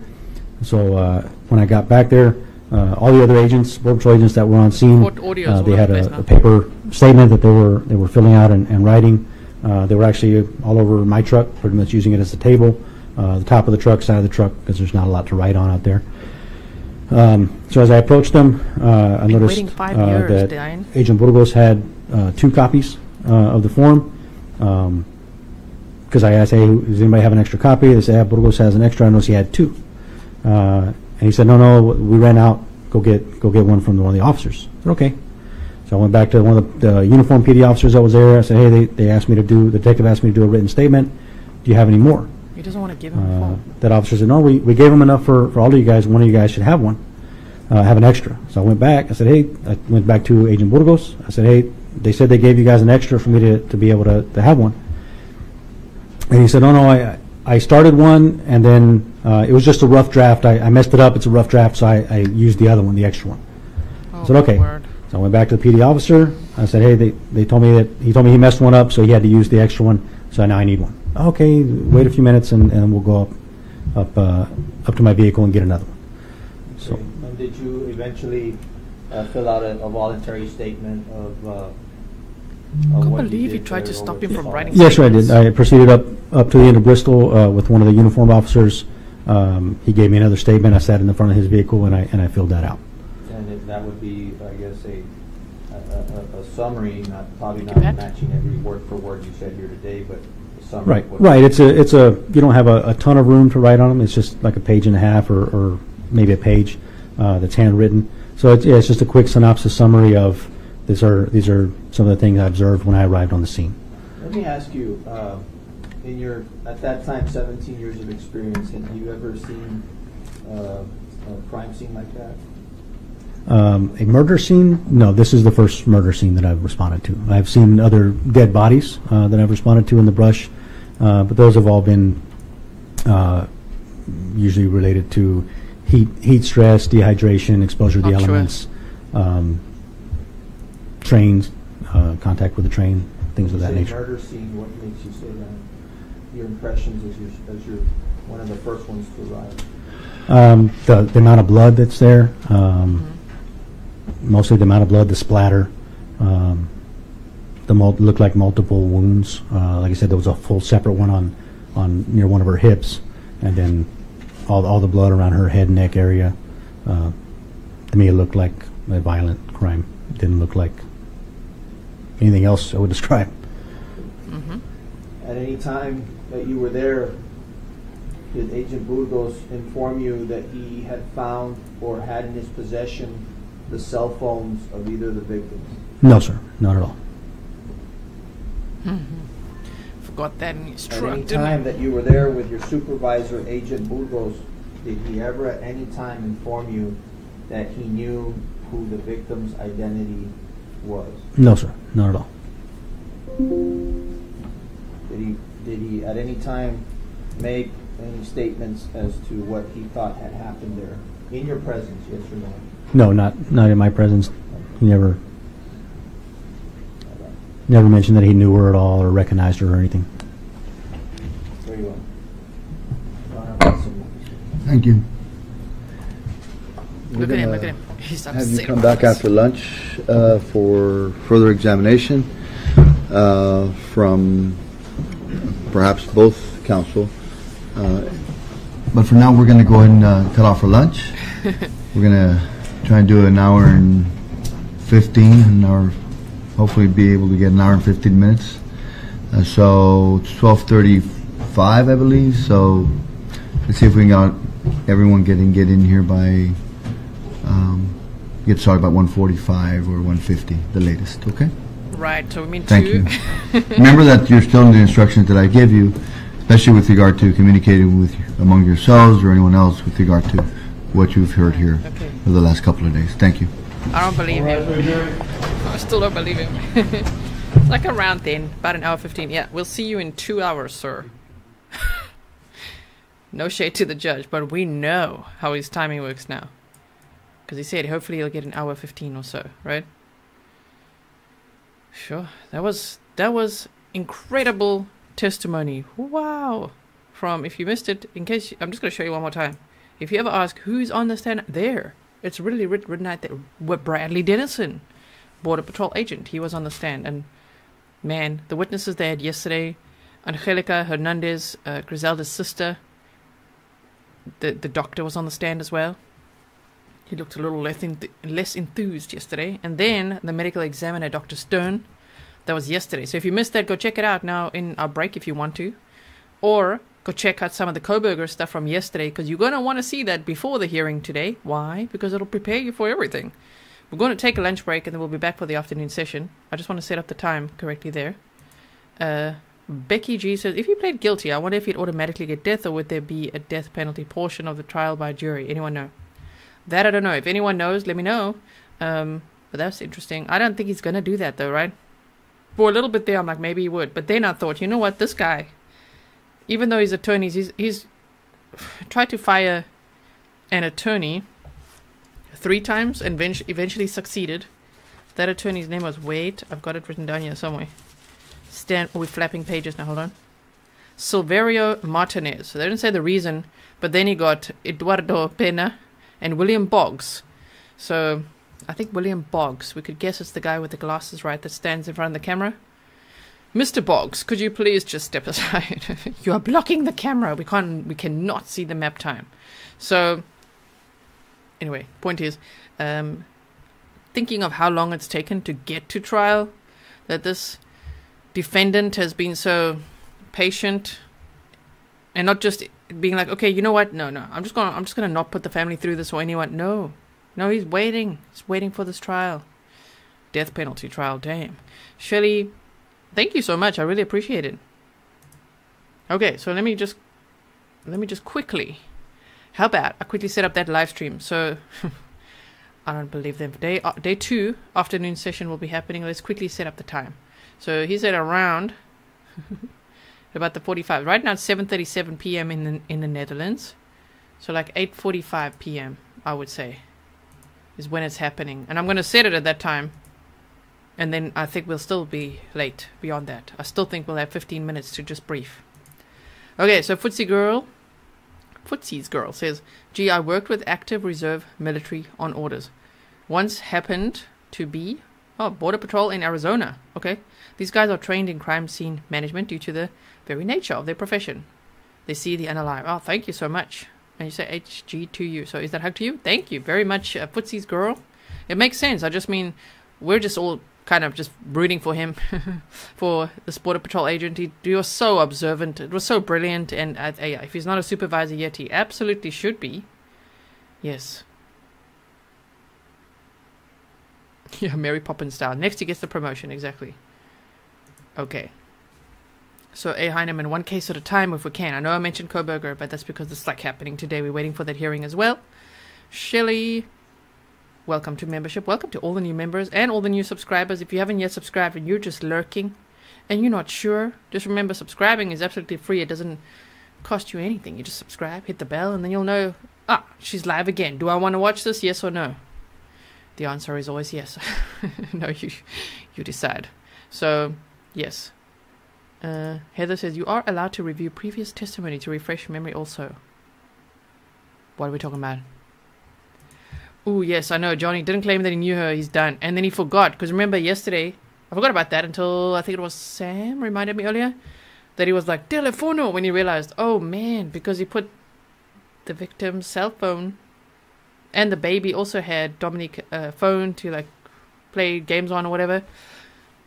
I think there were two phones that he put in his vest, and then that was in his truck. And he realized, oh crap! Like the, their phones are in my truck. So yeah, within one hour, from zero to within one hour, he was arrested. Yes. Hello, Dar. I am South African. If you are brand new here, I'm South African, living in Holland, which is the Netherlands. I'm living in the Netherlands, which is Europe. Yes. Uh, so thank you so much for being here. Yeah, the bag lady says always subscribe so you can stay in the know. I mean, why wouldn't you want to know? Why wouldn't you want to know? And it's not like those annoying spammy newsletters that you subscribe to.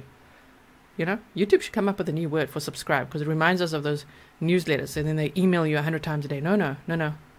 Don't worry. You only get three notifications per 24 hours on YouTube. so you won't get spammed. Uh, but I do a lot on this channel, so you don't want to miss out. All right. So anyway, this witness was so good. There's actually so much to go over. I'm gonna I'm gonna look at it with my notes, and when we come back, we can rather go over it then. Or if you want to go back in the stream and watch a little bit, do that. Do that. Let me quickly make sure that I'll send the link, okay, for the stream, number one. Um, let's find it for you. This is where the next stream is happening. Wait. Day two afternoon session. Here it is. I put it there for you. I'm about to make it public so that you can find it really easily. And I'm going to make sure that this stream leads to that one, okay? This guy was just, I don't know how he thought. He thought he was so smart. Ambushing them like that. Wait, we want this stream to lead to that stream. Yeah, it should. Okay. It should. Rhino says, this is actually a YouTube group that started as Americans wanting to learn South African taught by someone in the Netherlands. Yeah. That's the theory. Thank you so much, Rabbit. You say this is the only true crime channel I watch. So I'll be monitoring when they come back. They said they'll be back in an hour 15, so just think about it. They've just walked out now. So we'll be back here in about an hour or so. And then we'll continue on with day two, afternoon session. If you didn't know, and you're only tuning in now, this trial is set to last for three to four weeks. I wonder, you know, they said the prosecution would take a week to a week and a half. I don't know if the defense is going to take another week and a half. To me, it feels like this trial could be wrapped up by next week Friday, but let's see. Maybe it is three weeks. I'm just thinking, is the jury going to come back next week Friday? Hmm? Already with a verdict? Hmm? I don't know. If, it doesn't feel like this is a, a very challenging one. However, it's a death penalty case, so they have to consider very carefully. Yes, uh, be kind to take a bow rest to your cell. Well, I'm probably going to talk Mr. Grizzly's head off now. Update him. this is what's happening in this case. No, I'm going to rest for a second and then I'll be back. Um, thank you so much for being here. And did you get the link to the stream? One more time. I don't want you guys to miss it. If you're on Patreon as well, you get the link. Here it is, okay? Go to the stream next if it doesn't lead you there. Here's the link. putting it in chat. Okay, then I'll see you there. Bye.